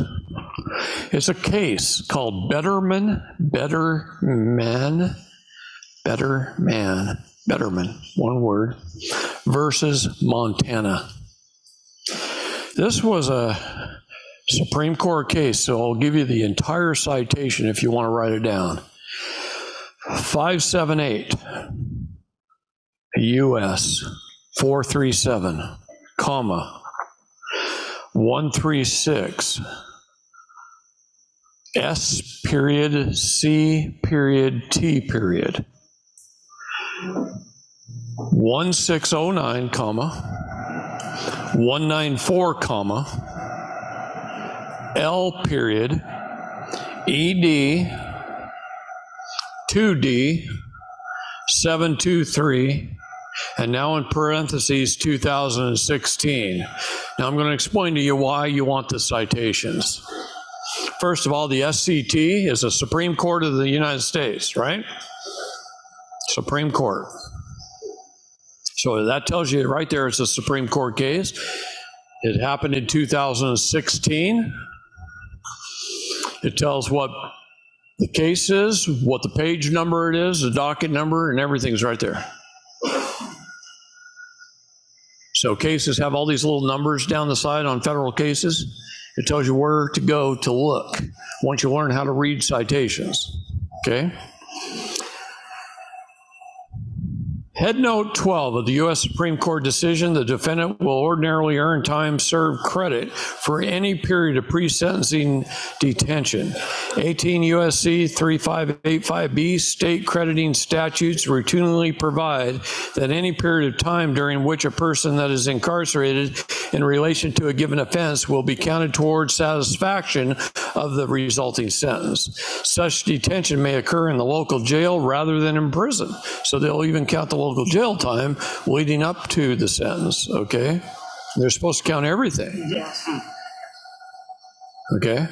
You know, they gave Bonnie 32 days credit going into the second sentence when she was sentenced before and served eight months uh, ankle monitor at home, 16 days in solitary confinement, all these things she had to do, those were all time served. She should have got credit for all time served. And they only gave her 32 days, and on day one, they took 30 of them back.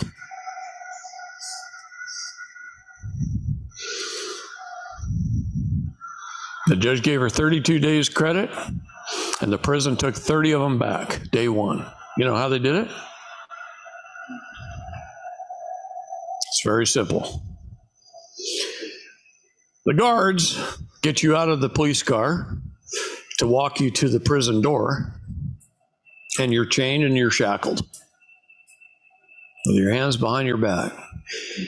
And the two big male guards reach under a woman's arm and grab her by the back of the arm, like that, on each side. And they start walking her. And they all they have to do if they want to take away your jail time, your credit, is they squeeze. And that person goes, You're hurting me, you're hurting me, you're hurting me. And they just keep squeezing harder and harder and harder until the point where they jerk their arm away. And they jerked, Bonnie jerked her arm away after saying three times, You're hurting me. The big guard put his hand on the back of her head and pushed her to the pavement. And she had to lift her head, land on her chest to stop the fall because her hands are back here and her legs are shackled. So you're just falling. You can't do nothing about it. And then they write you up. And then they write you up and it goes to a hearing and the guard testifies and you don't get to say a damn thing because you're a prisoner. You have no rights. You don't get to say anything in your own defense. And then somebody makes a decision.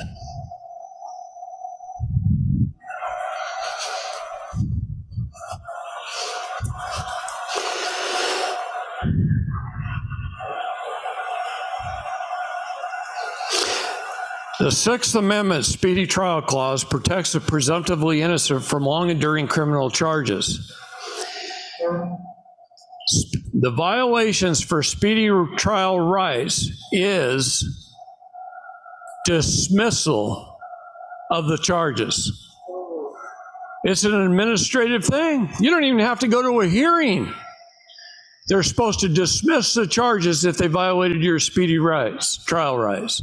Now, most people, they talk you into consenting to not have a speedy trial. And they do. They, they, how, here's how they do it the prosecutor asks for an extension of time. And you say, okay. Or you ask for an extension of time. And they say, okay.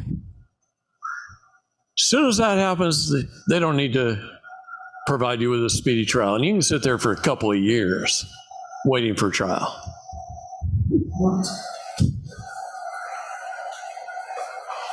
If you don't stop that in its tracks right then and there or no to,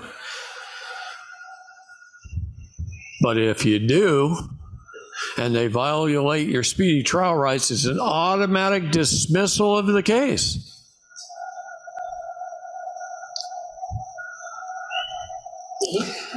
It's a violation of the rights of the prosecution. The prosecutor must dismiss the case. Also, takes a little letter, send it over to the prosecution's office. Dismiss this case. You violated a speedy trial. Well, what is speedy trial? What is it? According to the Speedy Trial Act of 1974, no more than 70 days can pass between indictment and trial. No more than 70 days. And that is codified in Title 18 USC 3161 C1. And it is the prosecutor's duty to dismiss the charges. Betterman versus Montana created the Speedy Trial Act of 1974, and the codification under 18 U.S.C. 3161 gave effect to the Sixth Amendment. U.S. 3161 gave effect to the Sixth Amendment and have muted much litigation about speedy trial requirements. In other words, you don't have to go litigate it. Just send them a letter saying you're screwed. Here's Betterman versus Montana. We do that as judicial notice? Yeah. Yeah. No more than 30 days between arrest and indictment. Boy, that's a big one. Cop arrests you out here today, you got 30 days to get indicted. If the grand jury does an indictment, send him a letter. Dismiss my case. Betterman versus Montana.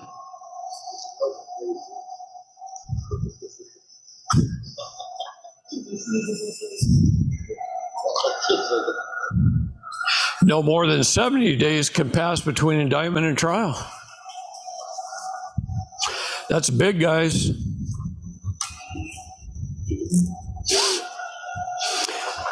A long time ago, I wrote this notice and warning to all agents and officers of any de facto government entity and agency. Last week, I don't know how many people see this crap once I put it out there. Last week, three phone calls. David, that notice of yours? I go, which one was that? they tell me. He goes, that stopped it all in its tracks. This is another notice you can give to police, to whatever. Okay? Here, here's the other, what's that? Yeah, it can be used as a judicial notice, but this goes to like police, CPS workers, IRS agents, whatever. Okay? So here's the notices that I put in. This is my own case from the desk of, right? Creator's name always goes at the top, court comes way down here.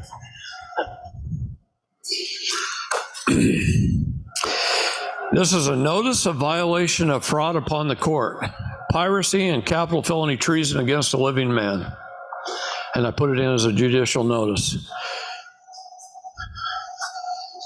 This one's about four pages. This is a notice of waiver of judicial immunity. I'm telling them that they waive their immunity when they violate my rights? Setting them up at the window, big time.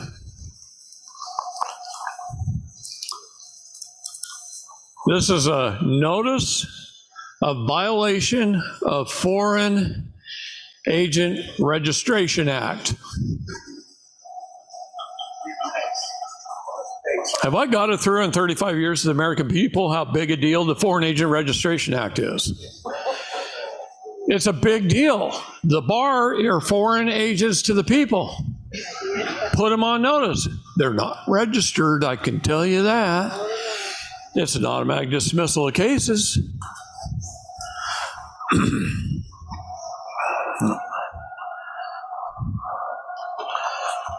Notice of personal violations of unalienable human rights.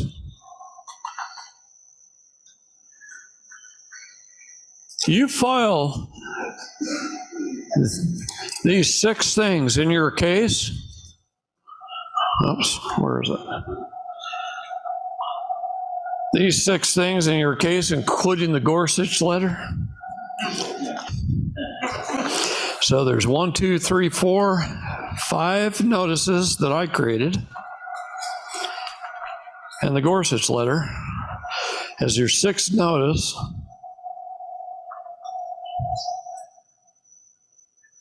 And you can take that to any higher court and win. Any higher court and win. I got Bonnie's case abated. Understand what that means at the 10th Court of Appeals.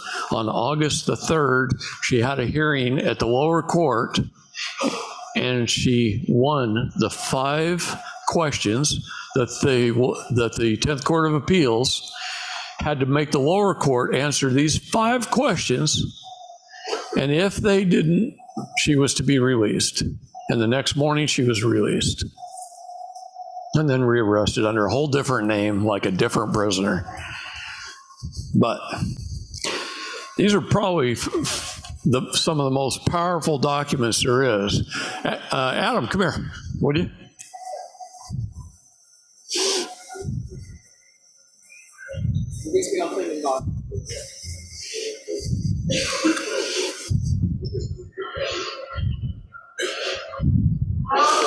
Those are the cutest tennis shoes I ever saw, man. Isn't he classy guy? Thank you, thank you, thank you. So just generic them. We will. Okay, Thank you. all right. It'll be on Freeman Bot, so if anybody needs it, it's there. Thank you.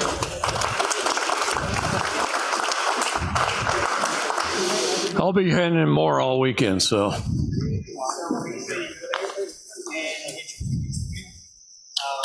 Probably wait until I'm here. Then when I get it. All right. Yeah, don't call him in the next hour and say, hey, have you got that up there yet?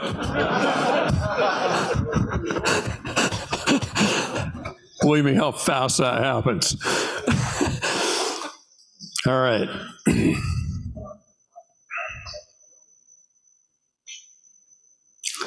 You guys made yourself familiar with the US code yet? Okay. Just remember, it's for us to use against them. It's your friend. Okay? They'll make it your enemy if you leave it up to them, but it's your friend if you don't. All right.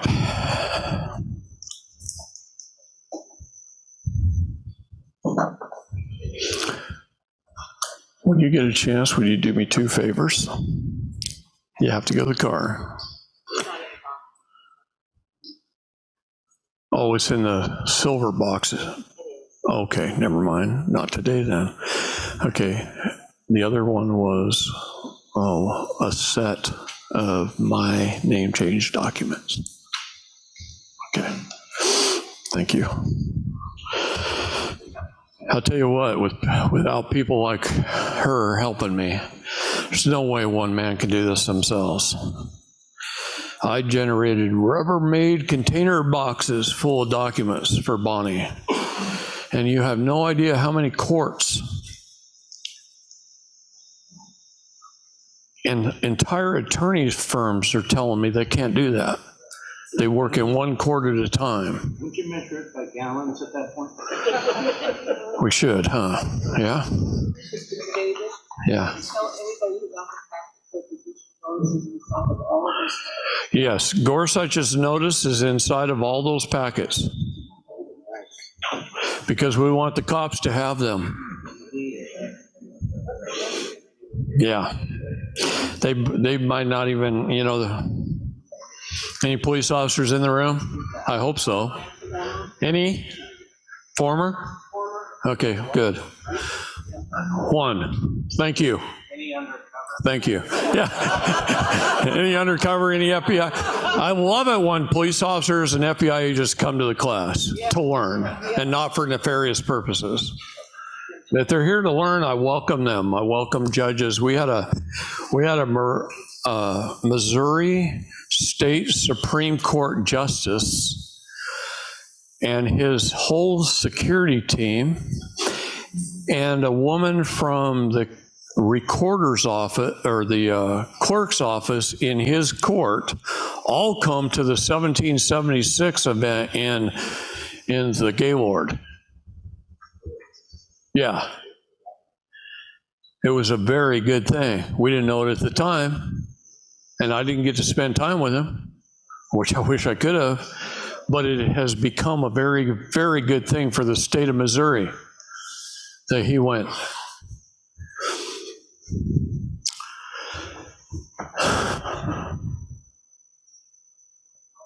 I wish our law enforcement knew law. I would give anything. I, thought at one time I could change it from the inside, and uh, both my wife and I became a Deschutes County Sheriff deputy. We joined the posse first. We did all the training and got to drive the skid cars and you know go on rescues up in the mountains and do the pistol shoots with all the other agencies and uh, showed him I could beat him. It was kind of fun. And we had such a good time, but I thought I could change it from the inside out because I had a great sheriff. His name was Les Stiles. He passed away last year, and he was a great man. And uh, Les wanted it to change. Here he is, the sheriff, and he wants it to, wanted it to change from the inside. You can't change it from the inside. Only we, the people, can change it. So,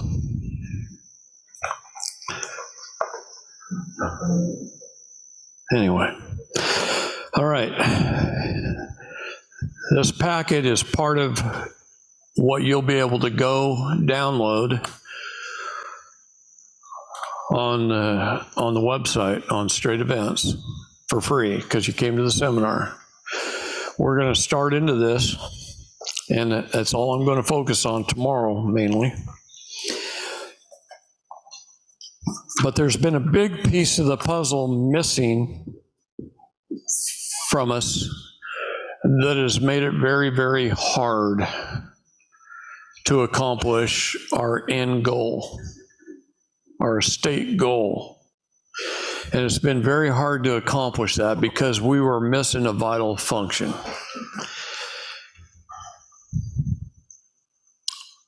A man in Texas, another David, by the way, he, uh, he got a copy of a document from out of Texas that had his birth certificate long form on it.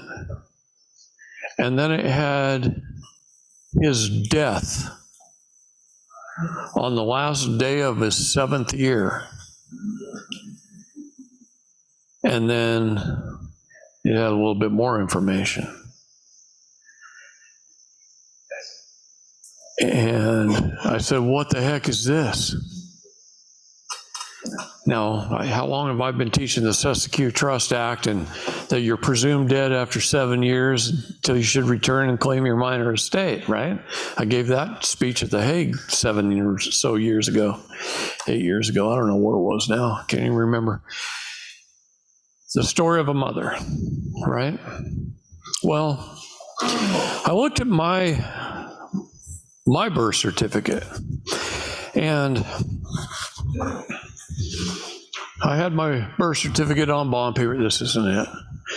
On bond paper, and I was looking at it real carefully, and I saw that it looked like somebody had held a piece of paper over it, and you could just see the top of the next line of letters. And I went, huh, I got an incomplete document here. And I had had it authenticated. And it was a long form birth certificate. And I thought, this is an incomplete document. What's the rest say?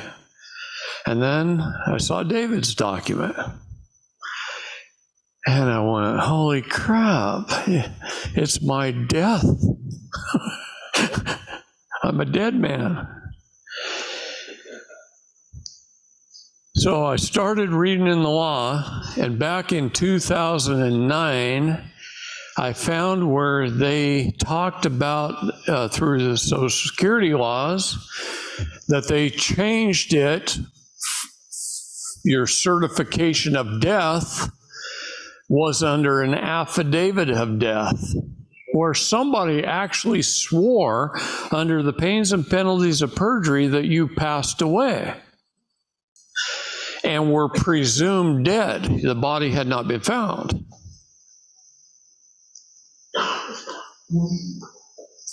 And that's what was on everybody's certificates prior to 2009.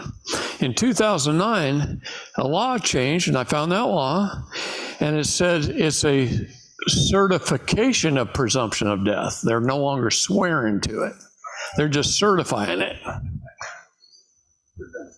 Okay, you got to understand the difference between those two things. Okay, one is lawful and one is legal. Certification is legal, it's not lawful. All right, so there's this big thing out there, and it's a presumption of your death. So Miranda's getting the papers out, but I, uh, well, she's looking for them. I uh, went through this whole thing. I gotta, I gotta study this further thing. Kiki did a pretty good job on a lot of it, and bless her heart for that. Give credit where credit's due. But she didn't have my 35 years' experience. And some things just weren't adding up in my head and I was in had this turmoil and this doubt for several months because it wasn't making sense. And the two areas it wasn't really making sense was, and I recognized right off, one was she doesn't understand our court system the way I do. She doesn't. She's she understands courts. She's good with judges. Very good. She's smart. She picks up on their wording better than me. She's very intelligent. But she doesn't understand it the way I do. See? See, I know there's two types of courts. There's Article 3 courts with all the authority of the American people because we gave it to our legislators and our legislators created it under the Constitution and they're constitutional courts of record. And if we use them properly, they have to do the right thing. And then we have all these other bullshit inferior courts, which are all of our state courts. There's no Article 3 courts in the state. They're all SMU until they become common law courts or chancery courts in those states.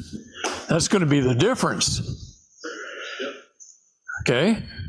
But under Admiralty, they're all bullshit. And they have no authority over any crime.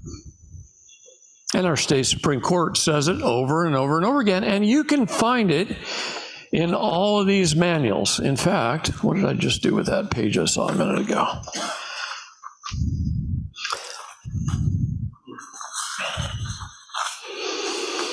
Heck, I'll spend more time looking for it than it's worth, probably. So, idiot that I am, that I have this ability to read and read fast, started diving into things, and I started reading every one of our agencies' manuals, policy manuals. I went back and I read, reread the Mason manuals. Remember me talking about Mason manuals? What does our country run under? Our legislature runs under the Mason's Manual for Legislative Procedures. Our judiciary runs under the Mason Manual for Judiciary Procedures. Our administrative branch runs under the Mason Manual for Administrative Procedures.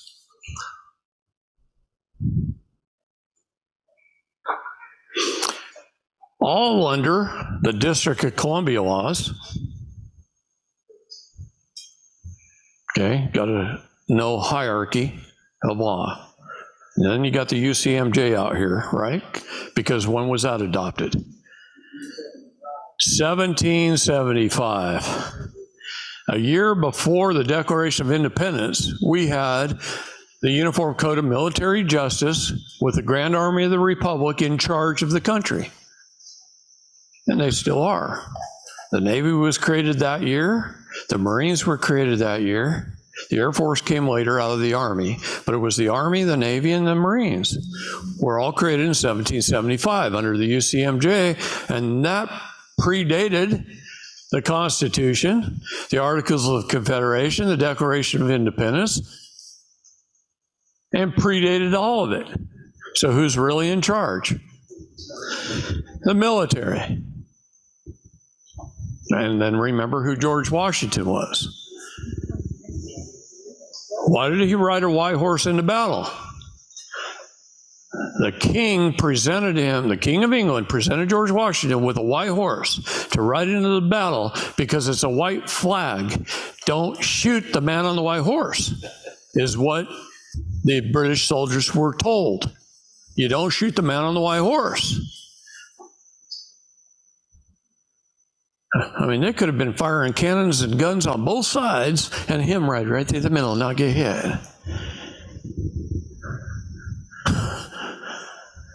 Why? Why didn't the British want to kill our greatest general? Because he was a British general. He worked both sides of the fence. That's why the Washington Monument is the right. And a Mason. It's all the reasons why. That's how our country was founded that way. And he became the first president of the United States of America. People have to read history and know history and understand history. Go read the letters and journals. That's where the real history is. It isn't in textbooks where it's been rewritten for whatever agenda they wanted to do. Read the letters and journals of people who lived during the time that tells you where true history and what happened. Okay?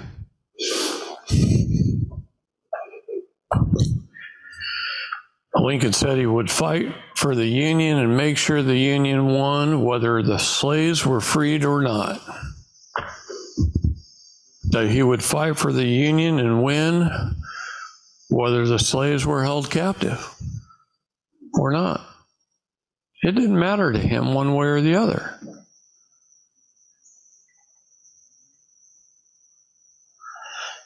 And look at what he's credited for.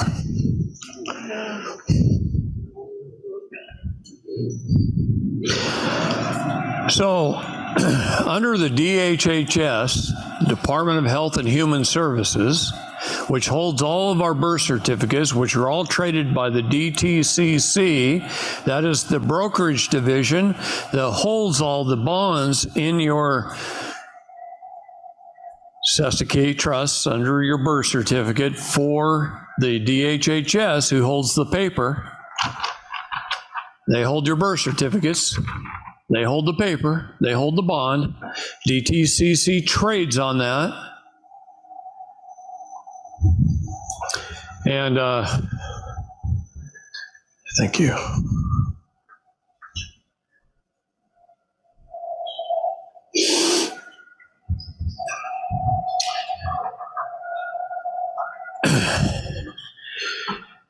that holds the property, the asset of the chattel property. You, through your birth certificate, the cattle. That's why Bill Clinton took out an agricultural loan on you. He pledged all the men and women with arms and legs. And he took out an ag loan and he filed a UCC 1 financing statement on it. And that's easily findable. and so, under this new system, they have a computer program. And that computer program, their goal is to ensure consistency. Now, what do I mean by the consistency? The federal government, with the Department of Health and Human Services, is based in Atlanta, Georgia, and they hold all these records. But where'd those records come from? They were sent there by the 50 states Department of Health and Human Services, who also keeps a record because there's multiple people along the way that have to get paid. The feds have to get paid out of your trust. The states have to get paid out of your trust, and the counties have to get paid out of your trust because it's run through the county court system, through the CRIS system. Under the GSA program, the states get paid from the federal courts. So it took years for me to follow the money. Okay. And as you do this and work your way along, you have the counties who gather all the records. What I mean by that is from the coroner, county coroners, your vital statistics records from your hospitals, your doctors, your midwives, your, your abortion clinics, all those guys. Wait till we get into fetal death tomorrow and what that does.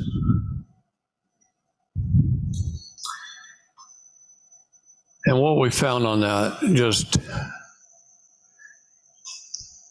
it has become, she's smiling because she knows it has become very painful for me.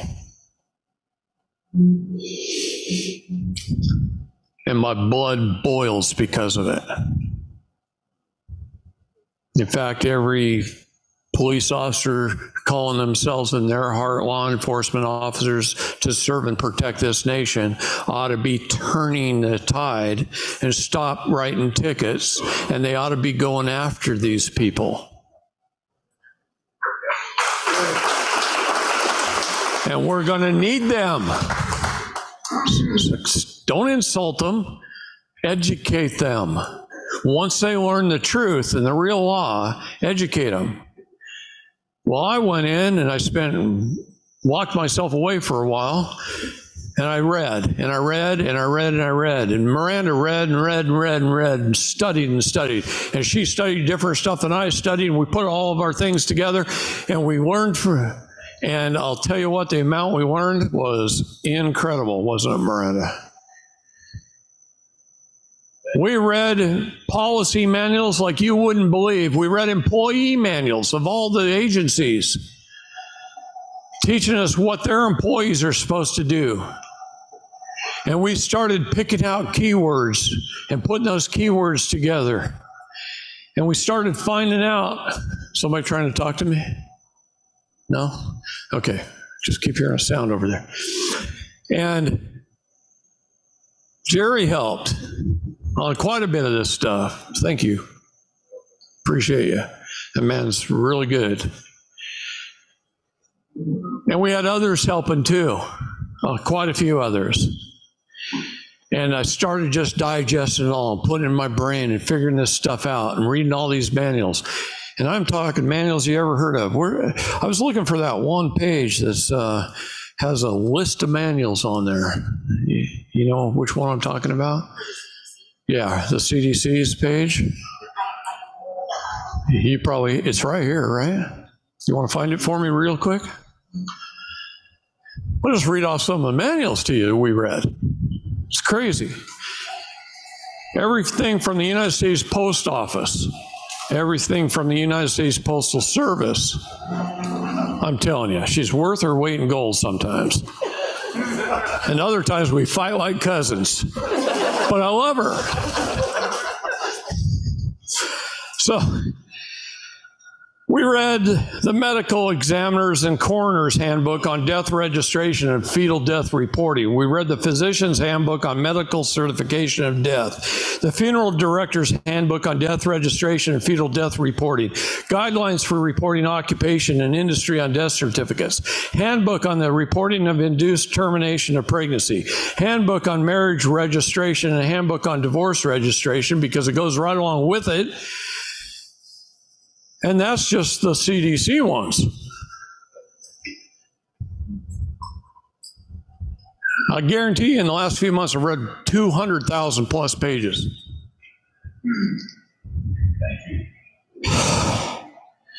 Not a fun job.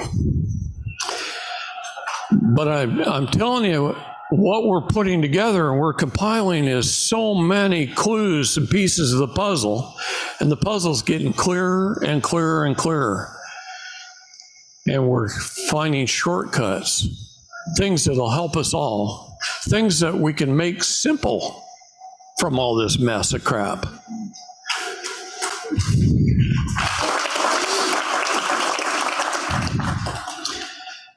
To ensure consistency in the NVSS, the NVSS is their computer server system, whatever.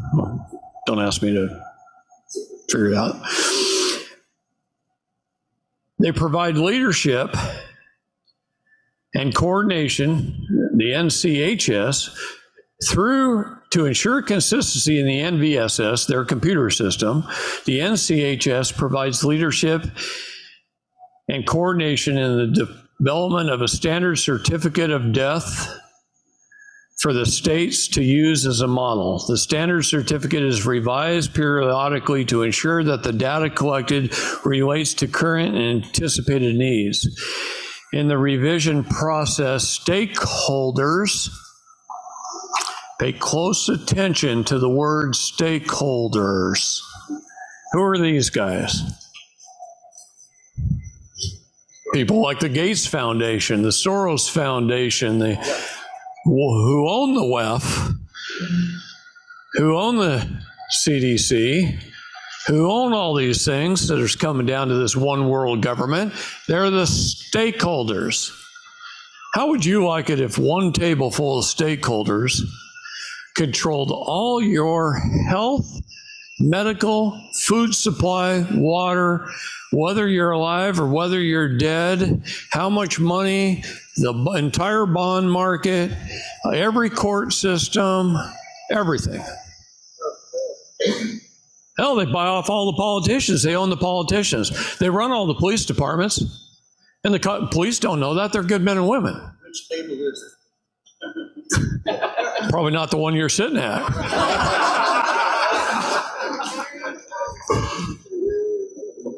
And the stakeholders own and control all that. They control all the hospitals, all the medical associations, the National Association of Medical Examiners, the colleges of American pathologists, and the American Hospital uh, Associations. These are all stakeholders as well. The American Academy of Pediatrics, the American College of Pediatricians and Obstetricians, the Amer- and gynecologists, the Association of State and Territorial Health Officers for Maternal and Child Health Affiliates, the American Medical Association, and the American College of Nurse Midwives.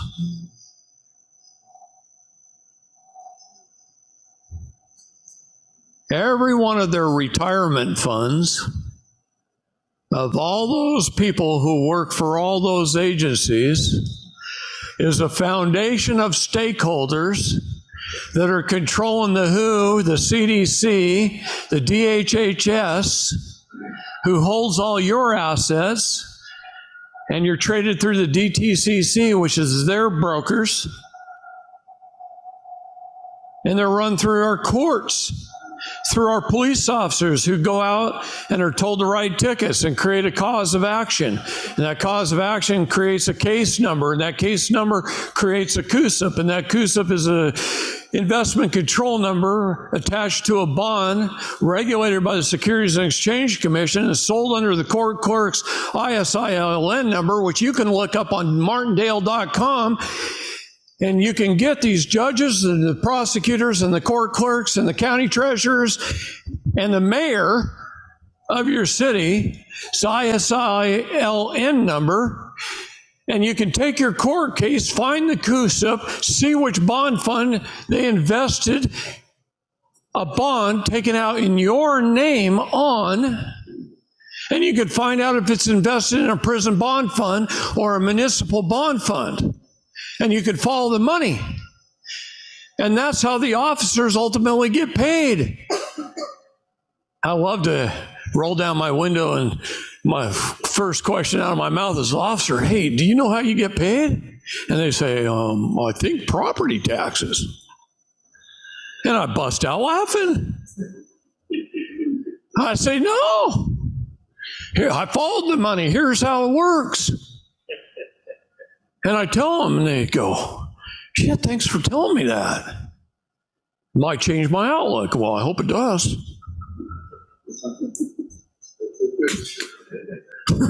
I hope it does. I need them on our side, you guys. Not against us. They got guns. And they know how to use them. And we need guys with guns who know how to use them. And goes for all you uh, of military age men, 17 to 65.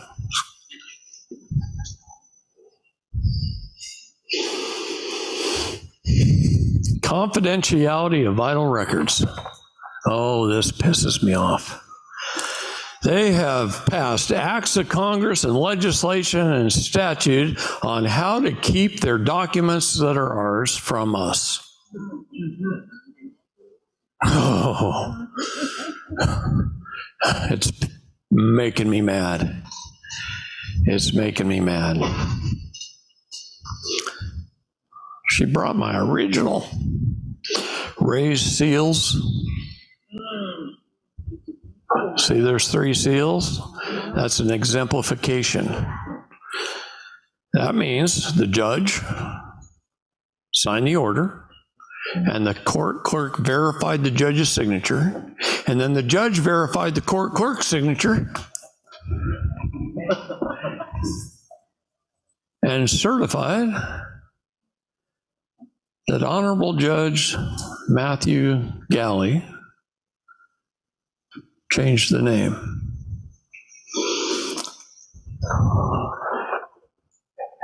And this is the general judgment and order changing David Lester Street to David Lester Straight, upper and lower case. David Lester Straight, all caps. But it did more than that because if you go to the applications, it has my paternal DNA sequencing right back to Adam.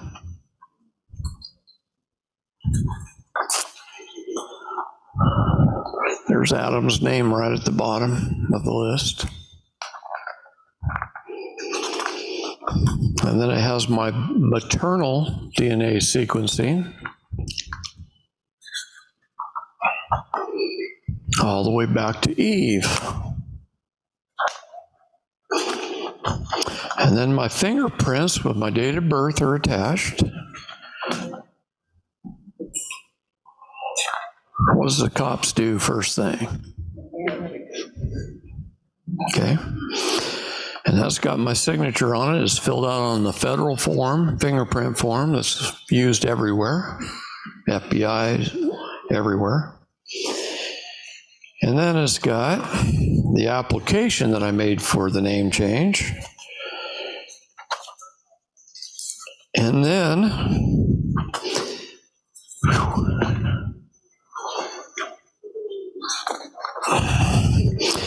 got a copy of my hospital certificate. It's got a copy of my long form birth certificate from California. And it's got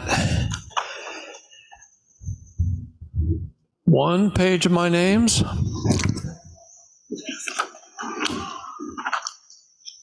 There's about 70 on that line, 75 on each of these lines. That's uh, 220 names, variations of mine. And they could have arrested you in any one of those names. uh, on there, letter A upper and lower case, with numbers. to those who identify, Why would you? Because they could call them anything. No, they can't. Once you get a quarter name change, they can call you nothing but that one. Okay? Now, Bonnie, because she'd been married a few times and women tend to change their last name, and then that complicates the mathematical outlook, like winning the lottery. She had 10 pages of names. So after I went through the course and I got rid of six of her names, I'm thinking I might be here for 100 years trying to work through all of her names, which is crazy. So, th- thank you.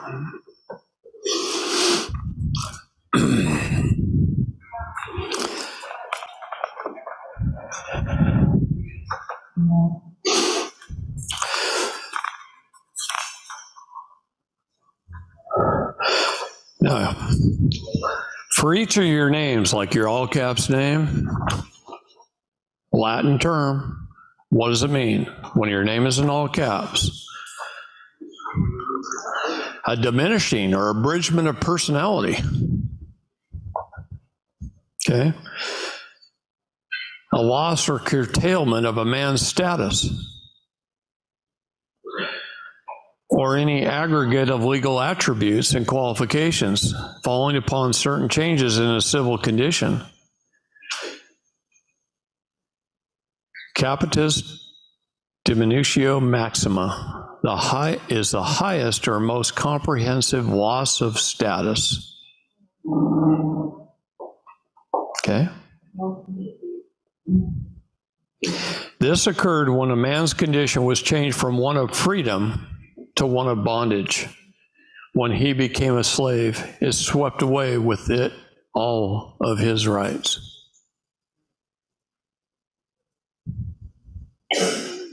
Just by the use of your capital name, you swept away all of your rights. What was the Latin term?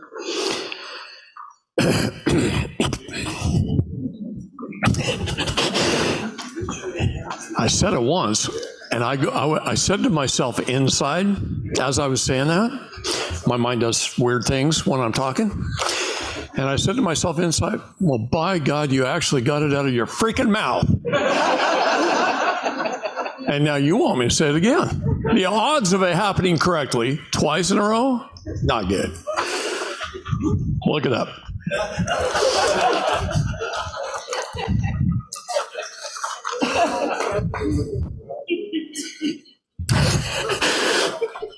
All right, that was fun. 20 CFR, section 404.722. Rebuttal of presumption of death. It's codified, right? 20 CFR, section 404.722, rebuttal of presumption of death. I just printed this right off of website. See. A presumption is made based on section 404.721B can be rebutted by evidence. See, when they blue line stuff or make things blue, you can click on those hyperlinks and by evidence, also blue, okay, so you can see what those mean. I recommend doing that. That establishes that the person is still alive or explains the individual's absence in a manner consistent with continued life rather than death.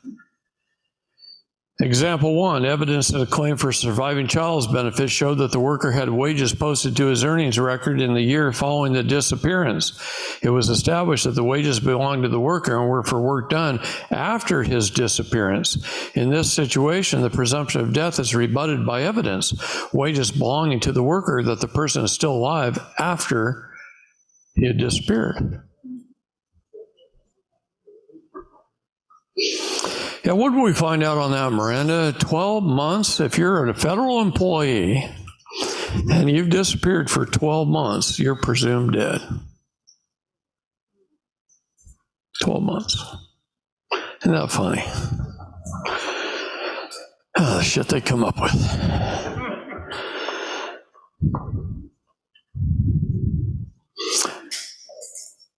So evidence, B, evidence, evidence about your adaptive functioning may come from medical sources. So you can get a, a doctor to say, hey, he's alive. You can get a coroner to say, hey, he's not dead. okay? Anyway, these are things, school records, school uh, employers, supervisors, your own statements about you handle your daily activities. You could write an affidavit of things you've done in your daily activities and prove that you're alive. Now, what the hell you do with it once you've done that? If you look in Bonnie's uh, 10th Court of Appeals case, I filed all of her name change documents with all of her DNA, with her hair, with her nails, with stamps, USPO stamps. And I not only tied her body to her name, but created evidence that she's alive because when they, when the 10th Court of Appeals did their thing to get her back into the trial court. They sent an order to the trial court to put out a warrant to exhume the body from prison. Oh, yeah, see, they dispose of the case. The, the trial court disposes of the body, sends it to the morgue. That's prison. And if they want to get it back, they have to exhume the body. All a little morbid, right? But that's what they do. And your even though you're alive, breathing, talking on the phone, you're presumed dead. So it's called a corpus warrant. Exhume the corpse.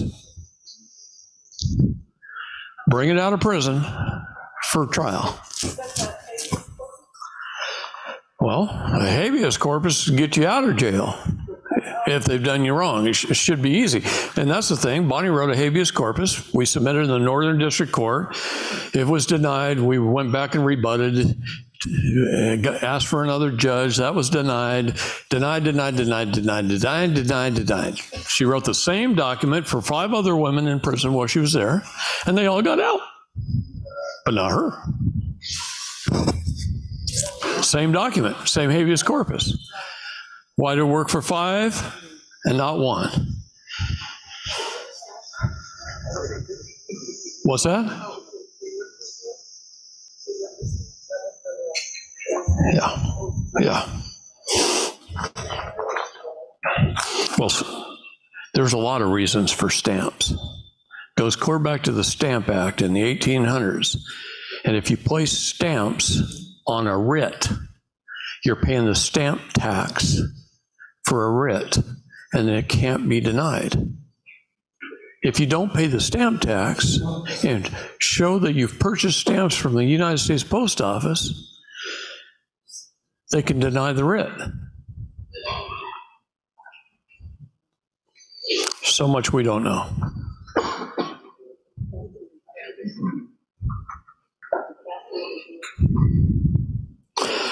Form 4, or official Form 205, is an involuntary petition against a non individual. I want you to write that down. Look that up, study that. It identifies a debtor. And who is the debtor? The debtor is the United States Corporation, whatever that's called, whatever, whatever uh, Dun and Bradstreet number it happens to have, its corporate number, they're the debtor. You can uh, put down other names the debtor has used in the last eight years, like the White House Office Inc., US Inc., USA Inc., All debtors. You can list all those. What's that? Form 205. Then you can get a hold of the IRS and get their uh, employer identification number.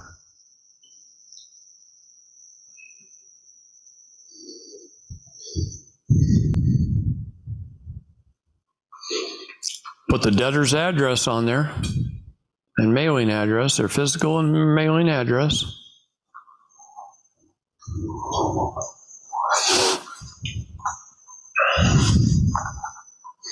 And go use it against them.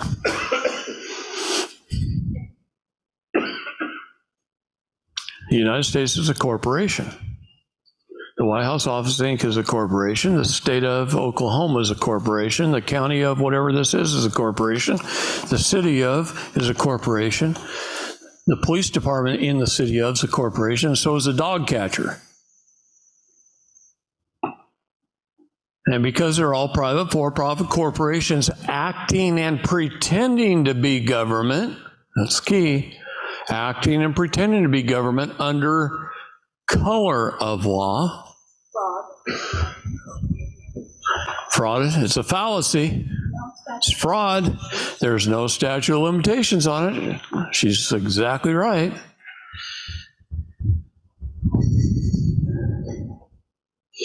Now go put in your judicial notices and start holding them accountable.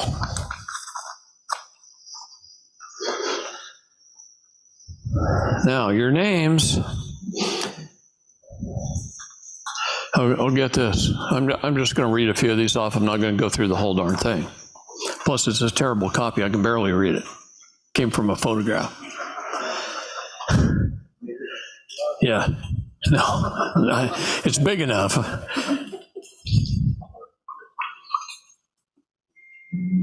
United States Code. These are all United States codes. So I'm going to read a few of the important ones. 15, Title 15, United States Code 1600 G. Know what that code's about? We are the creditors.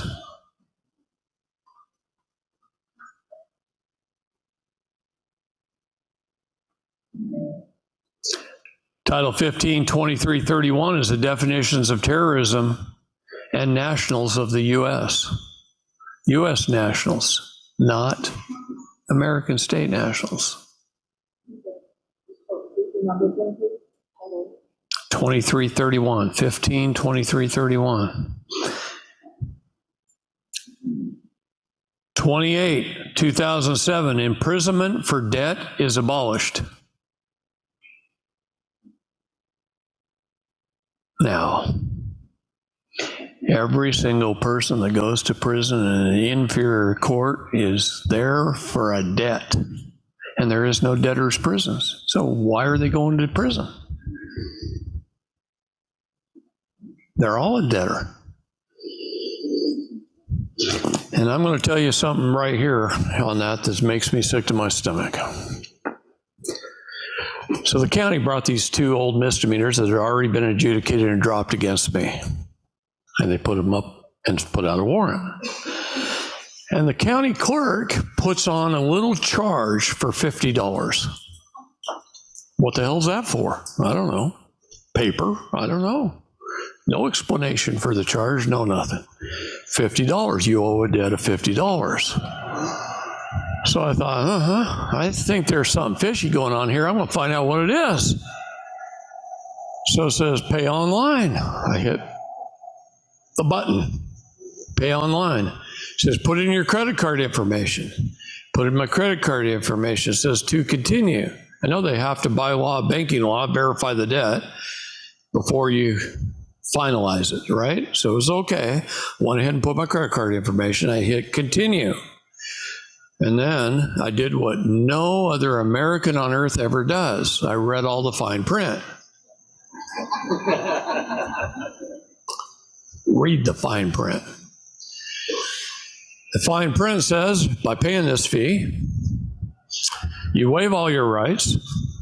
You agree to this plea deal. You are guilty. And we can come over to your house, pick you up, throw you in jail for any prison sentence that we see fit. You've signed your plea deal. And I'm giving you the short version. They had a whole paragraph there about everything that they just did to you.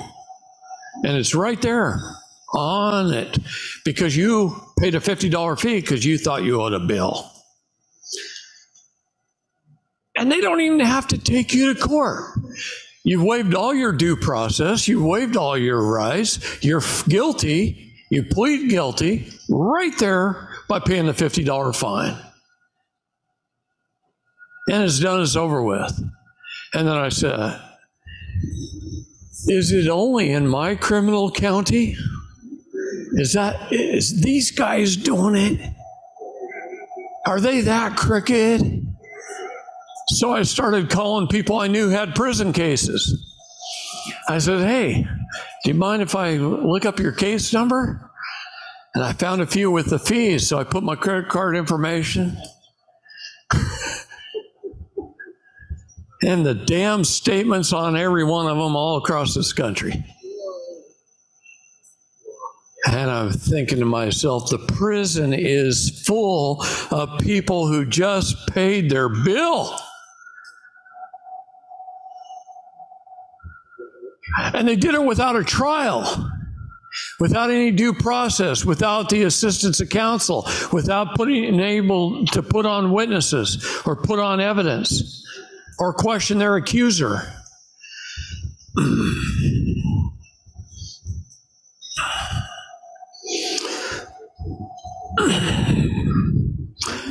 we'll get rid of that cramp pretty fast. All I got to do is sit on it for a minute. It goes away.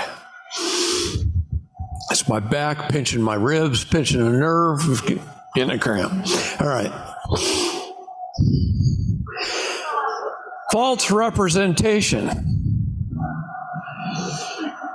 What if I told you there was a United States code that says it couldn't repossess your car for clothes on your house?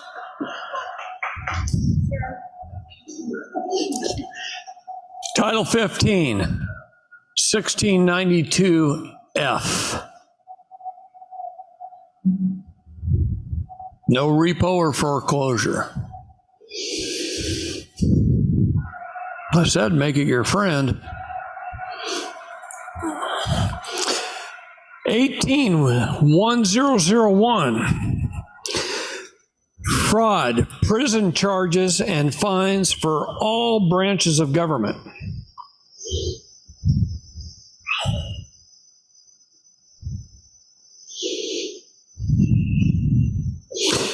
Forty-two, 1986, action for neglect to prevent. You know what that means? That means when a police officer neglects to prevent you, to prevent your injury, such as coming over your house and helping the thief steal your stuff.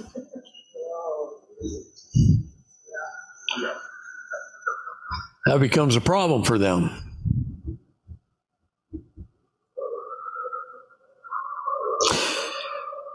Title 15, Section 1 is a trust penalty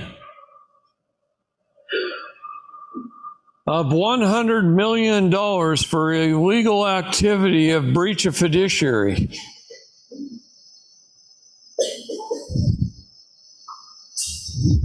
Not one person in here smiled with a big grin like I was expecting on that one.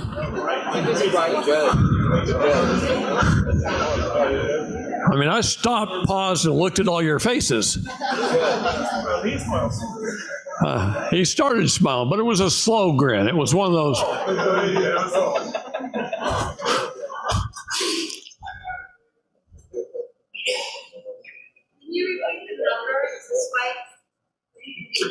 Which one? No.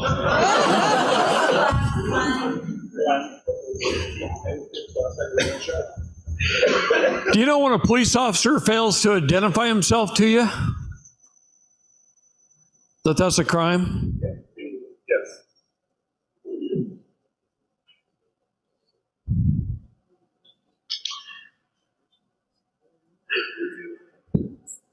I like this one. Title 15, 1662B. Cash is not required for credit transactions.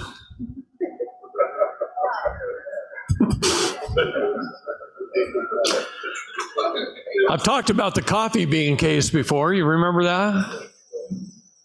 Yeah. They cannot tell you what species to pay in. So if you try and force them to commit to a species and they decline, pay them with coffee beans. You know, eleven hundred dollars, send them eleven hundred coffee beans. It's a commodity. It's got value. They can go in the back and make a pot. How about one of my favorites, Title 15, 1666B? This one ought to help you all. There is no such thing as late payments.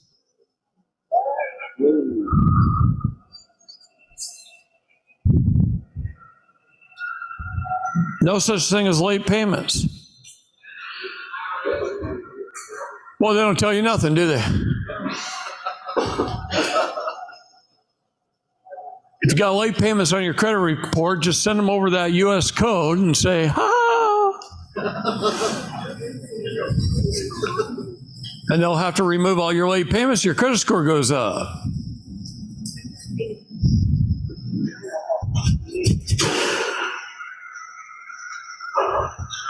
Lots of ways to protect ourselves copyrights, trademarks, utility patents, and design patents. Patent our name, patent our DNA, patent our everything. We can trademark it all. They let me out of jail the first time and wiped my record off the county records because I said, Did you know? This is when the judge was arraigning me, right?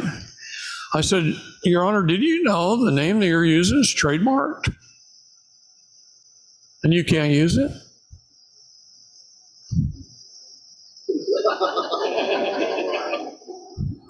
Yeah.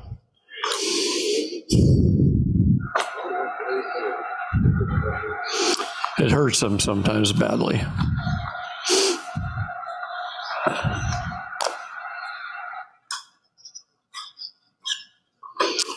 Okay, I think I've gone through that. So the girl that got fired as a policeman and with no training went out on to be a policeman with a gun on her side. Did she know that she had to identify herself every time she pulled up? to- I don't know if she knows anything. I don't even know if she knows how to drive the car.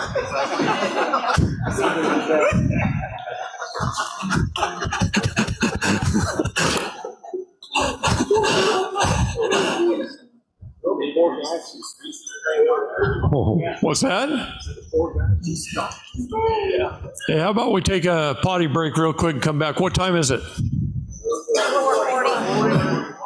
Okay, and then we'll finish up five, five thirty or so. Is that okay? Yes. All right. Quick potty break, ten minutes. David, you can talk whether to do a trademark these days, You might be able to attend if you want. Hey, everybody, let's get sat back down. That's what I, Well, I don't, I, I don't, I don't mind. Are you? Yeah. You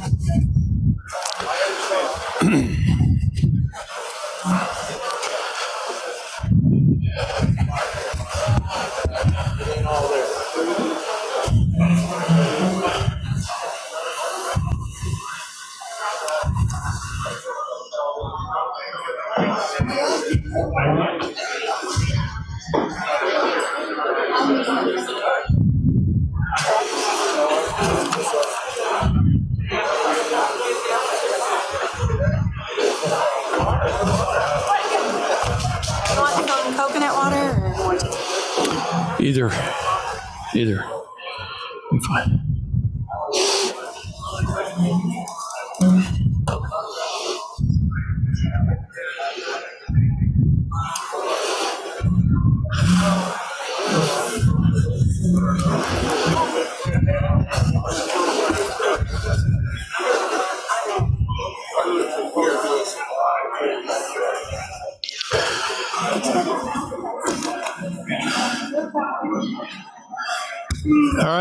Get started again.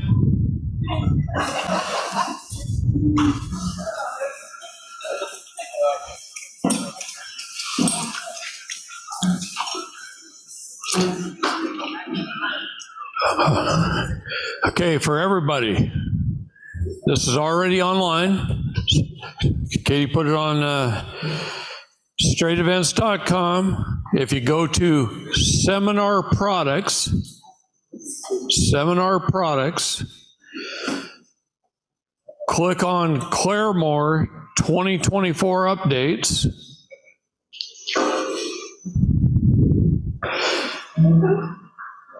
Hit add to cart. And then type in promo code DLS more, like Claremore, only DLS more. In all caps. Okay, Okay. can you say it again? straightevents.com, click on seminar products, click on Claremore 2024 updates, go to add to cart, put in promo code DLS more, and you get all this that I'm talking about tomorrow for free. So, all right. Thank you.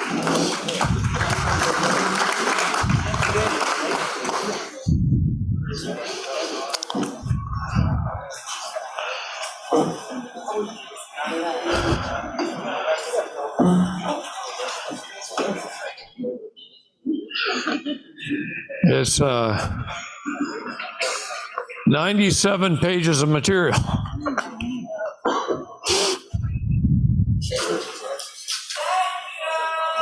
You're welcome.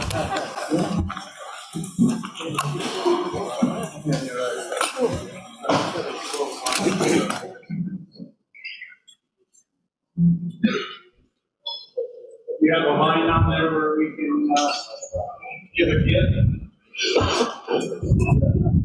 I don't know.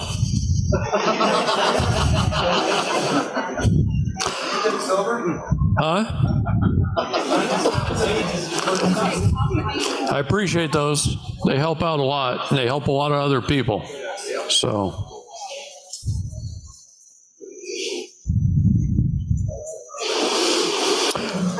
What is the Social Security Administration?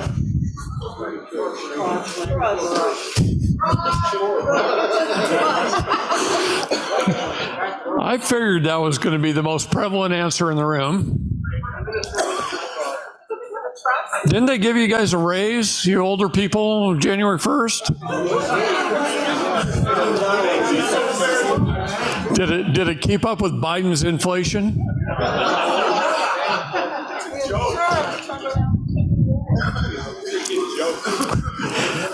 of course, it's always been a joke. Um, the agency definition in Black's Law, a relation created either by express or implied contract or by law, whereby one party called the principal.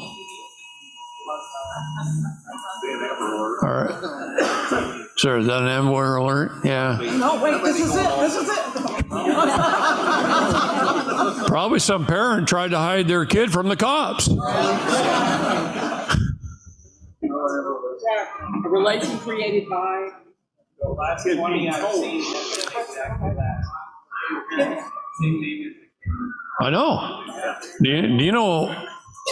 Probably one of the reasons I've been in trouble recently. So when we get an Amber Alert on our phone, we call the sheriff's department and we tell them to stop kidnapping the kids. yep. Sick and tired of that crap.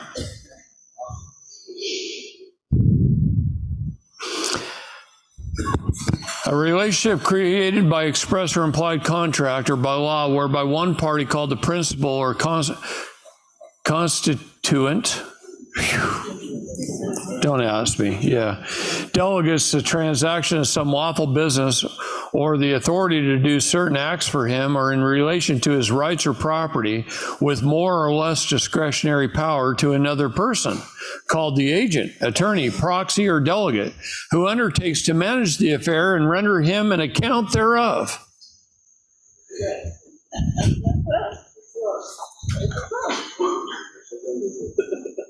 This is exactly what the definition of a trust is.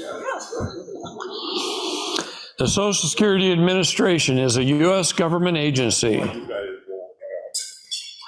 that administers social programs covering disability, retirement, and survivors' benefits, among other services. It's responsible for issuing Social Security numbers and managing the program's finances and trust fund. They haven't had a trust fund since the 1950s. Yep. They've been using a general fund, putting everything in the general fund. So they don't have a trust fund. So I laugh every time Ron Paul gets on stage and says the Social Security is going to be broke. They went broke in 1950 and it moved into the general fund. See, the reason they're broke is their trusts, your trusts aren't held there.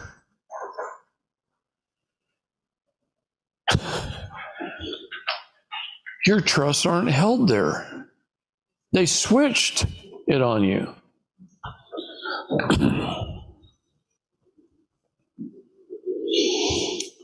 says the tax revenue goes into two Social Security trust funds the Old Age and Survivors Insurance Trust Fund for retirees and the, and the Disability Insurance Trust Fund for disability beneficiaries. Well, I got news for you. They both come out of the general fund. All those are is the private insurance policies that they purchased because all insurance policies are a trust, as are all bank accounts. Every bank account is a trust account. And if they don't think you manage your trust account and you're in a business of liability, they make you open a trust account under the trust account.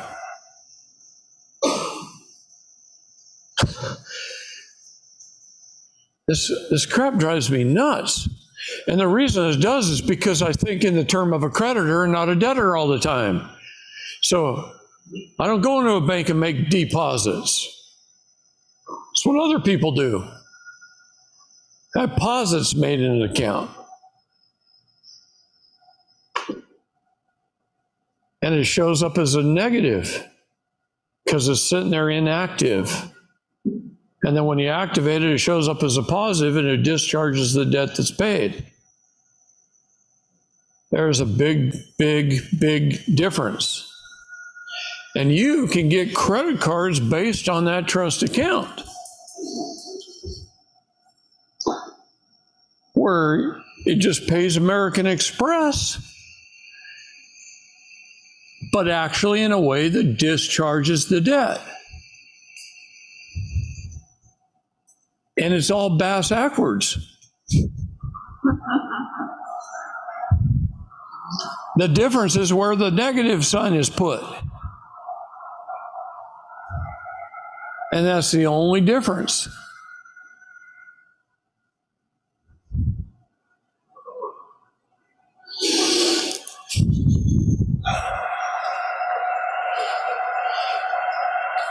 When you read through the Social Security stuff, you got to read it really slow and you got to go over it in your mind a few times.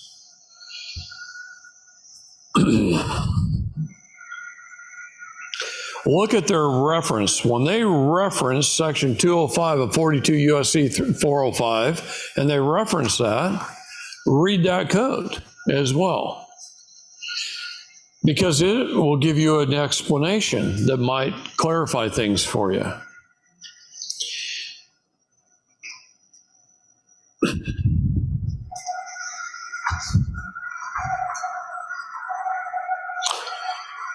NAPHSIS NAPHSIS. NAPHSIS. They held their annual meeting in 2024 on May the 20th of this year is going to be their annual meeting in Detroit, Michigan.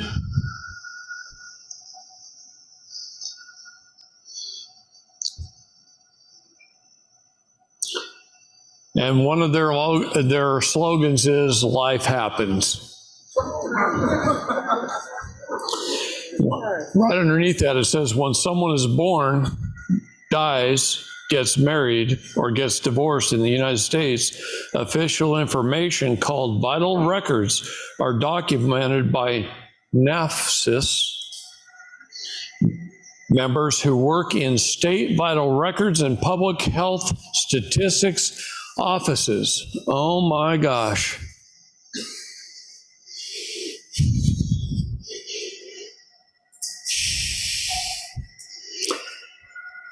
So, in studying this, I'm going to shift, I'm letting my blood cool off. I'm even cooling it down with some tea because I'm getting very, very pissed just thinking about what I'm about to tell you.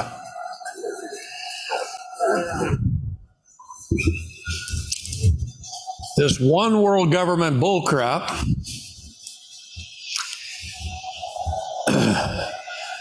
NAPHSIS is their computer system company, private company, who puts their employees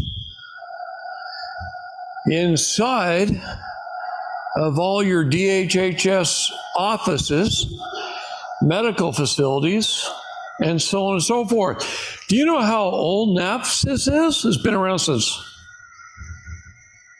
1933. Formed in 1933, NAPHSIS brings together public health professionals from 57 jurisdictions representing all 50 states and the five U.S. territories, New York City. Wonder why they said that. And the District of Columbia, the two nation states. New York City says uh, United Nations nation state. When, when Rudy Giuliani got up on stage as mayor of New York, and they said, "Hey, can you get these guys to pay the millions of dollars of traffic and parking tickets?" And he says, "No, I don't control that. I'm just the mayor of New York." He was the mayor of New York City.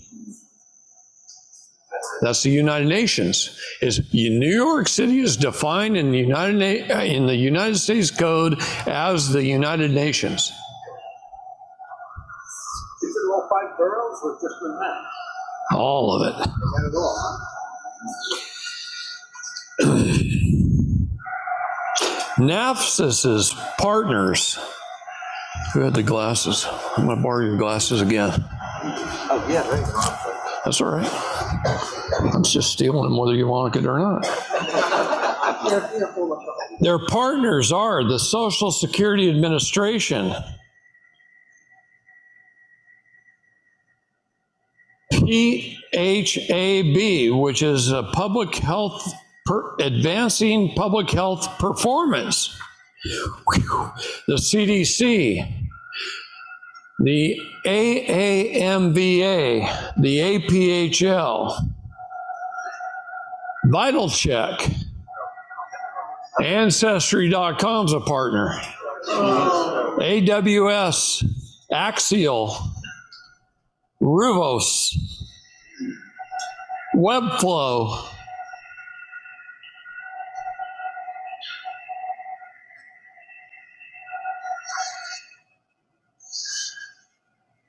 So what do they do?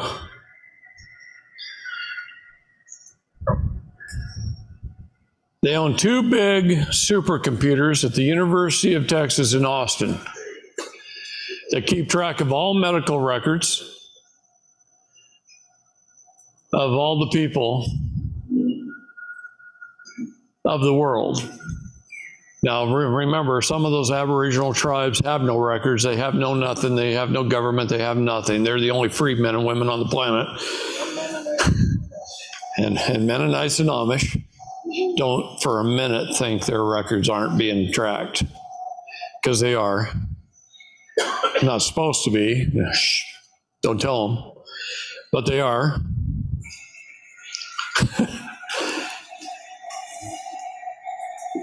But these guys control all the medical records that control all the vital statistics that's kept track of so they know how many people live and how many people die and how many people they can kill off at whim. And that's what they're doing.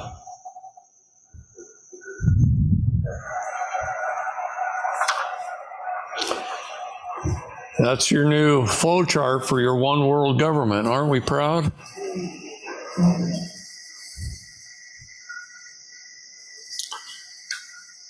They trick us into applying for benefits with the SS5, Social Security.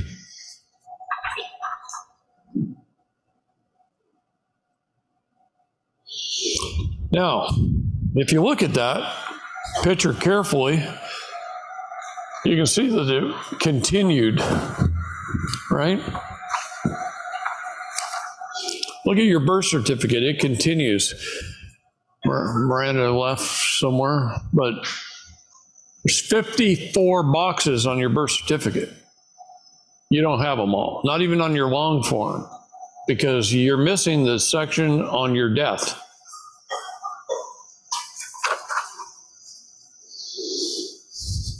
Your nine digit social security number is composed of three parts the area number, the group number, and the final uh, set of four digits is the serial number.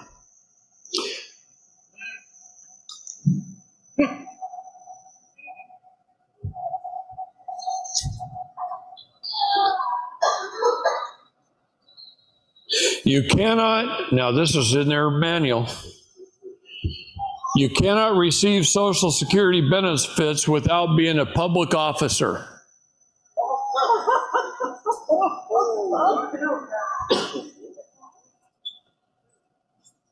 It was the Public Officers Employee Benefit Program, it was their retirement plan. They just got you under the 14th Amendment to be a U.S. citizen and under the 13th Amendment to be a slave.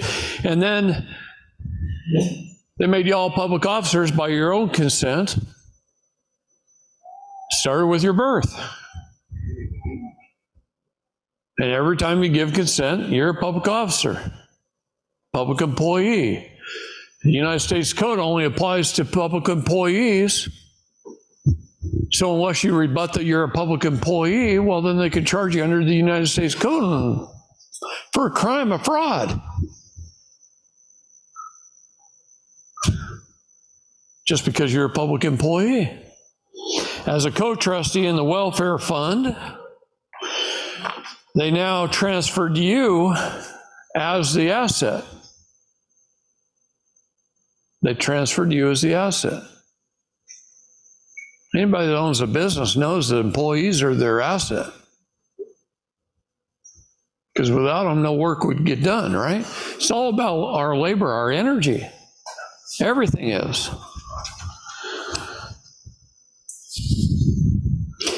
Twenty-six U.S. Code, Section seven-seven oh one, under definitions, when used in this title, were not otherwise distinctly expressed or manifestly incompatible with the intent thereof, a person, or the term person, shall be construed to mean and include an individual, trust, estate, partnership, association, company, or corporation.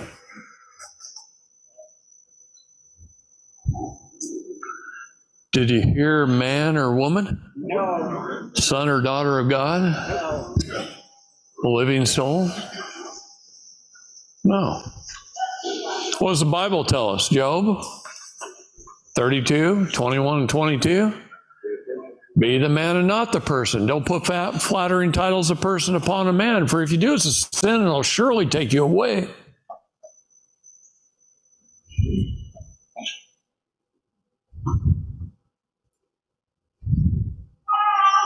Say, we can't accept any man's person. Can't accept it.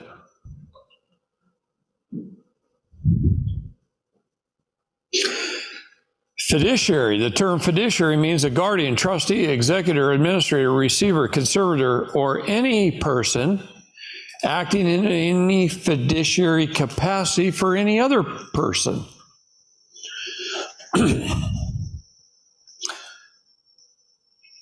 so if you have to go in court, you put your all caps name up there because that's what they do. And you say, David Lester by by colon David Lester straight upper and lowercase is agent acting as agent for David Lester Straight as the beneficiary of the trust. Then you're the agent acting as beneficiary. So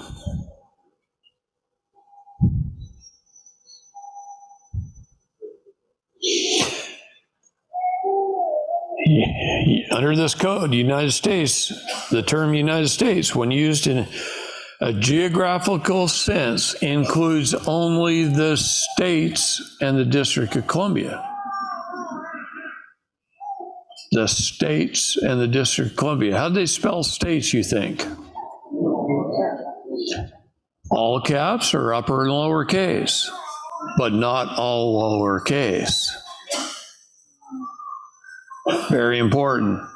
There is the state, and then there is the state, and then there is the state.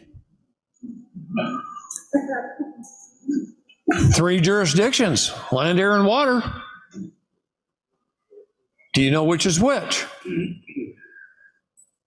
Ah.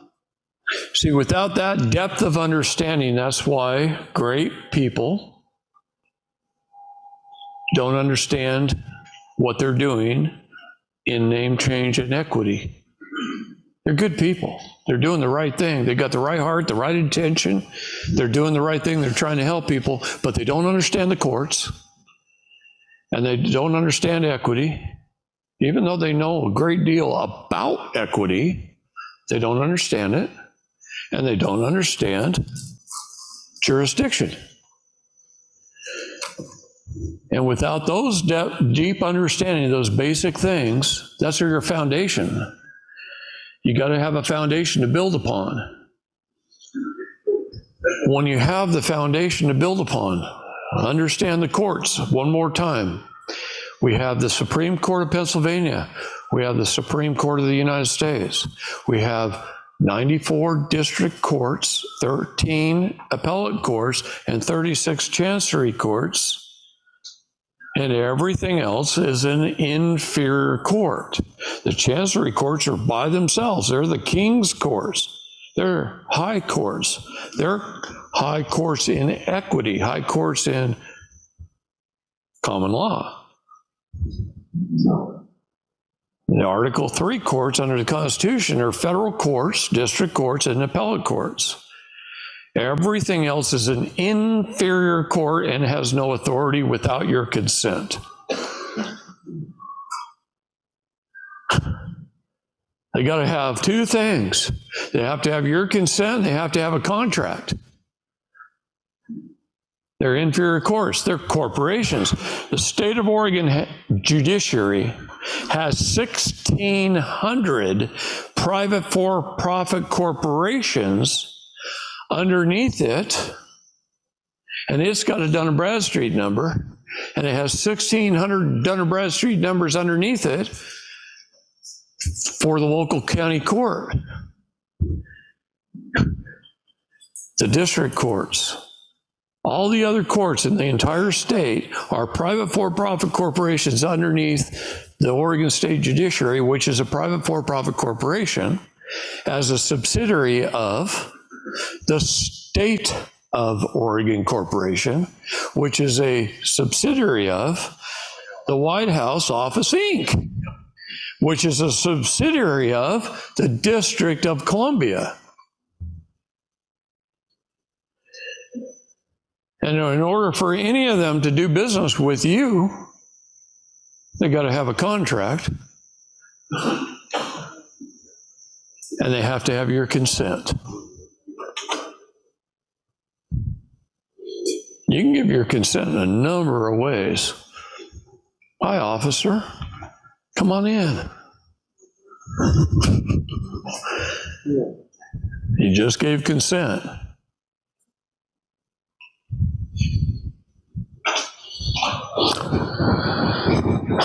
The term taxpayer means any person subject to any internal revenue tax. That's the term taxpayer. Guess what? I don't meet the definition of a taxpayer. It's kind of cool. I opted out. I told them who the fiduciary was. These people out there saying the Form 56 is not something you shouldn't do. Well, I just learned from a judge that I should do it not just once for me on my proper name, but I should do it to assign trusteeship to them if I want to. I can take the name in a court case, I can fill out a Form 56, and I can put that judge's name as my fiduciary on a Form 56 instead of the IRS, and he'll get a letter that he's the fiduciary. And I don't have to go in court and say, Judge, you're the trustee, I'm the beneficiary. I just made him one. And I let them enforce it.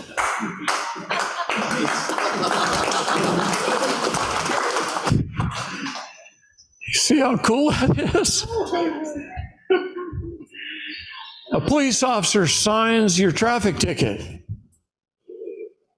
and you don't. Then make him the trustee, fill out a Form 56, make the officer of trustee of the beneficiary. He signed the contract, he has to pay it. Fuck him. I'm telling you.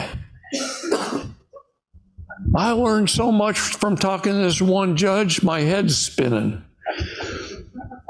He's shown me a hundred ways to use the Form 56. You got a mortgage?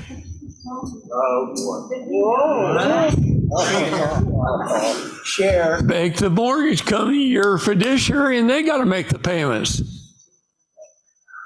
Can you do it for the corporate? Corporate? Doesn't he have to accept custody? Ah, does he? Did they sign it?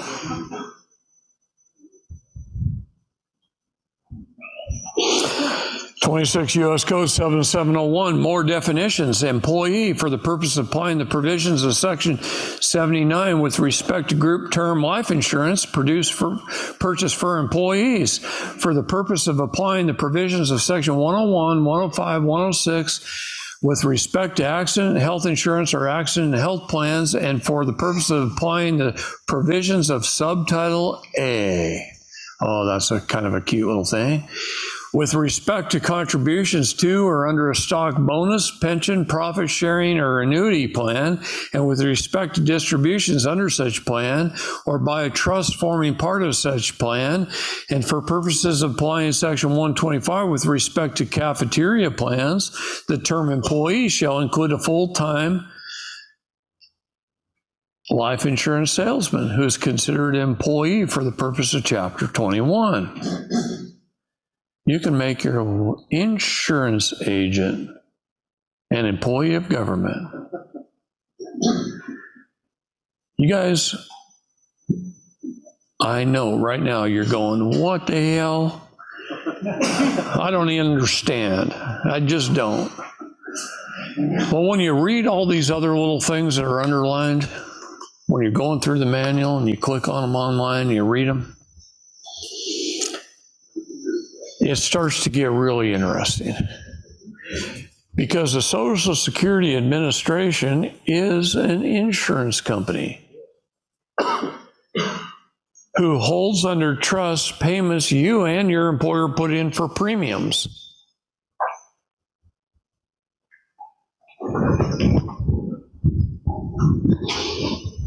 And you've got a great big account there.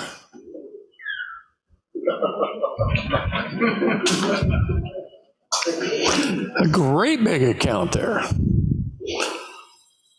Are you, is, you have a life insurance plan on yourself? Million dollars? Half a million? Uh, a little higher? Okay. What if I told you you had a hundred million here?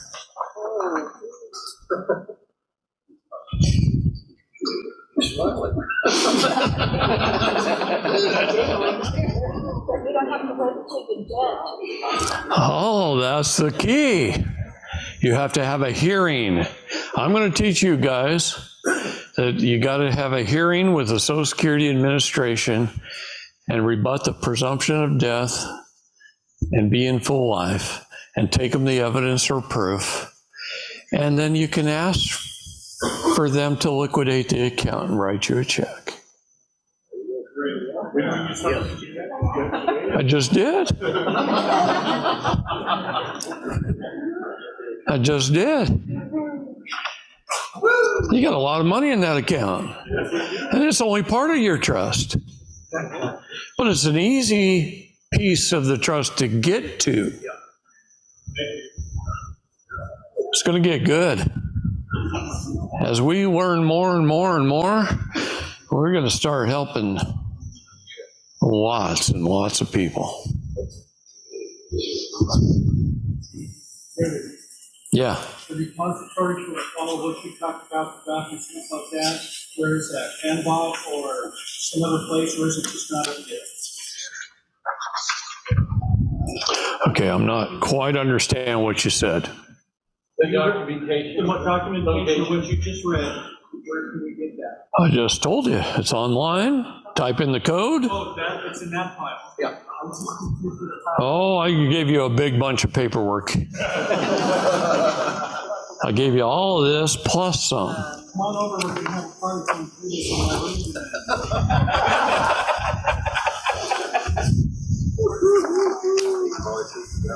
room. I gave you all this, all this.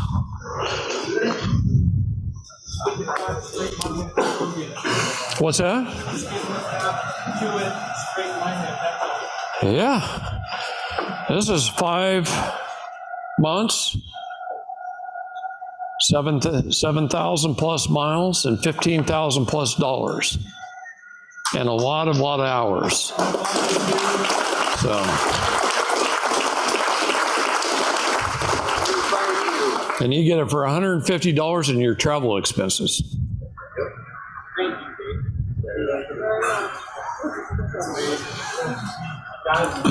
this is all out of their manuals, guys. I didn't write any of this crap. Okay? It's all out of their manuals. It is it is things that we took maybe 200,000 pages of material, picked out 100 critical pieces of the puzzle, and gave them to you. Okay?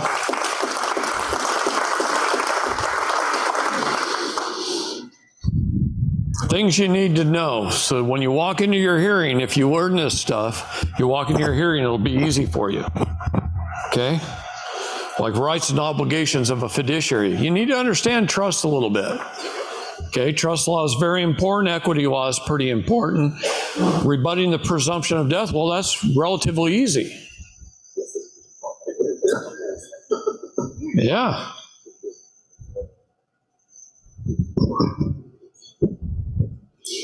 Wonder what I did with my iPad. It's probably out in the car.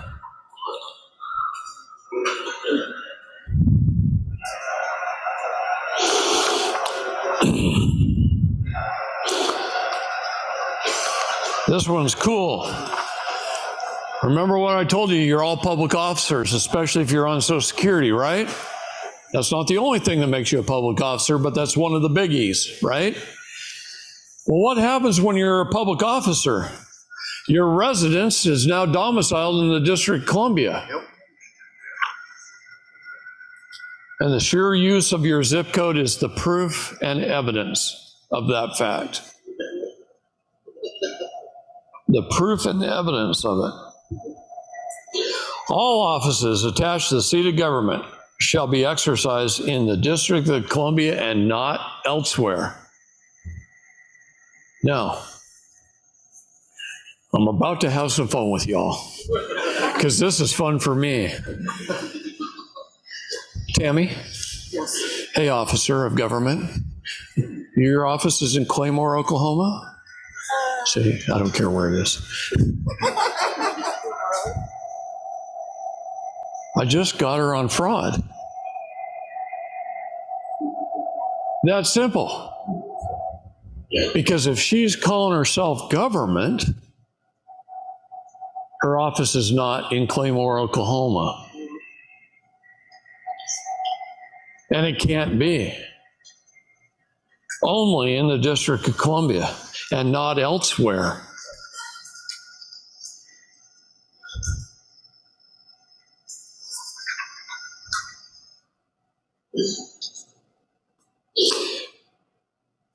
Now, in here, we we wrote a document. I wrote it like this. You're, and the reason because we designed these as a slideshow. And I could have pulled that screen down there and that screen down there, hooked up to a computer, sat here and bored you all, and showed you these on slides. But this is really a document we wrote that's a, a, a notice of conveyance, which turns into the reconveyance of your name regarding your legal name change. So it goes with the name change documents like uh, Miranda got me and I showed you, those exemplified documents.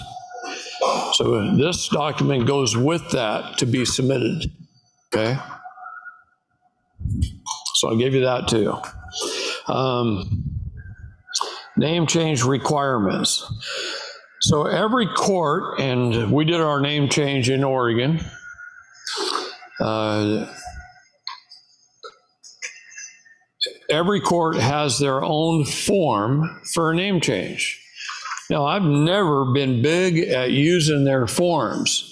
You can take all the information off their form and make it into your own document, or you can use their form. If you're doing it online, their form is easier. Okay? If you're doing it in person, I'd write your own document. That's my recommendation. Okay? So the Social Security Administration has a manual called POMS, a Program Operations Manual. You can download that online. I'm giving a, a lot of the key parts of it to you so you don't have to read the whole freaking thing.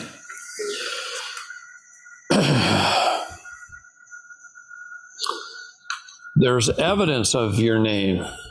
Evidence is important. Acceptable name change identification, what you need, is in here. And then there's the Social Security Administration presumption of death rebuttal requirements. Now, in this journey I took through a whole bunch of states, we stopped by a half a dozen or so Social Security offices.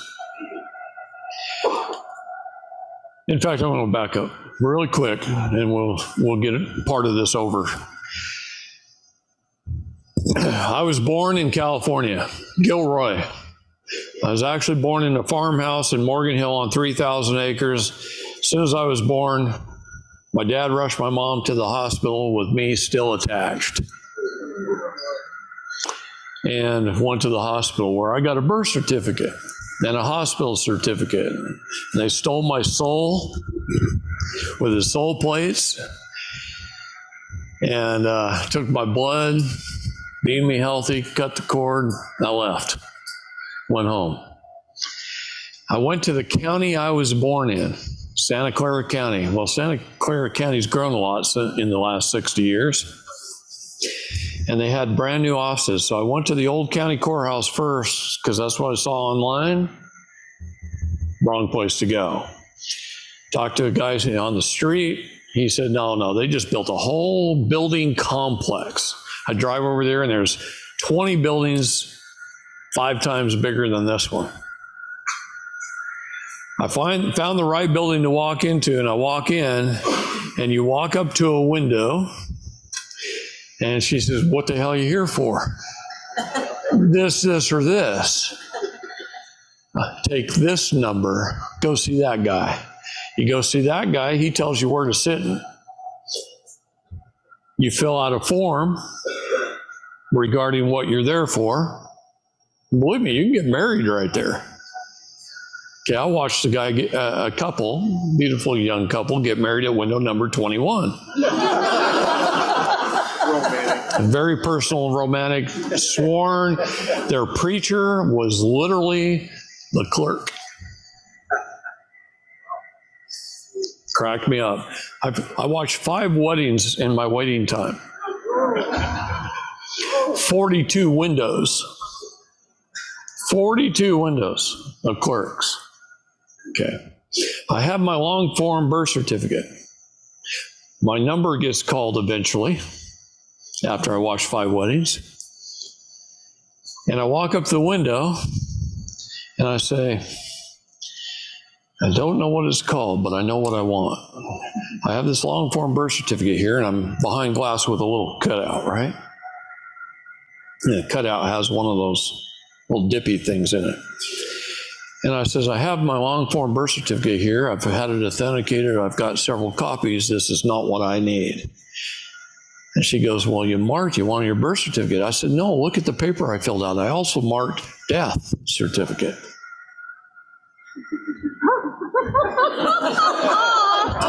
She looks at me and says, You're alive. I know. But somebody f- screwed up. Because I know they declared me dead. I want the one that's on bond paper that has the birth and the death on it. She goes, We don't do that here. We just can give you extra copies of what you want. If you want extra copies, they're $26 a piece. Do you want one of them? No, I don't need any more of those. That's not what I want. I want, I went into the second time, rule of three, right? Went in the second time and I said, I want the one with the death on it. Well, we don't, we don't do that here. I've ne- never had anybody ask me for that. I've been working here a long time. I said, no, look, you don't understand. I came here to the county of my birth. I drove all the way from Tennessee to California to get a copy of my birth and death record. So let me get my supervisor. She goes, "Let me, get, let me go get." Another lady comes out. I talk to her. I do that three times. Most people would have quit after one time. Now I'm now I'm through six, and she's going to let me go get my supervisor. So I'm moving up the food chain. She comes out, says, "No, we can only give you the, the what you have already. You want more copies of what you have already?" No, let me let me say this again. I said, "I want the birth and death record." She goes, "Well, that's confidential." You can't get that without a court order name change.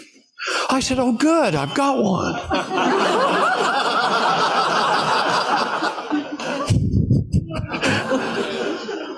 she goes, No, we, you can get more copies of what you have. We don't, we don't do that. That's confidential. And I says, You don't do it, or you won't do it, or you can't do it because you don't do it here.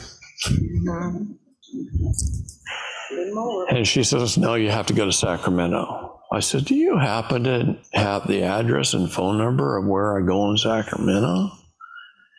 And do you happen to know the name of the document I'm describing that I really want? And she says, It's called a certified, confidential birth slash death vital statistics record. That's the document you want. Certified, confidential, birth slash death vital statistics record.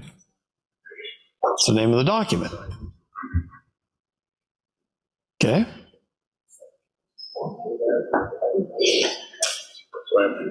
And you have to go to Sacramento to get it. This is the address, this is the phone number. You have to talk to this person, and they don't accept walk ins. I said, Really? They don't, okay, they don't accept walk ins. So I walked out of there after driving that many miles with nothing. Was that a failure? No. No. That was a win big time. Because now I know the name of the document. I know how many times I got to say it, how many people I got to say it to.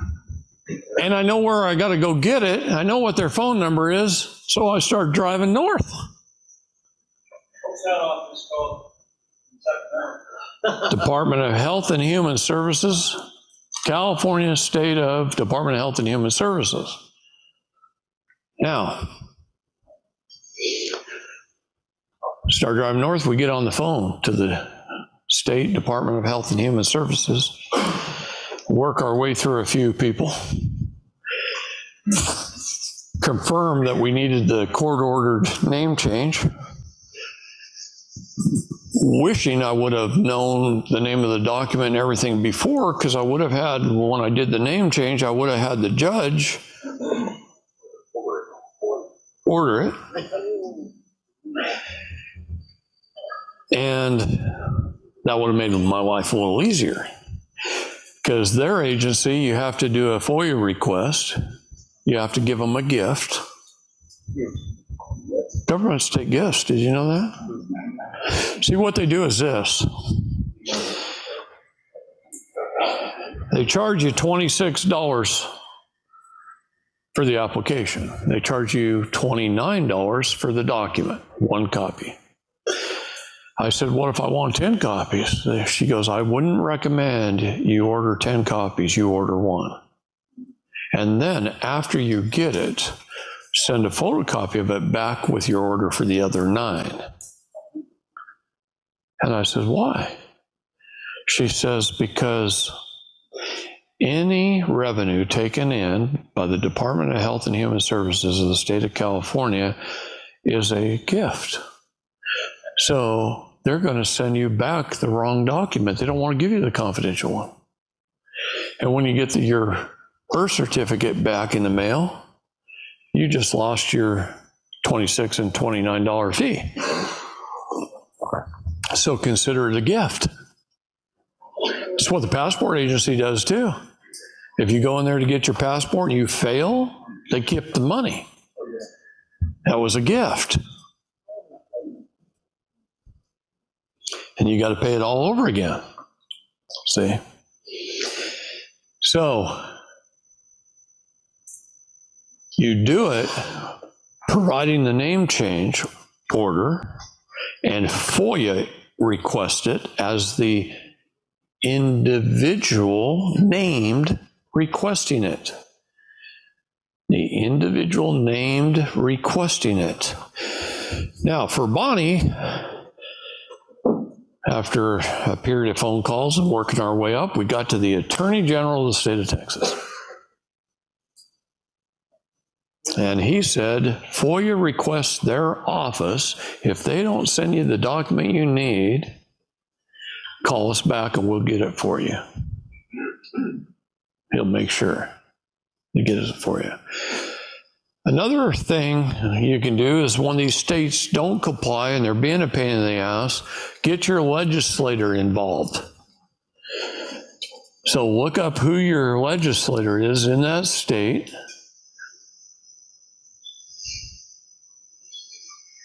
And get them involved and ask for their help and show them proof and evidence that you've done your due diligence, what you're supposed to do in requesting it, and you failed.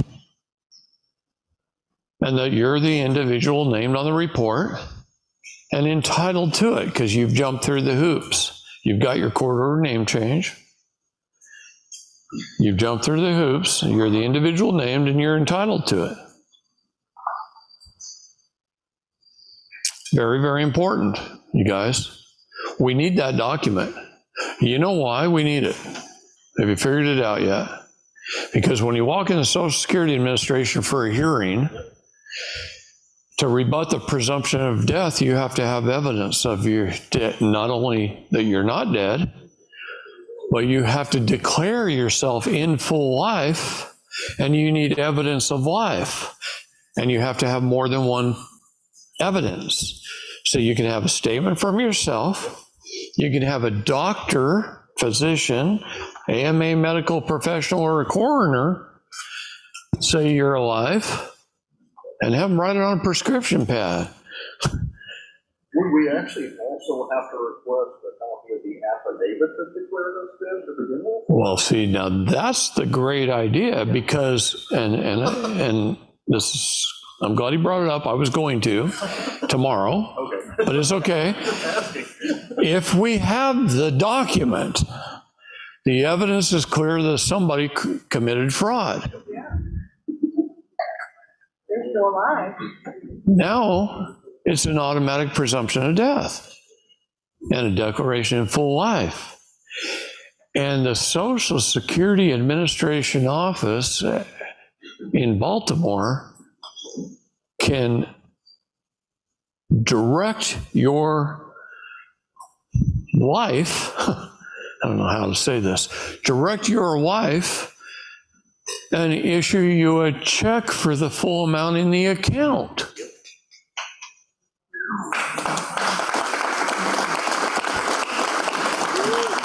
But it has to have a hearing. Those are the two things you need to do with the court order name change. Tie in the body to the name. Now, some people are having a really hard time in this country getting a court order name change, and these judges aren't going to want to give it. Our best hope is that in those states that are extremely difficult, chancery courts or common law courts, the states that have switched to common law, are going to be doing them. If you're having a hard time getting it out of an admiralty judge, I got mine out of an admiralty judge in a very liberal state, which uh, quite a few people in this room got theirs from the same judge in the same county in Oregon. We have to have an address there. So there's ways to go and establish an address, take, take your documents into court, get the documents sent to the address, get them, send the verification in, you're done. See? You can do that outside of state, or would they have to be? No, I was sitting in Arkansas when I did mine in Oregon. That's kind of fun. Well, here's another thing. You can always get, get an address in uh, Tennessee. Go to Chancery Court. What did I read you off their website? so, yeah. What? Need to start all over if I have the name change? No. Okay. Let me tell you how why you don't have to start all over if you've already done your name change under other people's methods, eh, because their methods aren't wrong. They're not wrong. They're just incomplete. So what you do, I recommend a blank fingerprint card, and we can get those to you. We had to go to friendly gun dealers. Get the card, take their name out, digitize it. Now we have it on computer, and it's the federal form.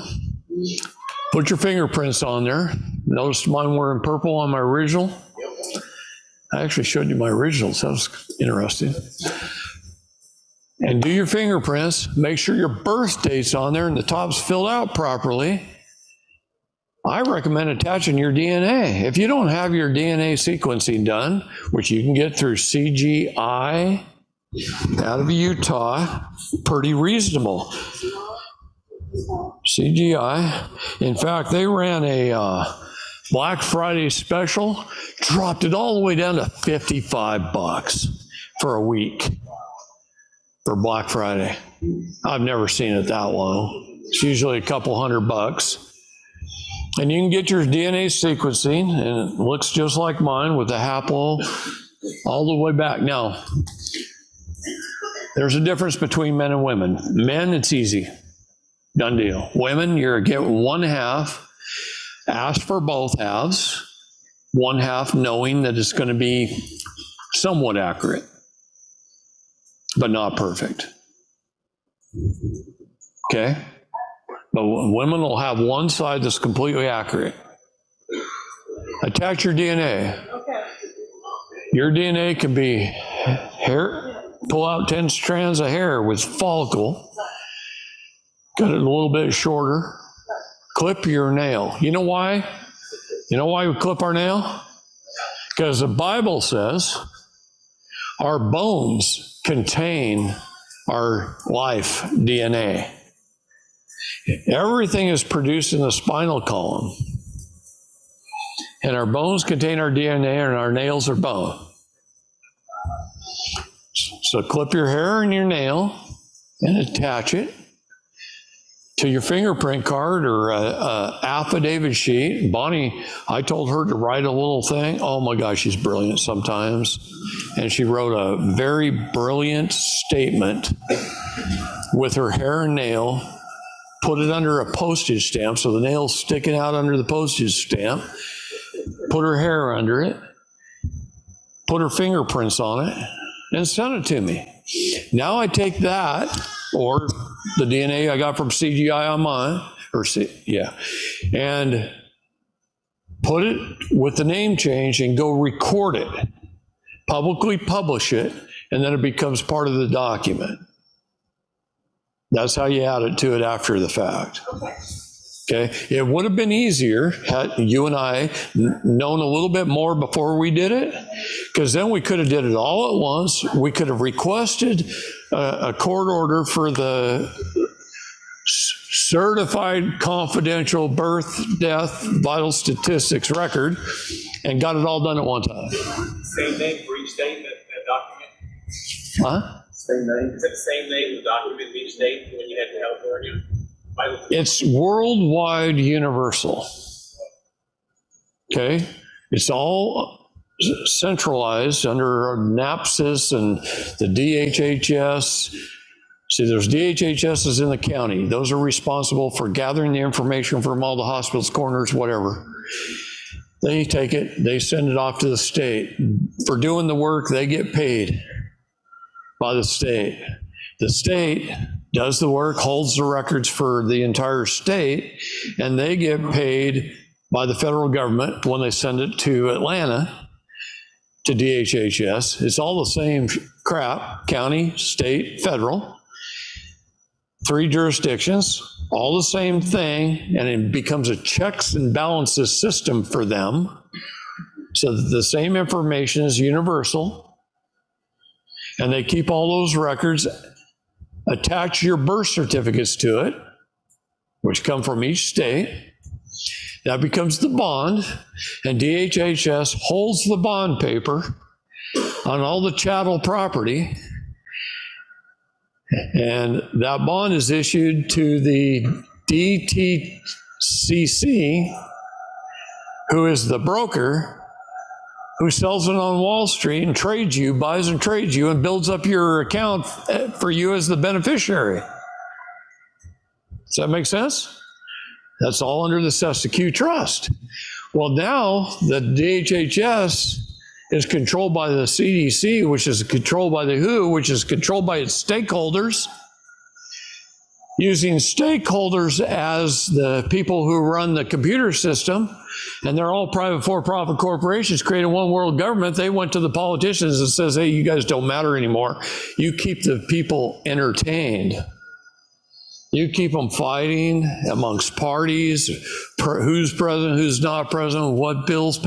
You control all that crap, but we're in control because we control the assets of the world.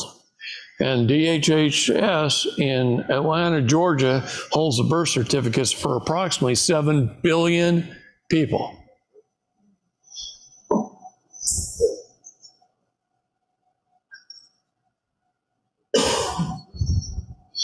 Guys, they took over the world without even firing a shot, didn't they?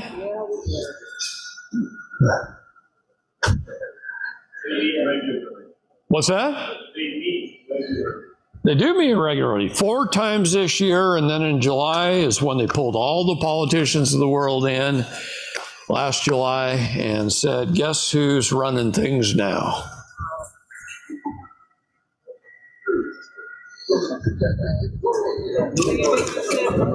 FOIA requests, do we do it as the individual requests? Is this okay, where we're allowed, where, where we can call it for individual? It's okay? Yeah. You have to be. You're dealing with that jurisdiction, that corporate world.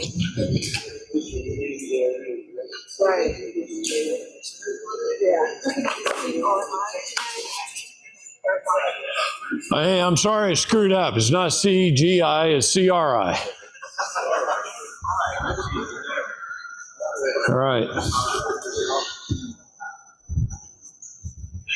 Okay, I'm going to make a little announcement for those that want to.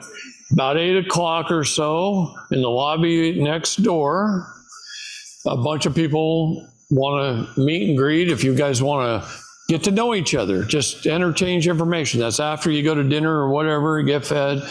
Go over there and talk if you want. Uh, meet each other, exchange your information. Anything else you want? That's it. Really, it's just a meet and greet. Have fun at dinner. Where's my Belgium guys?